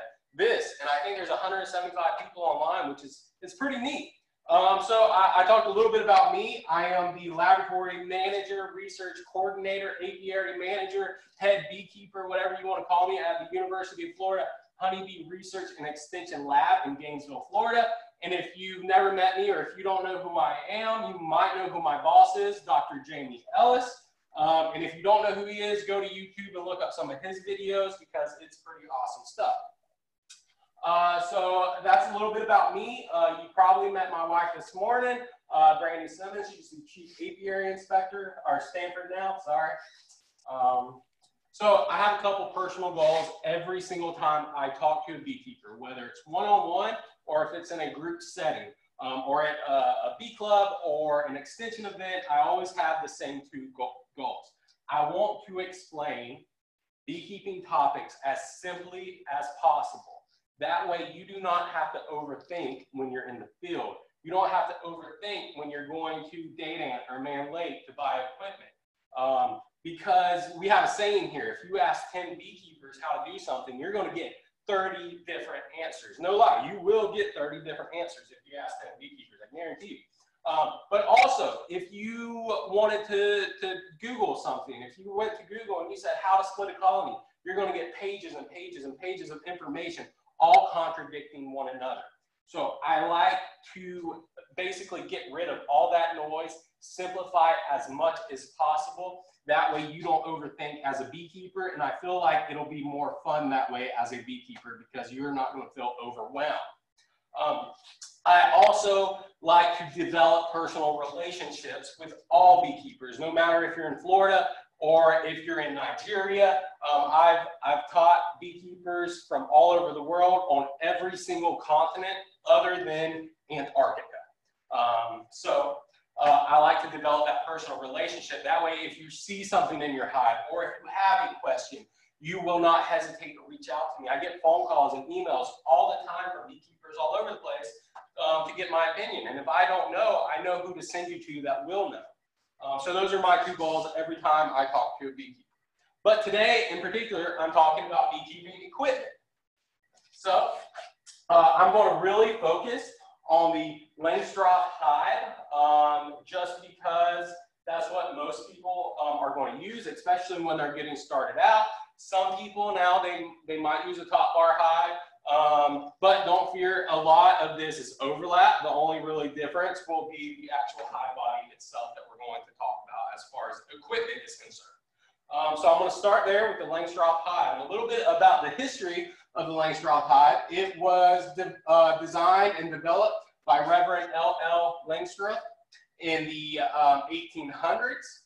And a very important part is that it has removable frames. So these removable frames allows you to uh, inspect your colony, which is extremely important. It allows you to take the frames out to extract honey which as a beekeeper could be extremely important.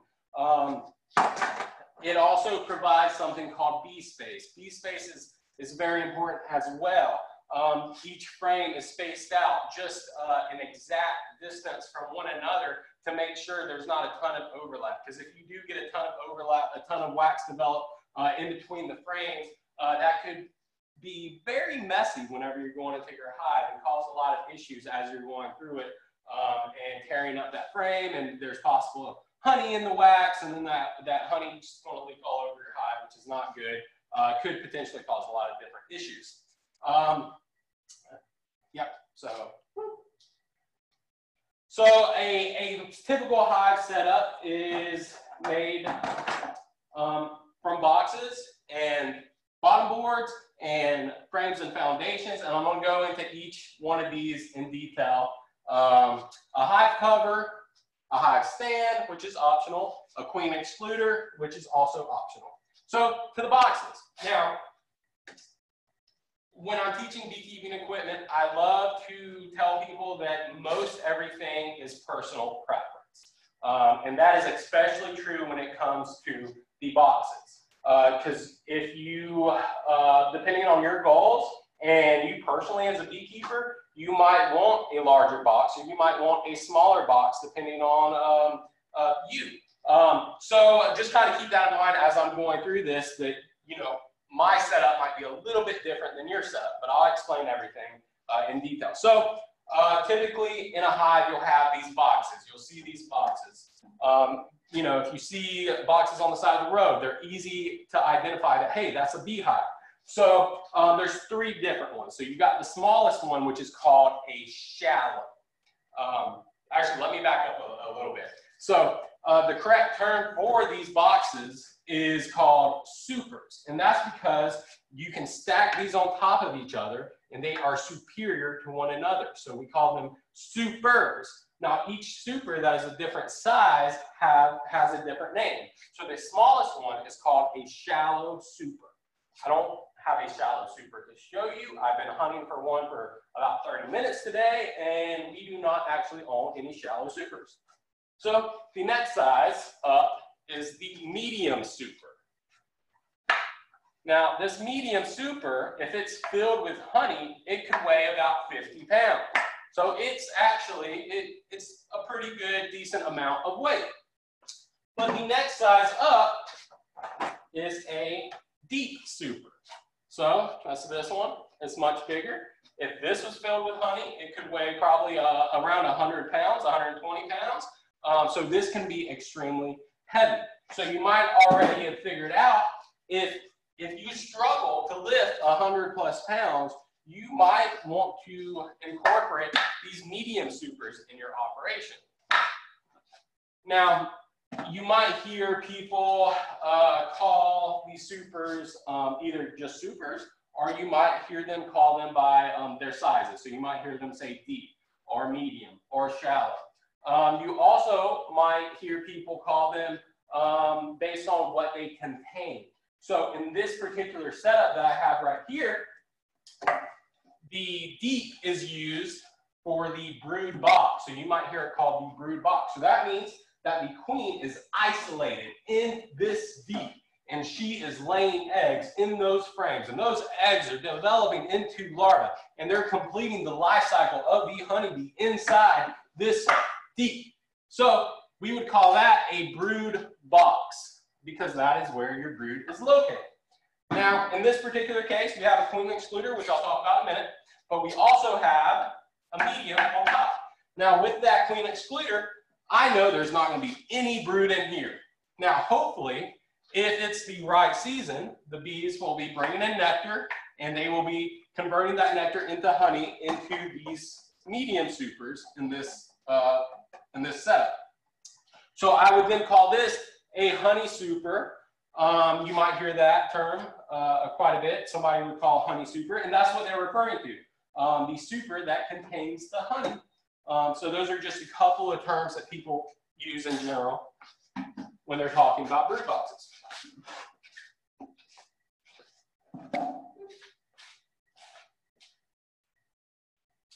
Um, so there's a few different uh, sizes of those.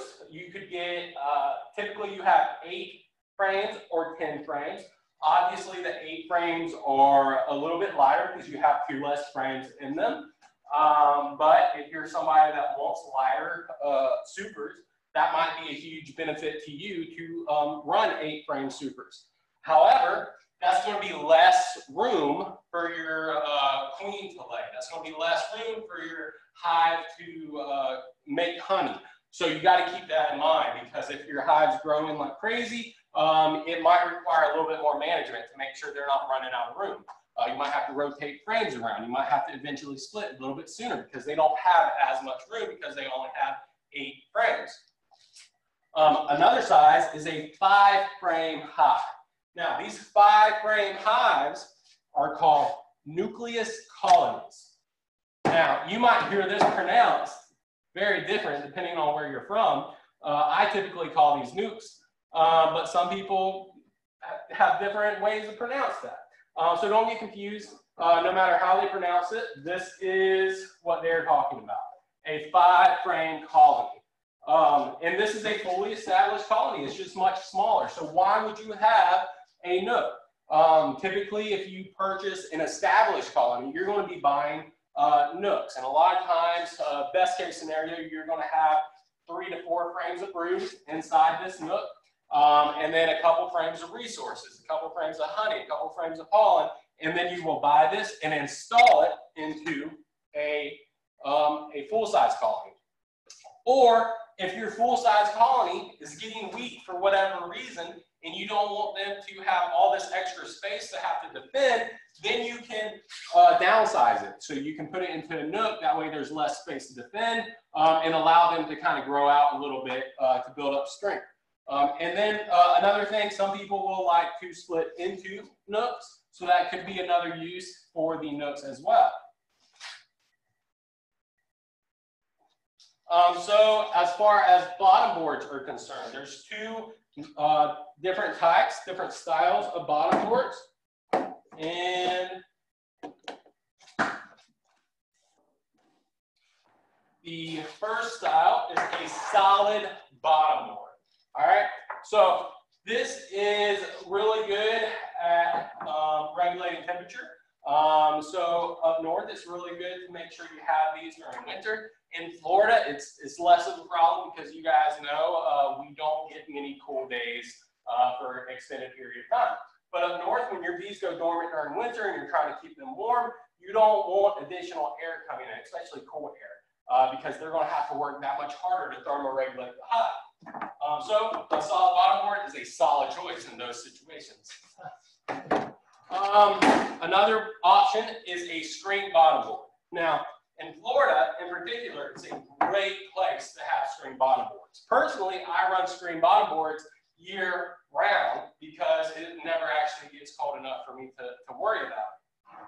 Um, one benefit also is it's one of the only mechanical ways, I have to be careful how I say this, uh, but it is a mechanical way to help with varroa mites. Now, what I mean by that is if you are doing other things uh, for your varroa mite problem, um, this is just one tool in your toolbox that you can use to mechanically control. So what happens is, as the bees are grooming themselves, um, and they they knock these mites off, it's a way for the mites to fall and go through the screen.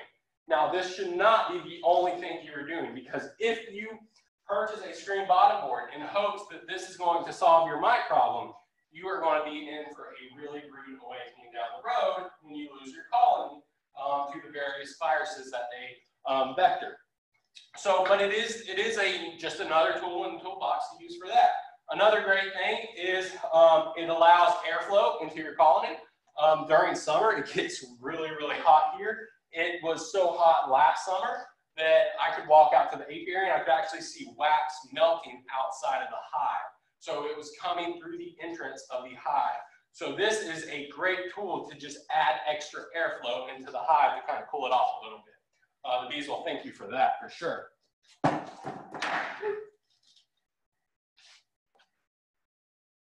So there's um, obviously, if you got different size boxes, if you have shallows, if you have deeps, if you have mediums, you need different size of frames. So this right here is a deep frame. This is a medium frame. Both of these frames have uh, what we call foundation. Now you have different options for foundation in these frames. Uh, so this in particular has a, a wax foundation that is coated, or this has a plastic foundation that is coated with beeswax. This coat will encourage the bees to draw out wax naturally inside the hive. It doesn't take very long if it's the right time of year. Um, so springtime uh, around here is typically uh, March to, uh, to May. Um, and the bees are really good at drawing out wax during that time if they're in an area with ample nectar supply uh, readily available to them, and they will draw this out fairly quickly. Uh, some people, however, will use wax foundation rather than plastic foundation.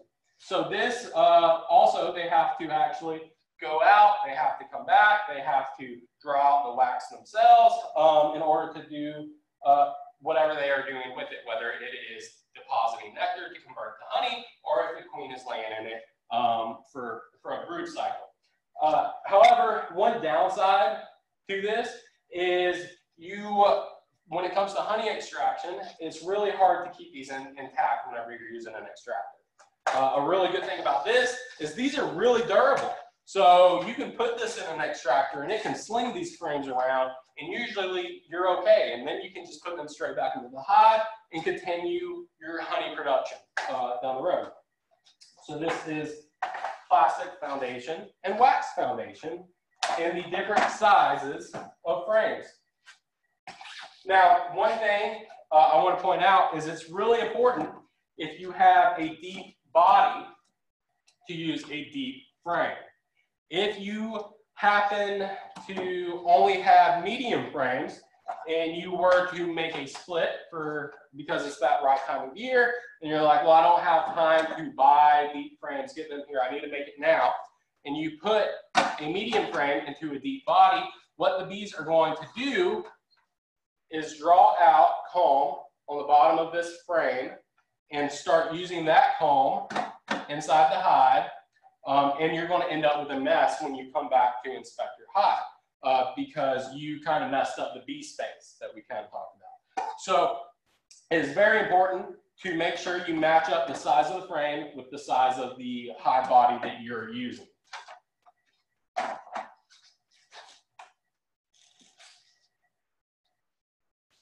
Talk about that. Talk about that. All right, so your options for lids, uh, you, you, really have two options. One is called a telescoping cover. Um, this telescoping cover is really, really durable. Um, it's much more expensive than the other option that I'm going to talk about, but it lasts a lot longer.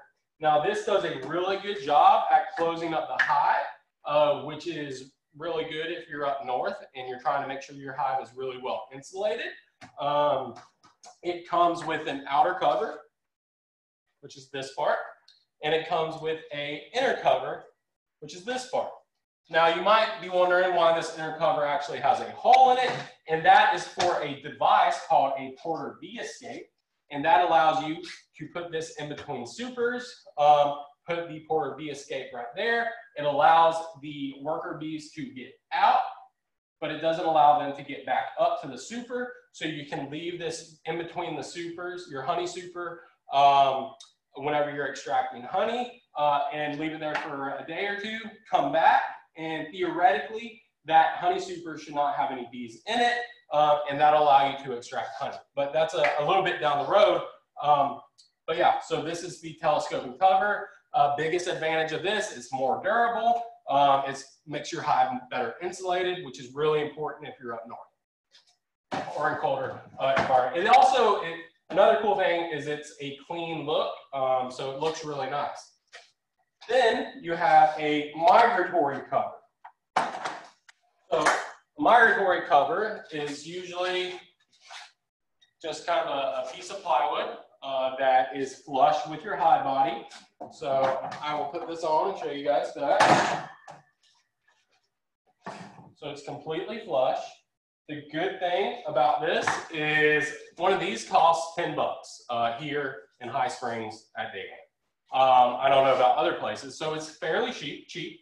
It does not last as long. It's not as durable. Um, it works. So there are times a year where there's gaps, which could be a problem.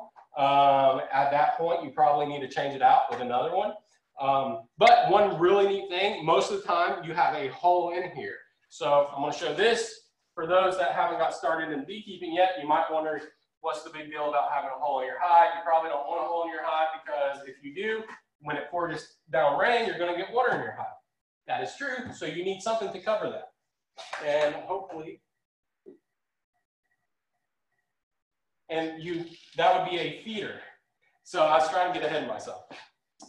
So the good thing about the migratory lids with the holes in them is you can actually use a feeder jar on top of the hive um, whenever you need to supplement your hive's uh, diet.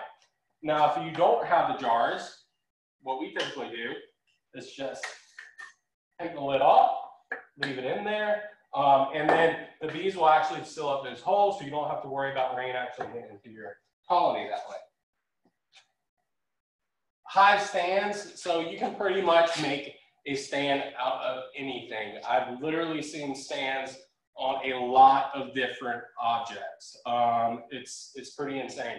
Uh, here, we basically use four by fours and blocks. Um, commercial guys will just use pallets. They'll put four per pallet and they'll haul them all across the country.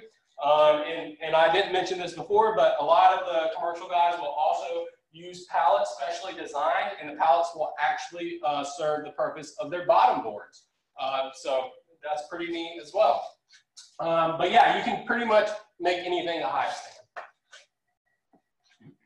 So queen excluders. So I briefly mentioned queen excluders. Uh, some people love them. I personally really love them. Um, but they serve a very unique purpose. So this is the queen excluder.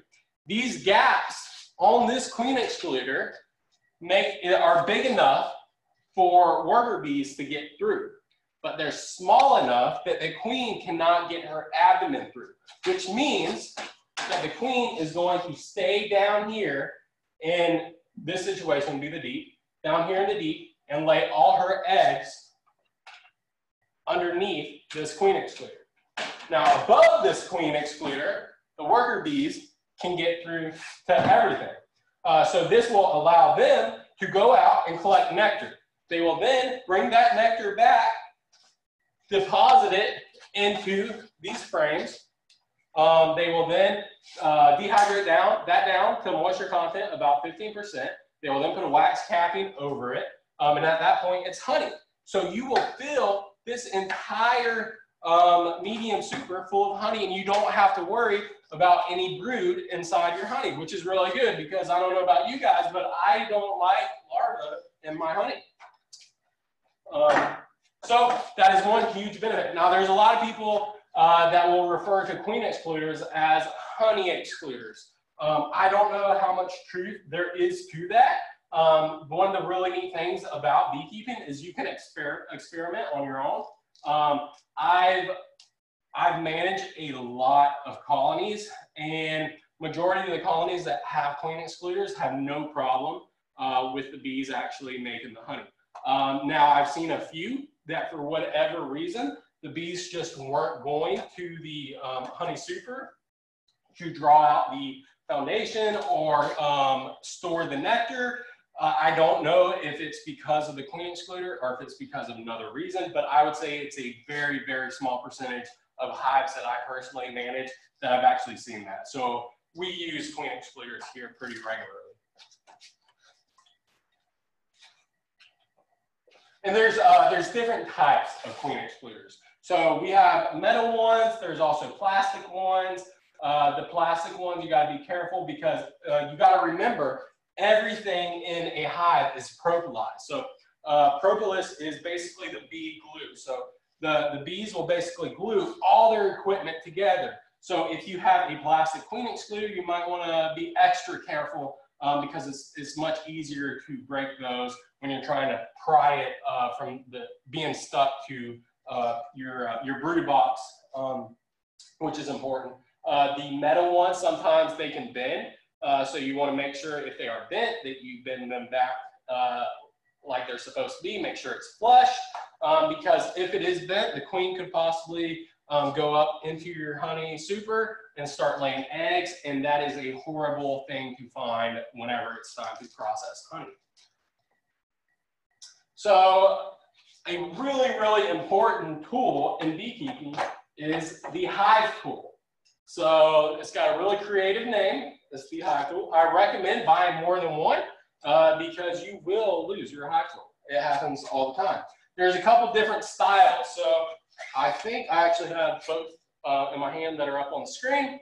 Um, so this one has a hook on it. A lot of people like to use this. Um, I've seen a lot of people uh, use this because they like to use the hook to uh, take out clean cells or clean cups. Um, I personally like to use uh, this one. Um, it's all the serve, serves the same purpose. So because everything is propolized together, you have to pry it apart. So these little tools, hive tools, allow you to pry everything apart, allows you to pry the frames apart, and that way you can handle them much easier. Everything is much easier with a hive tool. Uh, so smoker is extremely important part of beekeeping. Now, I believe Stephen is teaching the next class and is going to show you guys how to light a smoker, which is extremely important. But this is a smoker. Now, we use pine straw here uh, because it's all over the place. Um, and we try to create a very cool smoke. Um, and I'm sure Stephen's going to show you guys how to do that. Now, a cool smoke is extremely important because you, if it's if it's too hot or if you have flames coming from the smoke smoker, it's not going to calm the bees down they're just going to get mad and they're going to come at your hand. Uh, you're going to drop the smoker. Uh, whoever you're with is going to be like, wow, you're really crazy. Um, but basically, what happens is the smoke, the cool smoke, masks the pheromones, the alarm pheromones um, in the hive. So bees communicate with each other um, off of chemical pheromones um, in order to tell each other if there is an issue. So if you were going into your hive and they thought, hey, this person's coming to destroy our hive, they will then start telling all their sisters that, hey, there's this weird looking bear who's coming to destroy our hive. We need to attack it. However, if you smoke them, they can't do that. They can't communicate with one another, one, one another, so they don't know that there's potential danger. They also don't know that you're actually there to try to help them. Um, so I like to use the analogy that it's like uh, in a football stadium. If you're going to, I'm going to use the Gators because I'm literally in Gainesville. Um, if you're going to the Swamp, uh, which is the name of the football stadium, um, and your team is on defense, you as a fan are going to yell at the top of your lungs. And if you've ever been to a football game, you know that you're yelling. That way, the opposing team's offense can't communicate with one another. And it's the same concept. Uh, you're just blocking that communication uh, by smoke instead of yellow, which is pretty neat. Uh, so uh, PPE, uh, protective equipment is extremely important. And you got a few different options. So it's really important to have at least a veil.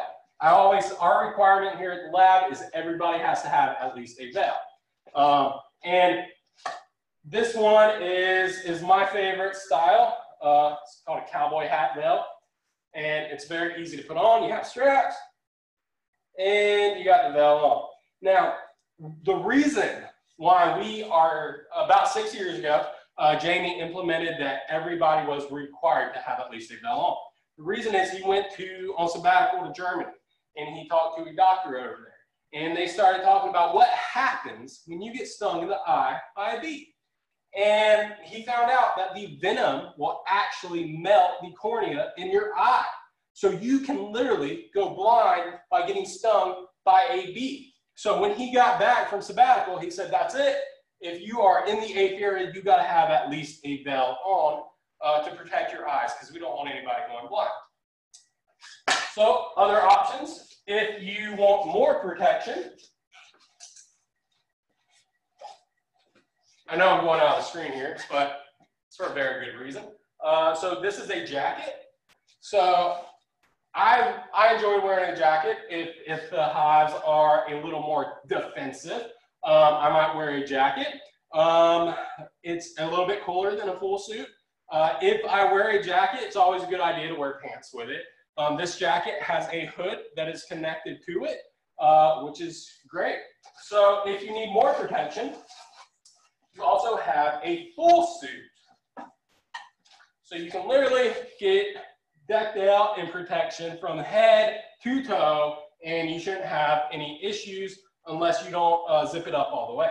Um, now bees are relentless and sometimes they can actually crawl into your suit. So if you ever are in a situation where you're working a hive and you have a bee get inside your suit, your jacket, or your belt, please try not to panic. Slowly back away from the hive. And once you're away from the hive, take care of the problem. Because if you do it while you're in the hive and you take that veil off, you just expose yourself to thousands of bees because one bee got inside your protective equipment.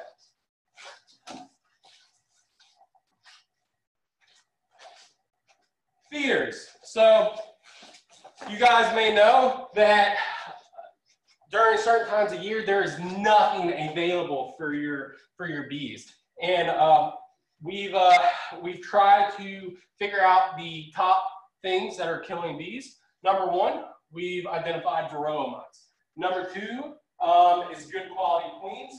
Uh, and actually, number two and three is kind of interchangeable at the moment. Uh, good quality queens. And number three, nutrition. So if the bees do not have plenty of nectar out there to go forage for, if they don't have pollen to go forage for, they are going to starve to death. So as beekeepers, as a good beekeeper, you're, you're going to make sure that your hive has ample supply of feed. So during certain times of year, you might have to supplement their diet with sugar syrup. So there's a couple different ways you can do that. So I already talked about the top feeder, which is basically you get a jar and you get a lid. Now they actually sell these at bee stores, but you can also just get a lid and put a couple holes in it with nails. Make sure the holes aren't too big. You don't want the sugar water leaking all over the brood. You then put it straight on the migratory lid and this will allow the bees to come up and they will get it as needed. Now, if you're if you're up north where it gets kind of cold and you want to make sure your bees have something during winter, um, this is a good option. Uh, but this is just another option for a feeder. This is an in-high feeder, so it's, it's, it's very similar to a frame, except you actually put syrup into this in-high feeder and you put it in the hive. Now the downside about that is you're taking away a good amount of space for your hive to, uh, for the queen to lay eggs, for them to store resources. You're kind of taking away a good bit of, a space for that. Um, but it is a good option, especially up north when it gets cold and you don't want your jar exposed to those weather conditions. Another option is an entrance feeder. So this right here is an entrance feeder. And it's very simple. You put it at the entrance of your colony. And you put the jar there, and it allows the bees to, uh, to actually feed outside the colony. The downside of that is it could encourage robbing because you actually have a feeder outside the colony. So if it's during a time of year where there's not a lot of resources, you might have other hives that are out looking for resources. And if they see this outside your hive, they might try to come take that. And then they say, oh, there's also a hive right here with a lot of resources. So you might have an issue with bees coming in robbing because of that. So that's kind of the downside of an entrance feeder. Uh, entrance reducer. So entrance reducers, you have a couple different sizes. They go in the front of the hive, and you have this little space, which is really good uh, for winter. And you have this larger space, which is really good um, during summer times when it's really hot when you want an additional airflow. this allows a smaller space for the guard bees to protect. Uh, that way, uh, if you have robber bees, uh, they can gather right here in this space and try to uh, prevent them from coming into the colony. I'm running out of time, so I'm trying to go through this a little bit quicker now. Uh, bee brush. So this is a really good tool whenever you have to brush bees off a frame. So uh, times you might use this is if you're for honey production and you have bees all over your honey frame. This is a honey frame. Um, then you would brush the bees off. That way you can take it to your extractor and you don't have to worry about getting bee parts in your extractor because you brushed all the bees off.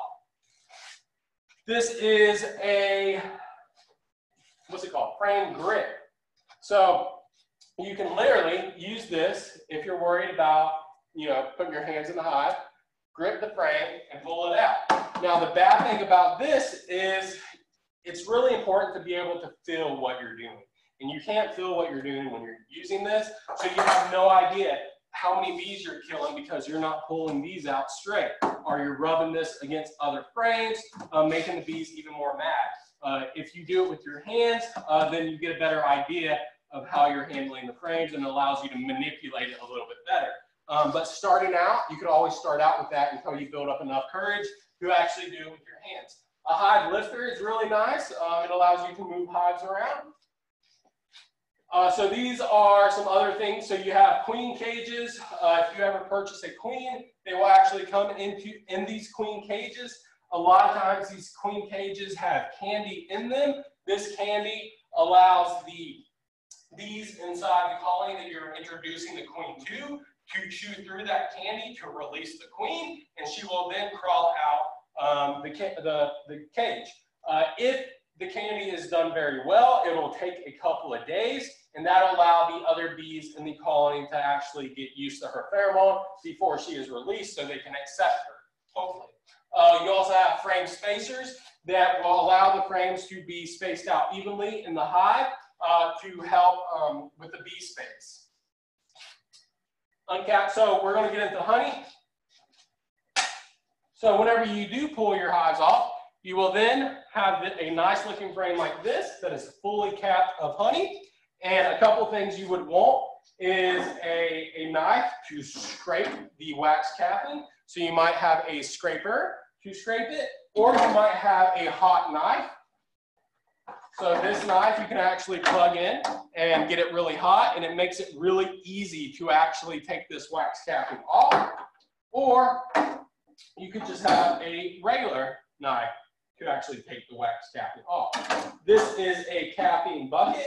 So the capping will actually fall here, and then any honey that's left in the capping will drain to the bottom here, and you can actually bottle up the honey that is separated um, in this situation. But once this is uncapped, what you will do is put it in an extractor, which I don't have one right here. But this extractor will spin the honey around and it will sling the honey out of the uncapped frame. That honey will settle. And once it settles, you can take a bucket or um, for, for a sideline, for a hobbyist, you could just take a bucket and this is a sieve that allows you to filter out the wax, put it underneath the extractor, open up the gate, and the honey can flow in here and um, you can then bottle it from the bucket once it settles. So here's a, here's a, a few different resources on where you can actually purchase some of the equipment. Um, and Mann Lake uh, are two of the bigger bee suppliers. Um, so feel free to, uh, you know, check them out anytime. Um, and then here's a, a, little bit of contact information. If you guys want my email, feel free to email me anytime. I will get back to you uh, eventually. Um, everything's a little chaotic right now, but uh, once we get back in the groove of things, I can respond to emails pretty quickly. Um, so, any questions? Uh, hey, one question, Branden. Are you going to stay for the Q and A at two thirty? Yes. Oh, great. So now that we're, we're we're just right on track for uh, Stephen Cutts's talk. So if you don't mind taking the questions at two thirty, we'll just do Stephen's talk and then we'll do all the rest of those questions. So uh, we'll go ahead and and transfer over to uh, Stephen Cutts's talk. And Stephen, do you do you want me to um, Stephen, do you want me to uh, push your content from here, or do you want to do it yourself on your own? Push it from there, please, for me. Okay, will do. I'm pulling that up right now. And I'm going to go ahead and mute my mic and I will briefly introduce you. Uh, Stephen Cutts is uh, bee inspector with uh, uh, uh, Apiary, Bureau of Apiary Inspection, and he has also been a, a long time fixture at our programming doing the smoker lighting contest. And uh, Stephen comes from a long gener- uh, multi-generation beekeeping family. So I'll let him uh, further introduce himself and I'll begin to share his content. I was asking one of my brothers, trying to remember who taught me how to light a smoker. It was, uh, you just sort of picked it up.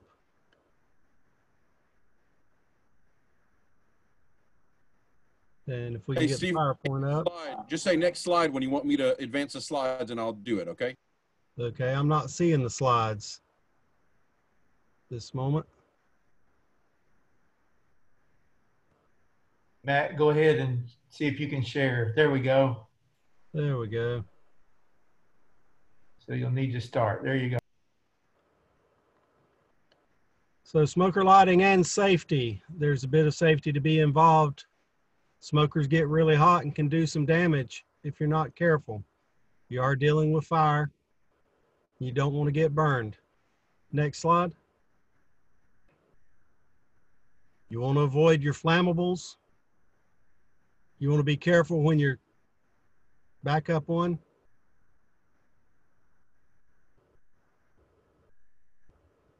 Back to slide two. You want to be careful that uh, you don't want to light your smoker with your veil on. A lot of your veils are flammable or worse, they won't support a flame. They'll just melt to you and just continue to burn and just take hide, take a layer of hide with it. Your clothing that you wear, your nylons will melt. So you want to be very careful that you're not wearing any kind of nylon material when you're working the bees.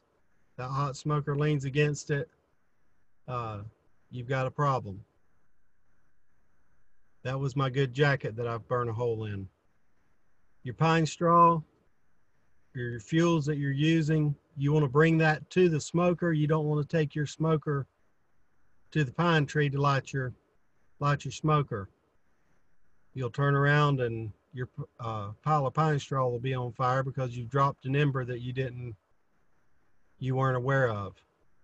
Next slide.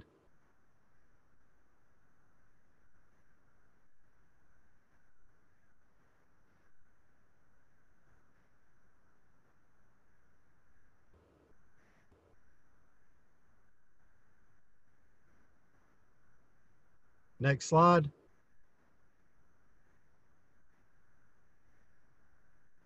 For some reason, it's not wanting to advance. There we go.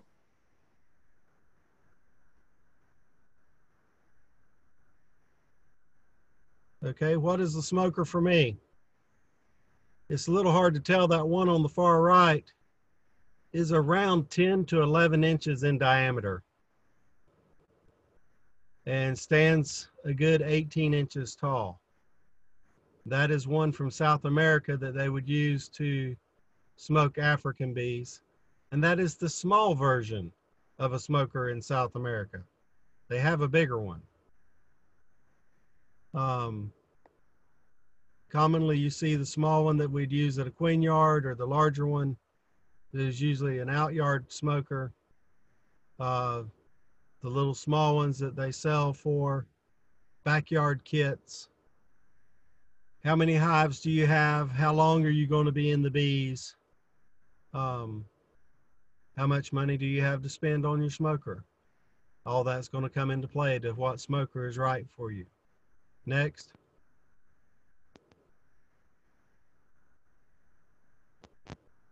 What are the best fuels? Well, common fuels are pine straw, pine pellets, or pine chips. Uh, those are the chips like you would use in uh, chicken bedding or small animal bedding.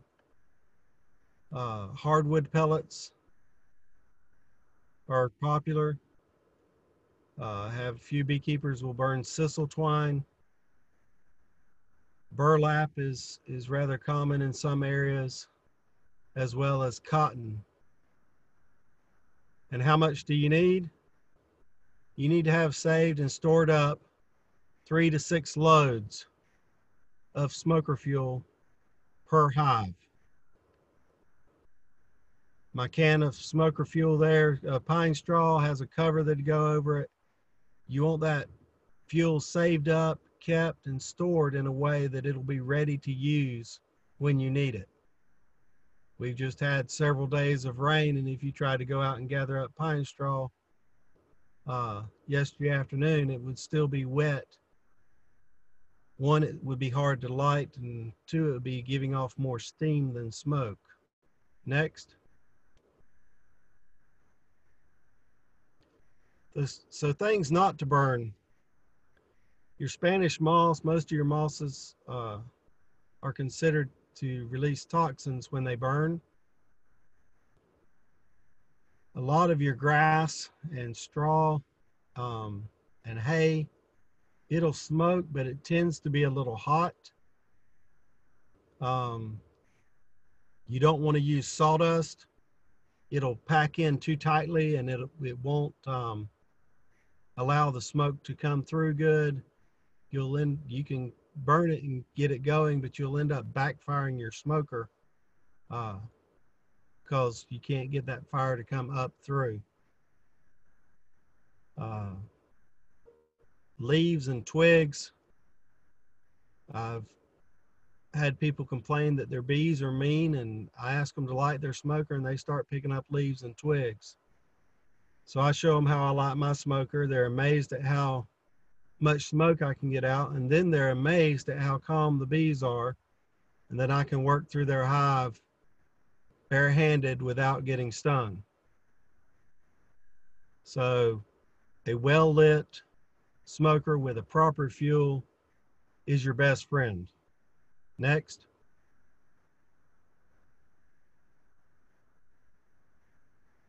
You want to clean and clear your smoker uh, of previous fuel. Check your smoker for the integrity of that smoker. A lot of these small smokers uh, that they have in the backyard kits, you want to make sure your grate is in there. First time you get it, that grate will be laying flat. You need to pull it out, bend your tabs out so it's elevated up. Uh, that way you'll get good ventilation off of your bellows through the hole up into the fire base and get a good smoke out. So you want to make sure you don't have any holes in the bottom of your can, sides of your can, where embers can escape and start a fire. You want to check your bellows, make sure you don't have any cracks where you're losing air off your bellows and you're not getting the airflow where you want it through your smoker. Next. Growing up, we had a three match rule. If you can't light it in three matches, you got to turn it over to somebody who can. Uh, with pine straw, you want to get that fire down below. I start with a very loose handful there in the center. That's a sacrificial starter. I grab a decent handful coming in on top of that. You need to keep that smoker puffing and keep it keep that fire going as you slowly feed that in. If you pack it in too quickly, you'll smother your smoker out. So you slowly feed that in, you keep that bellows going, keep that fire coming up. That second good handful is almost sacrificial because then you're going to take that's that's getting it lit. Uh, keeping that fire down below and keeping it lit. And then over on the right, you can see that smoker's getting good and hot and you're even glowing that stainless steel with the fire down below there. Next. Now you're going to pack the smoker. not only do you light the smoker, get a good fire base below, but now you need to pack it. That good fire base below is going to keep that fire lit. The more fuel you pack above it, the thicker and cooler your smoke will be, the longer your smoker will remain burning so that you can continue your inspection, finish your hive without having to repack your smoker. If you're always having to repack it and always having to add more, you're not putting enough in to begin with. So I've got a good double handful and I'm going to continue to puff the bellows, keep the fire going and get most of all that in that into that small smoker. And you can pack somewhere between two to three gallons of loose pine straw into that small smoker. Next. So you've got it packed up, closed up. A nice, thick, cool smoke is what you're wanting to, to calm the bees and disrupt those pheromones.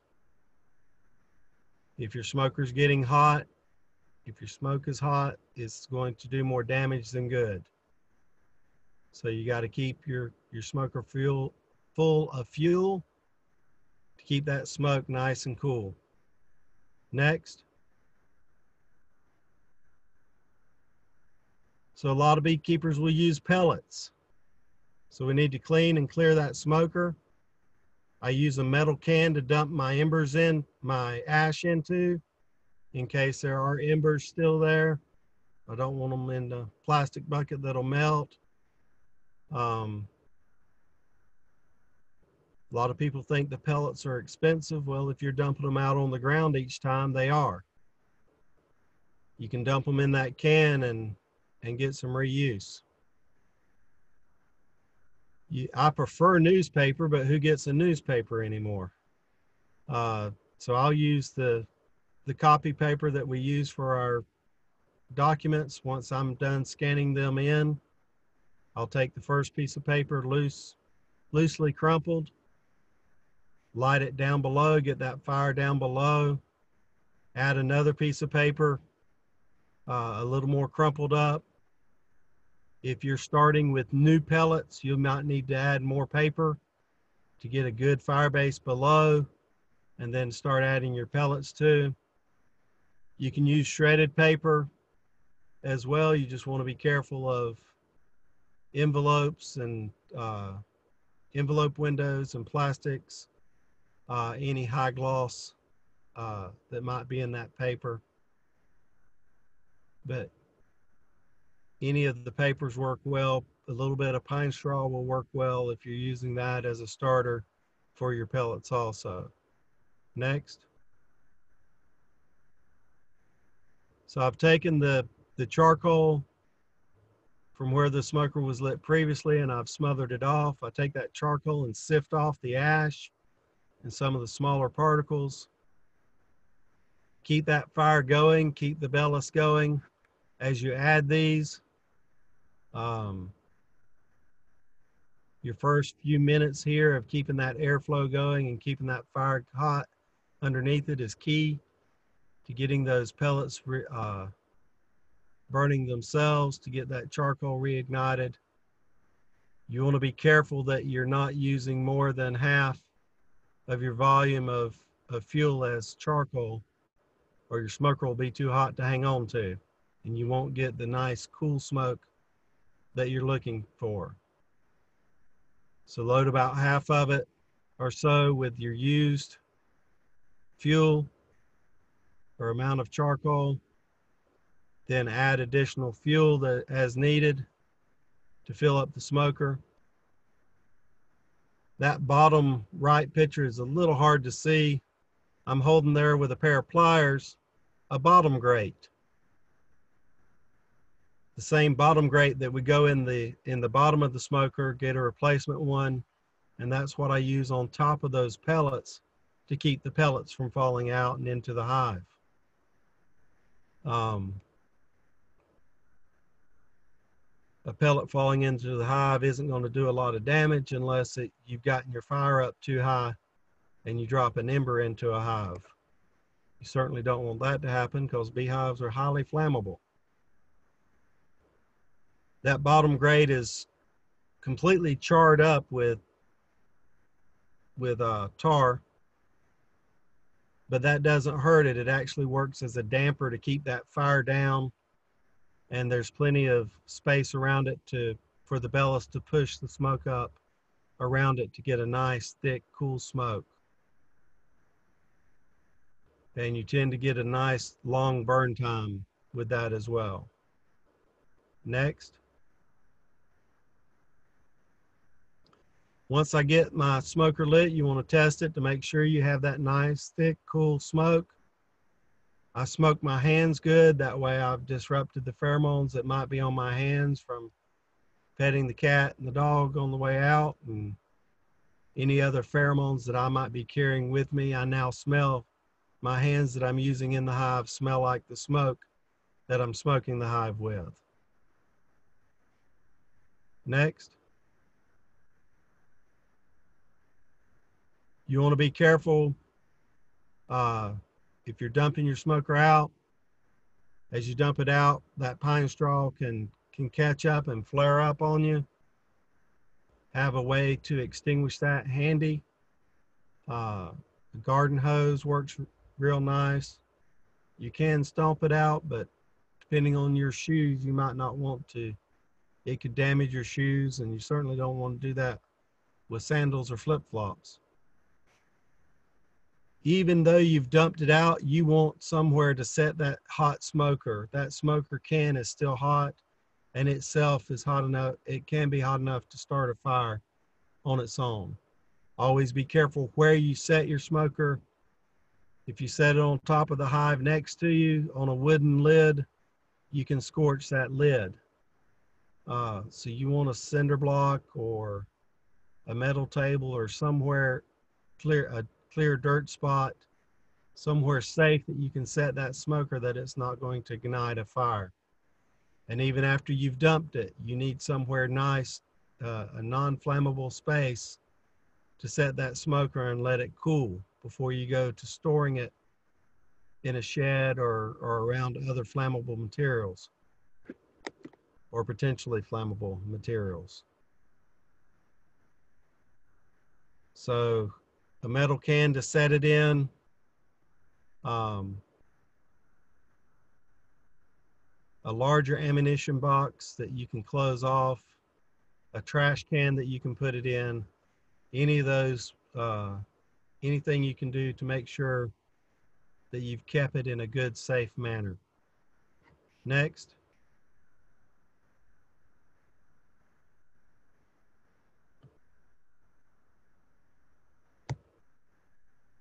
I sort of ran through that a little quick. Um, one thing about pellets is usually the pellets you get from your bee supply places are white pine uh, which is the sawdust compressed from making the boxes. If you go to different feed stores and ask them for pine pellets, they don't have them.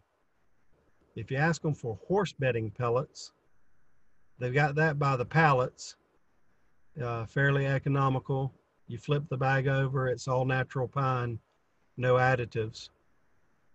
Um, and that is yellow pine. So it will tar up more than the white pine will. The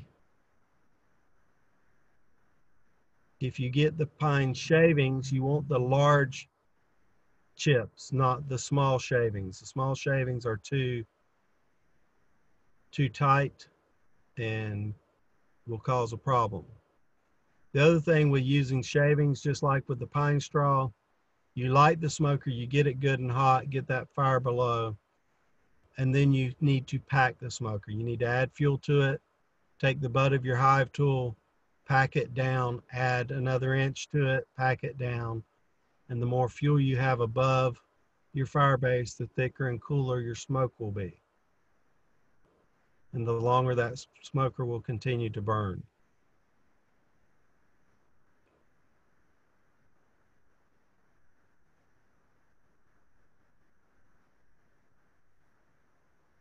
Any Well, questions? thank you very much, Stephen. What what we can do now is is do a um, set this up for the the panel, so we can answer the questions from Stephen's talk first, and then if there are any other questions, and from Branden's talk, then any other questions, just please um, type your questions into the the Q and A box, and we can answer those questions about anything you heard about today or any beekeeping questions in general. So if all the panelists would, uh, I guess they could share their show their videos. So turn on the video and, and audio, uh, and then uh, for the for the panelists, and then we'll just let the we'll let Ray moderate those questions that are rolling in, and then go ahead and do that until three o'clock. because we have till three till we answer these to answer questions. So thank you, everybody. Yeah, this is Ray. I can go ahead and start. Uh, on the question about are honeybees classified as livestock, Brandi was kind enough to quickly research the Florida statute, um, and she sent me the information which states that honeybees are not defined as livestock. So livestock really means grazing animals such as cattle, horses, sheep, swine, goats, any kind of hoofed animal. So just to clarify on that.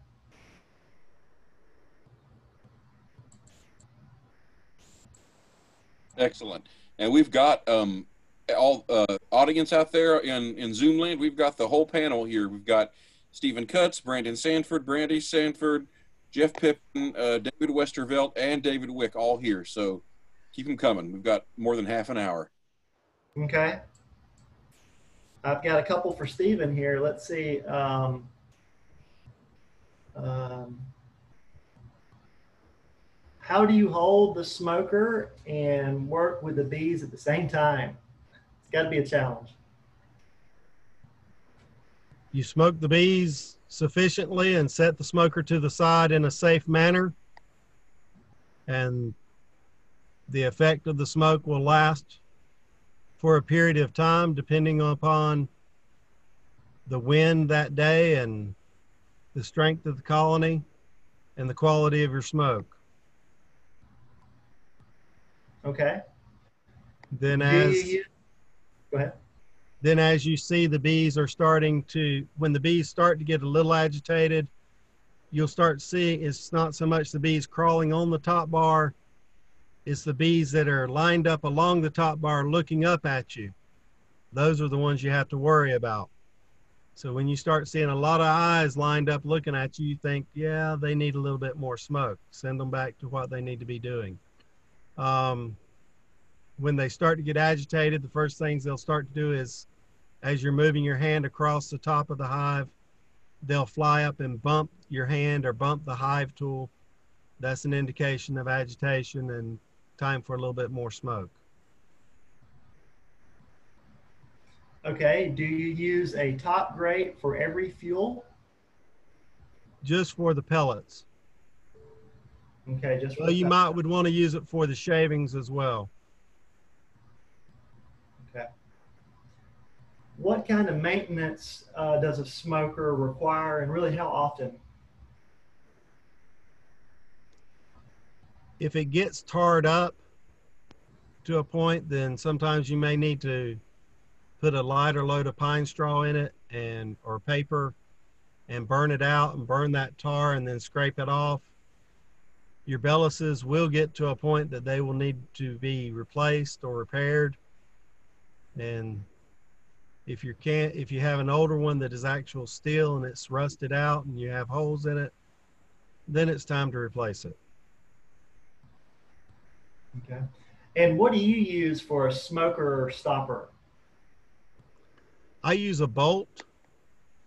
I took my smoker into the unlit into the hardware store and walked down the bolt aisle and found a bolt that would is about an inch to an inch and a quarter long that would fit through the hole fairly snugly. Um, corn cobs work fairly well. If you've got pine trees around and squirrels, the squirrels do a nice job of chewing that pine cone down to a core. And that pine cone core makes a nice stopper as well. Okay. Uh, what is your preferred smoker style or brand? As a state employee, I cannot show preference to brand or or product. Style, I prefer the bigger, uh, a larger smoker to the smaller one typically. Good answer. The smaller one for me is is what I would call a queen yard smoker. I grew up as a queen breeder, so when we're out in the queen yard catching queens, uh, the smaller nucs typically didn't need as much smoke, and the smaller smokers are easier and more manageable to get around and move around through the queen yard. Okay. Um, let's see. I think I've got a question for Branden. Um, what about robber screens? That's a great question. Um, so, for those that don't know, people will use robber screens um, whenever it might be the time of year, it might that they notice that their hives kind of being picked on by stronger colonies. Um, so they'll use robber sc- screens to try to prevent those robbers coming in. Um, now, what it does, it, it, usually has some kind of path for the uh, resident bees um, to get out and kind of go forage um, while trying to block the robber bees. So, I mean, it's it's you know another thing that you can use. Uh, it's another tool in the toolbox. Um, I've never personally used it, so I can't attest to whether how good it works, um, how if it's bad or not for the uh, the hive itself, the bees that are in there. If it causes a lot of confusion with with them, I would imagine it would probably cause a little bit of confusion. Um, but it's just another thing that you can do. Um, a, you know, a, a really good thing to do is make sure your hives are kind of on the same playing field. Make sure your hives um, are very well fed. Make sure they have plenty of resources. Um, and that will do a lot at stopping rot. All right. Let's see. Um,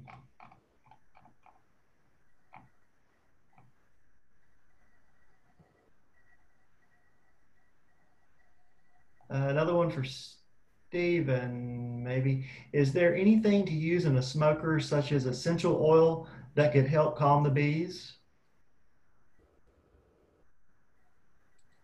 Not that I'm aware of or have used.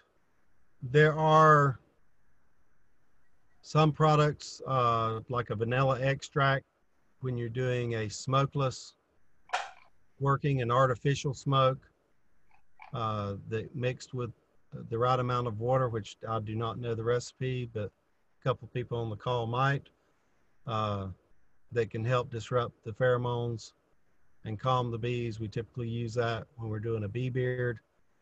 Um, but as far as something to put into the smoker, nothing that I'm aware of. A good that we already have products that work well enough on their own as far as calming the bees and and doing a good job with the bees. Okay. I think what I'll do now is um, I have some questions that uh, I think I'll just pose to the group, just some that have come in um, here and there. Um, and let's see if somebody wants to uh, um, tackle it. Um, here's the first one. My bees are hanging out by compost filled containers in the yard it seems they are feeding on something that they can access through the holes in the containers. Does this mean they are deficient in something, or would you consider this just a normal feeding behavior? That's a great question. Actually, uh, you can put me on, Ray. Okay. Uh, what they're doing is they're looking for two possible sources uh, water source because your compost or your uh, actual uh, soil is leaching water out and it can have minor nutrients in there, uh, which they can be attracted to the smell of the minor nutrients. Okay, thank you, David. Uh, here's another one. We just purchased hives this week. Uh, just put them on our 60 acre property yesterday. They are deep on our property and we have no trespassing signs up. Do I still have to put up a fence? So if your property is not zoned agricultural, then you should have at least the portion where the hives are located fenced off. Um, but it sounds like you're on 60 acres, you probably some type of ag land, so you wouldn't be required to have that fence. It might be a good idea to have a bear fence around them in most parts of Florida, though. Yeah, for sure. Um, bears are really good. If you haven't found your bears, bears will probably find you if you have bee colonies. So putting up some sort of um, bear fence to prevent access for them, or at least hopefully restrict access for the bears um, from destroying your hives. It's a really good idea. It's a good point, Stephen. Okay, I've got another bee yard fence question here. If your bee yard fence is six foot tall, you know, like a traditional wood panel yard fence, do you need an additional flyaway barrier or does this fence meet both fencing and flyaway requirements? No, if you have a six foot fence around your apiary, you're totally good. That will certainly serve the purpose of the flyway barrier. All right. Now, if it was a chain link fence, that wouldn't work, obviously, because it's not a solid structure. But if it's a wood panel fence, then absolutely. Okay, I've got a question here about can you describe where we are in North Florida in the Panhandle with respect to the honey flow? Anybody have a good idea about honey flow in the region? Tupelo is blooming right now, Yeah. just starting to bloom. Um, there's going to be some uh, pretty good palmetto flow, a lot of bud on it in about two weeks. Um, be some low bush gallberry. You'll, your best table grade honeys will be produced from now until about mid-May. Uh, I would pull my honey and extract then because the honeys that are made after that will be the popcorn and uh, uh, palm tree honey, stuff like that. It's going to be thinner, waterier honey. Um, so your best high grade table honey will be made in the next five weeks. So I would extract whatever honey's on there. That's going to be wildflower basically. It's a mix. And your good table grade honeys will be made over the next five weeks. Hey, Jeff, have you done any um, recent surveys maybe on the Tupelo tree population in the Just region? every, just every day. Um, yeah, it's just starting to kick up right now. All that north wind, the dry air, has caused the nectar to kind of hold off. We need some good south, southerly breezes with lots of humidity to kind of prime the nectar in those blooms, but the bloom's there. Uh, it'll be blooming really well for about another two weeks, uh, especially around Gulf County, man. Okay, good. I, I know we've we're still uh, in a way kind of bouncing back from Hurricane Michael with these trees and the overall health. I think I just wondered how far along we were. It's looking good. Um, you know, it's been about a year and a half now, and I'm seeing a lot of good growth and bloom on the trees. So they're trying to rebound. Um, so it, it's looking better. I looked at some of the Apalachicola and Chipola yesterday, and uh, there's more there than I figured it would be there this soon after the hurricane. That's great news. Thank you, Jeff. Um, okay, here's another equipment question. Uh, is it necessary necessary really to wear gloves when inspecting a hive? No, not at all. And I highly recommend once you get you know comfortable in the hive that you try to uh, kind of turn away from doing that if if if it's if you're comfortable enough because it's difficult to get a, a good feel for the colony whenever you're wearing gloves. It's a lot easier to agitate them um, because it's harder to feel what you're doing. So it's harder to know whether you're actually pulling that frame up, if you're scraping bees, if you're squishing bees. And usually when you do all this, the bees are going to be releasing pheromones because you're killing them or you're making them very agitated. Um, so uh, also, if they start stinging your gloves, um, those stingers are going to also have that alarm pheromones on it. So I see a lot of people that um, are inspecting hives with gloves on, the real thick gloves, um, and they're just covered in stingers because there's just alarm pheromones. And then if you don't wash those gloves appropriately, the next time you go out to your hive, if it's pretty recent, you can also still have those alarm pheromones on you, and the bees are going to try to come straight to that spot. Um, what I like to do is if you uh, are okay kind of going to the next step without the gloves, maybe try a nitrile gloves. Um, they're much more flexible. It allows you to feel what you're doing a lot better. Um, but also the bees can still sting through it, but they just don't like to because they're not going to get uh, a much impact on your skin as they would if you didn't have those nitrile gloves. Um, so that's a really good tool, and a lot of people um, at the lab actually use those. So I'm also the volunteer coordinator here. So I have about 30 volunteers that aren't quite comfortable being in the hives without gloves, and I have them start with nitrile gloves um, in order to feel a little bit more comfortable, but also maybe they won't get stung on their hands as much. Uh, you also learn uh, by by you know doing. So if you're wearing big thick beekeeping gloves and you squish a bee, um, you might not know that like what you're doing is making the bees agitated. What behaviors you're doing because you have those gloves on and it's such a thick barrier. Whereas if you don't have gloves or you have the nitrile gloves on, you kind of learn a behavior in the hive. That way the bees uh, aren't agitated with that particular behavior. That was a long answer. No, but a good answer. yeah, I think you learn to respect the bees a lot better barehanded. yeah. Another thing about gloves, if you're not using, if you're using traditional bee gloves, don't use your bee gloves to do anything else. If you're using a non-traditional bee glove, you're using gardening gloves or other kinds of leather gloves, you need a pair that are designated to be your bee gloves and don't use them to go mix up fertilizer and dig in the dirt and then turn around and bring that back to the hive. Right, no, no contamination there. Don't use them for your grocery shopping during the social distancing either. Yep.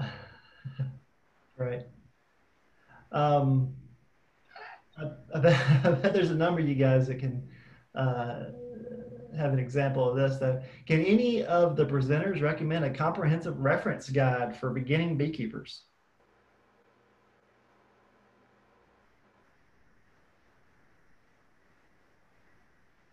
I thought Branden would say something. Yeah, I was I was waiting. So I, I don't know about a guide in particular, but the lab offers a lot of really great programs for people that want to get started in beekeeping.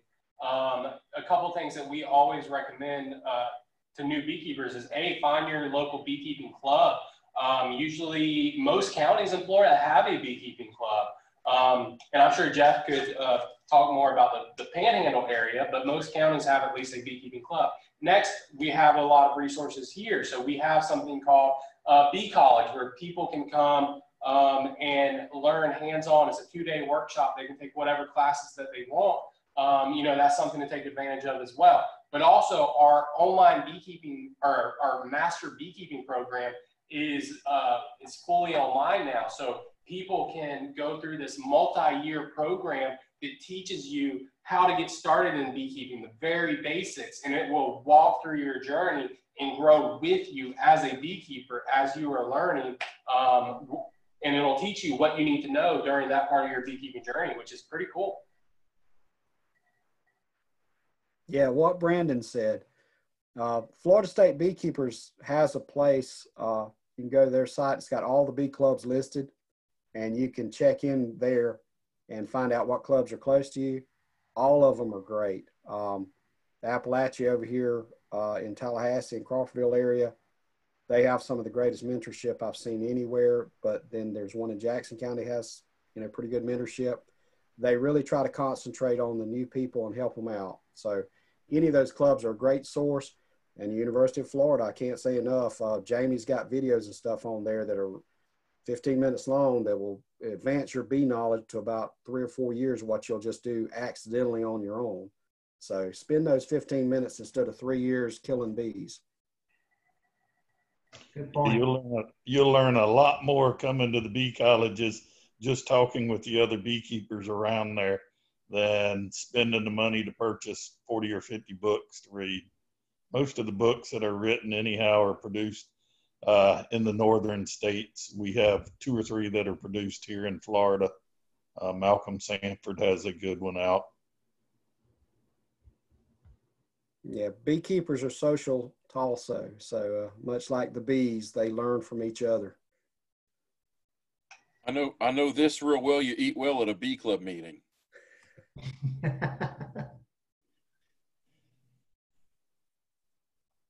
Yeah, another incentive. Um, okay, uh, another equipment question. Um, what is the opinion on slotted bottom boards?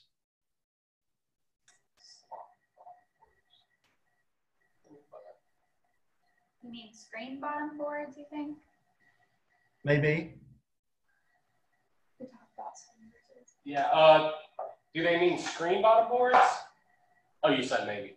Um, I mean, uh, if they mean screen bottom boards, then in Florida in particular, uh, I love to use them um, just because it gets extremely hot here. It allows for additional airflow into the hive. Uh, bees thermoregulate, so they like it about 98 degrees Fahrenheit, and so they're constantly trying to achieve that temperature. However, in the summertime here, it gets much hotter than that, uh, potentially in the hive. So it allows them to not work as hard at cooling it off. Um, and on the flip side, during winter, if you're further up north, uh, or if you're joining us from the northern states, uh, it could be something that you might not want to use during winter, uh, just because bees thermoregulate. And if it's 20 or 30 degrees, or if you have snow around, uh, it's harder for them to keep that constant temperature like they want to. Um, so that's kind of the, the pros and cons of these screen bottom boards versus. I think he, I think he was referring to slatted racks. There, there is a slotted bottom board. It's in the new bee supplies.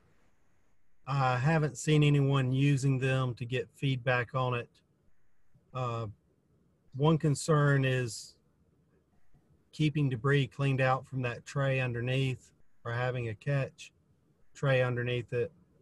Uh, it's supposed to be for a small hive beetle um, control, but I don't have any feedback on it as of yet. Uh, so the person questioning, uh, try one out and let us know. All right. Um, another equipment question for Varroa mite treatment. Do the thermal hive heaters work? Because they are really expensive. Uh, I'm sure everybody here has probably heard feedback from that.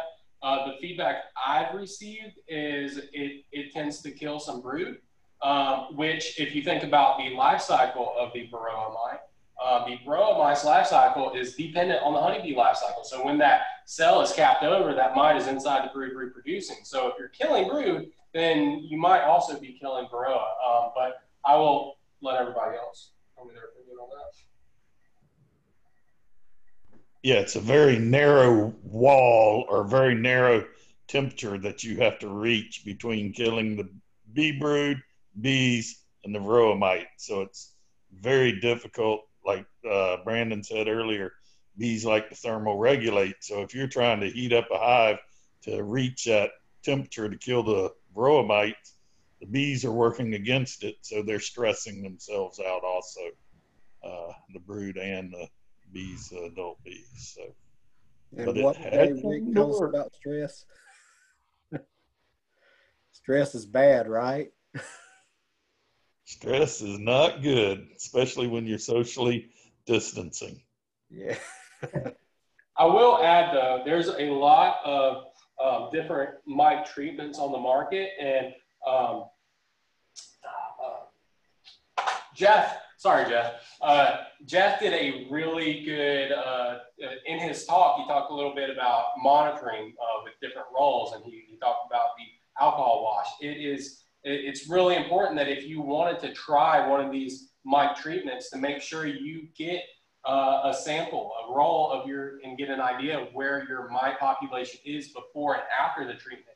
That way, you know if it works or not. Because if you go into it blindly, there's you you have no way of knowing if it works or not. So if you did want to try the the thermo uh, mite treatment, um, make sure you do a mite check before and after, and let us know.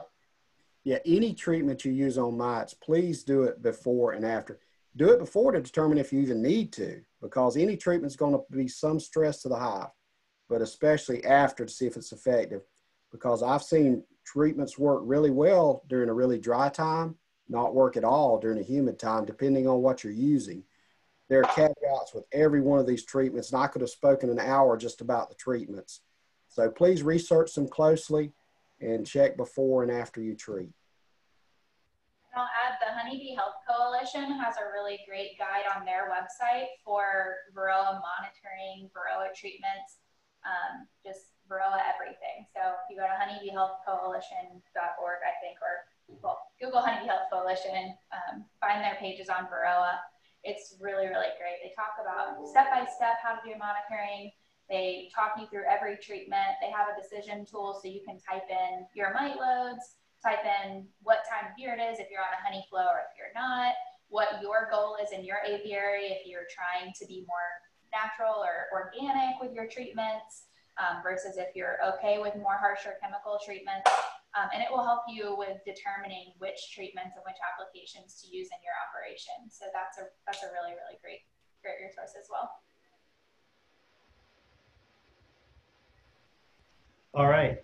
Um, there's sort of a, a, rules and regulations question here. Are are there any more state rules being added in the near future? Is there anything coming down the road that people should be aware of now?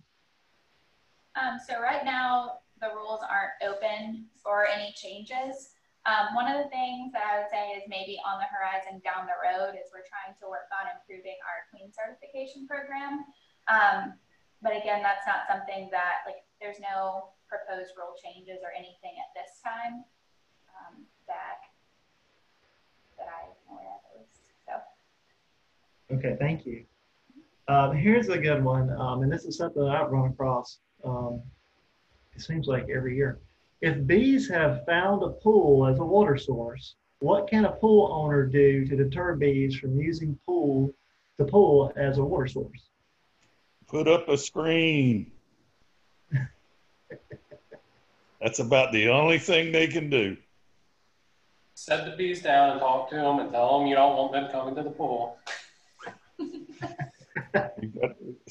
Explain social distancing to the bees. So, yeah, it's very hard once they've found a swimming pool to deter them.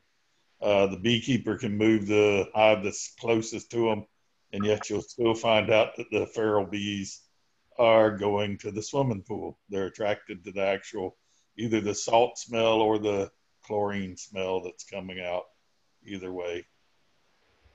Yeah, if you're if you're a new beekeeper and you're getting ready to you know buy your packages or buy your um, your nuts to set up your apiary, go ahead and establish your water source before or around at the same time that you're installing your bees. Um, that will help them if they have a water source that's more conveniently located in their own yard then it will deter them from traveling farther to find water at the neighbor's pool, for example.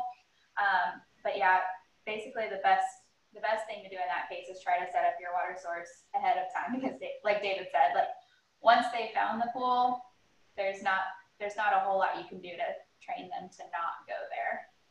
It's a big bee pool party. Exactly. And, and when you set up your water source, it's a good idea to add something either like a little bit of Sprite or lemon lime soda, something to attract your bees to it. You might attract your neighbors' bees too, but at least you'll get them trained. I, I wonder if they serve uh, Corona beer at the bee pool parties. Bad bee pun.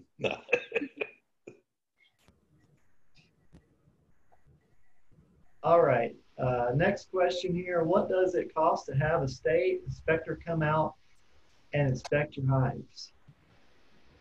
So there's not a fee for the inspection. There is the registration fee every year that beekeepers have to pay. So and that's based on the number of colonies that you maintain in your operation.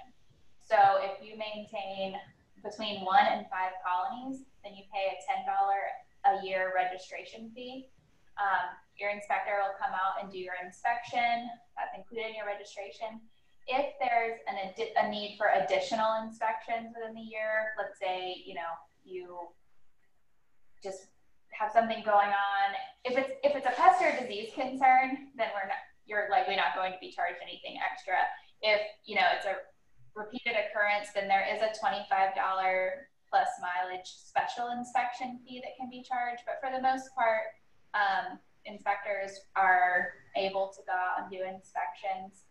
There are certain additional fees, like if you're trying to move bees out of state and we have to issue an out of state permit, there's a $25 fee for a special permit, or, or sorry, for an out of state permit. Um, and for queen certification, there's a $25 certification fee. And if samples need to be pulled, there's $10 sampling fee. But just your routine normal inspections, there's no additional charge other than your registration fee each year. All right. Uh, let's see here. Uh, I purchased a split hive with a young bee, which is not a good layer. Anything I can do to help her start laying?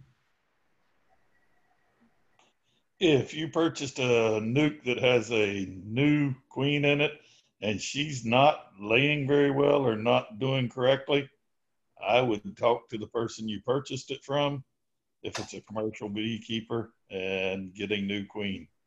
Uh, a queen that's not properly mated cannot be boosted unless it's a bee numbers. If there's a very small number of uh, bees in the hive, then it could be, you know, that you don't have enough bees in there. You might need to boost it, meaning add more bees.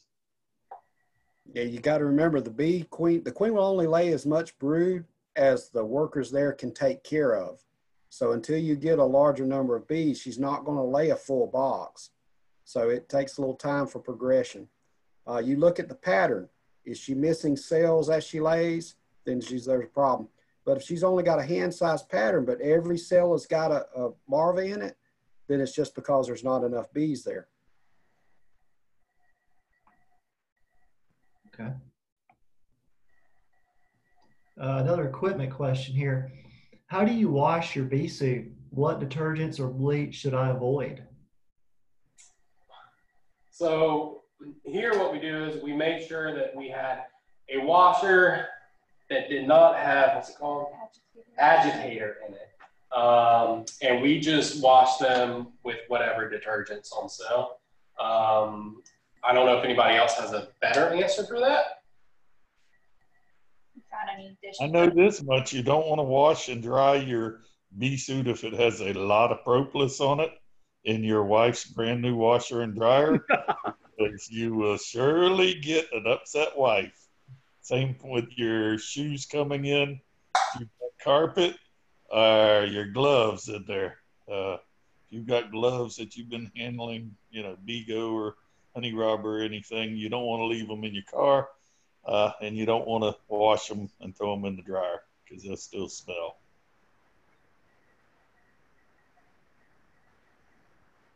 Okay.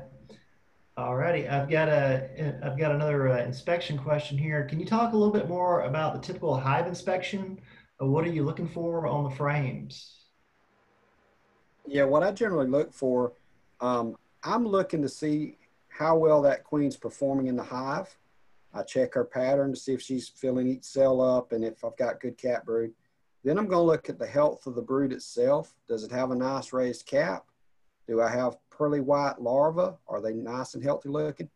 Then around the edge of that brood, I should find a band of pollen. So I'm going to look for the pollen and see if I see different colors of pollen being posted there. And then up in the top edge and the corners, I should see some capped honey or fresh nectar. If I see all of that, I know they've got good nutrition, they've got a good laying queen, and the pest and pestilence doesn't seem to be a factor. And those are the three keys I look for good queen, nutrition, and disease and pest. If none of that, if all of that's in order, the hive's going to be in pretty good shape. Um, but those are the main things I'm looking at in the hive. I don't necessarily look at the queen. You can't really tell from her. You look at her performance. Okay, thank you, Jeff. Um, let's see. What kind of preparation needs to be taken when inclement weather, um, like a hurricane, is imminent? Any any any tips on that? On any kind yeah, of? You can answer that one. Sure. Go ahead. Who? David. Wasn't it David? No, let Jeff answer it. Oh, I thought you said you got an answer. Uh, if it's Hurricane Michael, it doesn't matter what you do. Uh, but if you have a storm coming, uh, putting a ratchet strap around the hive so that it can't be blown apart, um, leaning up against a building or tight screwing it off to a building or something so that it can't be blown away, something heavier um, are good ideals. A lot of people put rocks and stuff on top of their lids. We have to get some really nasty weather before a lid's going to blow off because the bees propolize that pretty well. Um, but during a storm like that, you try to get them, you know, as, as much as possible stabilized. If they get blown over and they're still together, you can just stand them up. But if they get blown over and those boxes are pulled apart and it rains inside the nest, it can kill the queen, it can hurt her. Um, so the ratchet strap's essential. And if you can kind of, you know, strap them off to something a little heavier, that's great. Uh, but wind damage is the biggest thing. It has to get pretty nasty before it blows a hive over most of the time. Just to add to that, um, like Jeff said, it's got to be really nasty for it to blow the hive over. A huge problem during hurricane season is actually flooding. So it's really important to kind of identify where your hives are in your apiary. And if there's areas prone to flooding, get them to higher land, pick them up. Uh, like I said, some, some people will have their hives on uh, pallets, or maybe the stands will be a little bit lower to the ground. So make sure they're picked up off the ground. That way you're not going to have an issue with flooding because if you have water entering into your colony, it could be really bad. But also if you have feeder jars or anything that could blow over in the wind, uh, make sure you take those off your colony. Otherwise you're going to have glass all over the place and it's going to be, uh, be an even bigger issue. And also to add to that, um, if you have your colonies like out under a big shade tree or oak tree in your backyard, um, you might want to think about moving them. Um, at the bee biology unit here at UF, we had a few years ago during one of the storms, um, a huge tree limb fell down and busted about five or six of the colonies open. Um, broke the boxes, broke the frame, there were bees everywhere. So um, watching out for trees or other things that might fall on the hives, flooding, making sure they're in not in too much of a low-lying area, and securing the hives um, if there's expected to be a lot of wind. Those are kind of the three main things I can think of.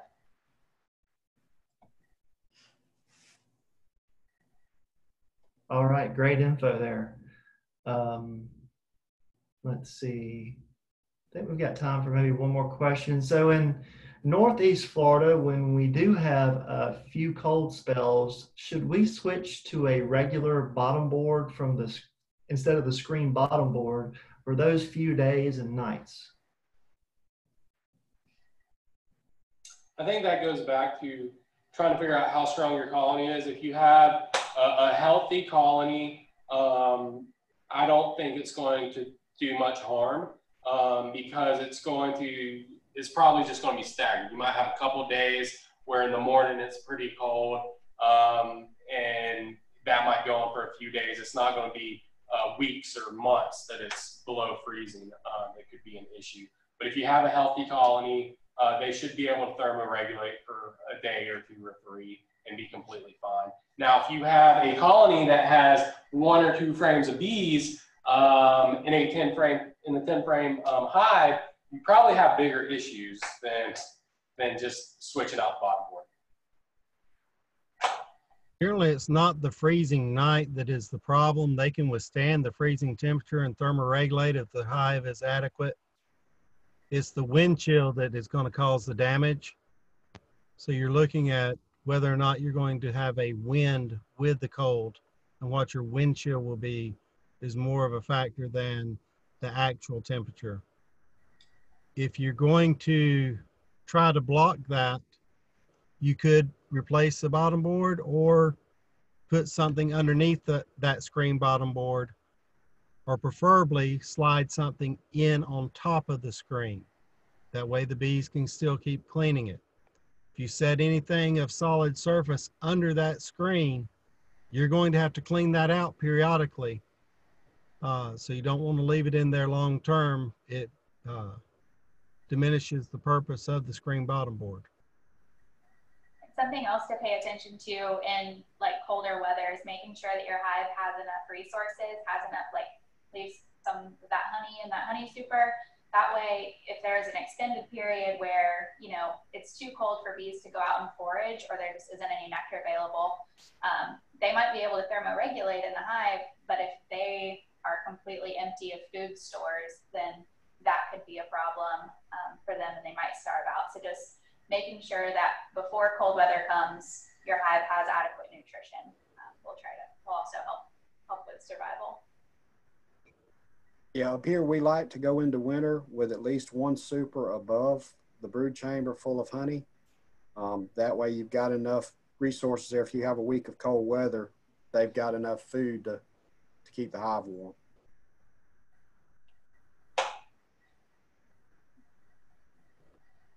Jeffry, what do you mean by one week of cold weather? well, we haven't had that in a few years, but way back when I can remember when we actually had frost on the ground for more than one day at a time. It actually Wow. several days that we'd have. Um, the last few winters haven't been a big issue.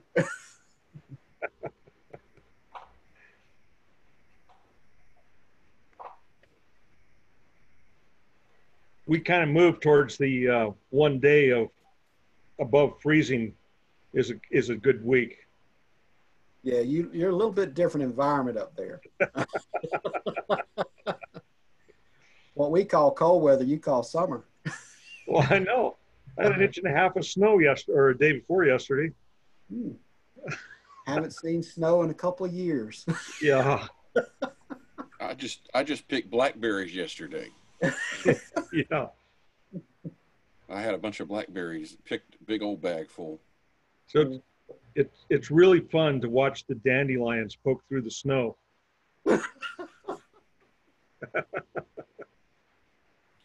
Well, well, Ray, are there any more burning? Are there any more burning questions that that uh, haven't been already addressed uh, today? Or I know we're here at the time limit here, the three o'clock time. Uh, there's a, I'm gonna make a couple of announcements uh, here. Uh, please, uh, like uh, everybody, I'm to be sending out a survey on Eventbrite to all the participants. And so all the participants, if you would please fill out the survey, that helps us with um, with knowing how we did with this program and also uh, getting the results from the program that we share with our stakeholders to show that we were an effective uh, an effective activity. So please fill out the survey, and I'm going to share all the survey results with. It's an online survey. It's very quick and easy, and I'll send the survey results to all of the participants when we have those compiled. So I mean, all the uh, panelists, all the panelists here will get the copy of the survey, so you can use that for your own uh, reporting if you need it. Um, another thing, um, I'd like to thank all of the panelists for for taking time out of their busy schedules to to uh, make this possible. We couldn't have done it without your expertise, uh, and and there's lots of valuable information shared today. And what what's great about you know, it's sad we couldn't all get together, and because I know the beekeeping in the Panhandle is uh, as much as a learning activity is a good, really good networking activity for everybody to meet all the different beekeepers in the area, and even from outside of the state, and to share our stories. But hopefully, we did some of that today, and hopefully, in the future, we can gather again together in person. So, um, were there any more burning questions, Ray, for the panel before we sign off? We have a number of questions remaining. My thought is maybe we can take some of the, answer some of these questions in some of, uh, maybe a, a newsletter. Like an email, like a newsletter, and then get back to everybody? I think that'd be great. and compile them and send them out to the the the the, the Eventbrite list then Yes, that'd be terrific. registered. Okay, uh, is there a way to save these questions? Um, That I might be a, think- that might be a Yes, Scott. yes, there is. okay, so we'll get those. Would panelists, would you mind answering some of these questions uh, through email and we send them out to the people? Okay. Sure. I think I've already So- answered one or two. Okay, great. So I'd like to thank all of you and thank all of you participants for joining us today. It was a great event, and we hope to see you in the future uh, soon in person or at another one of these. We might do another one of these before the the fall. Who knows? We might plan something else. So thank you all very much, and I'm going to go ahead and sign off. And thank you all. Thank you. Thank you. Thank David.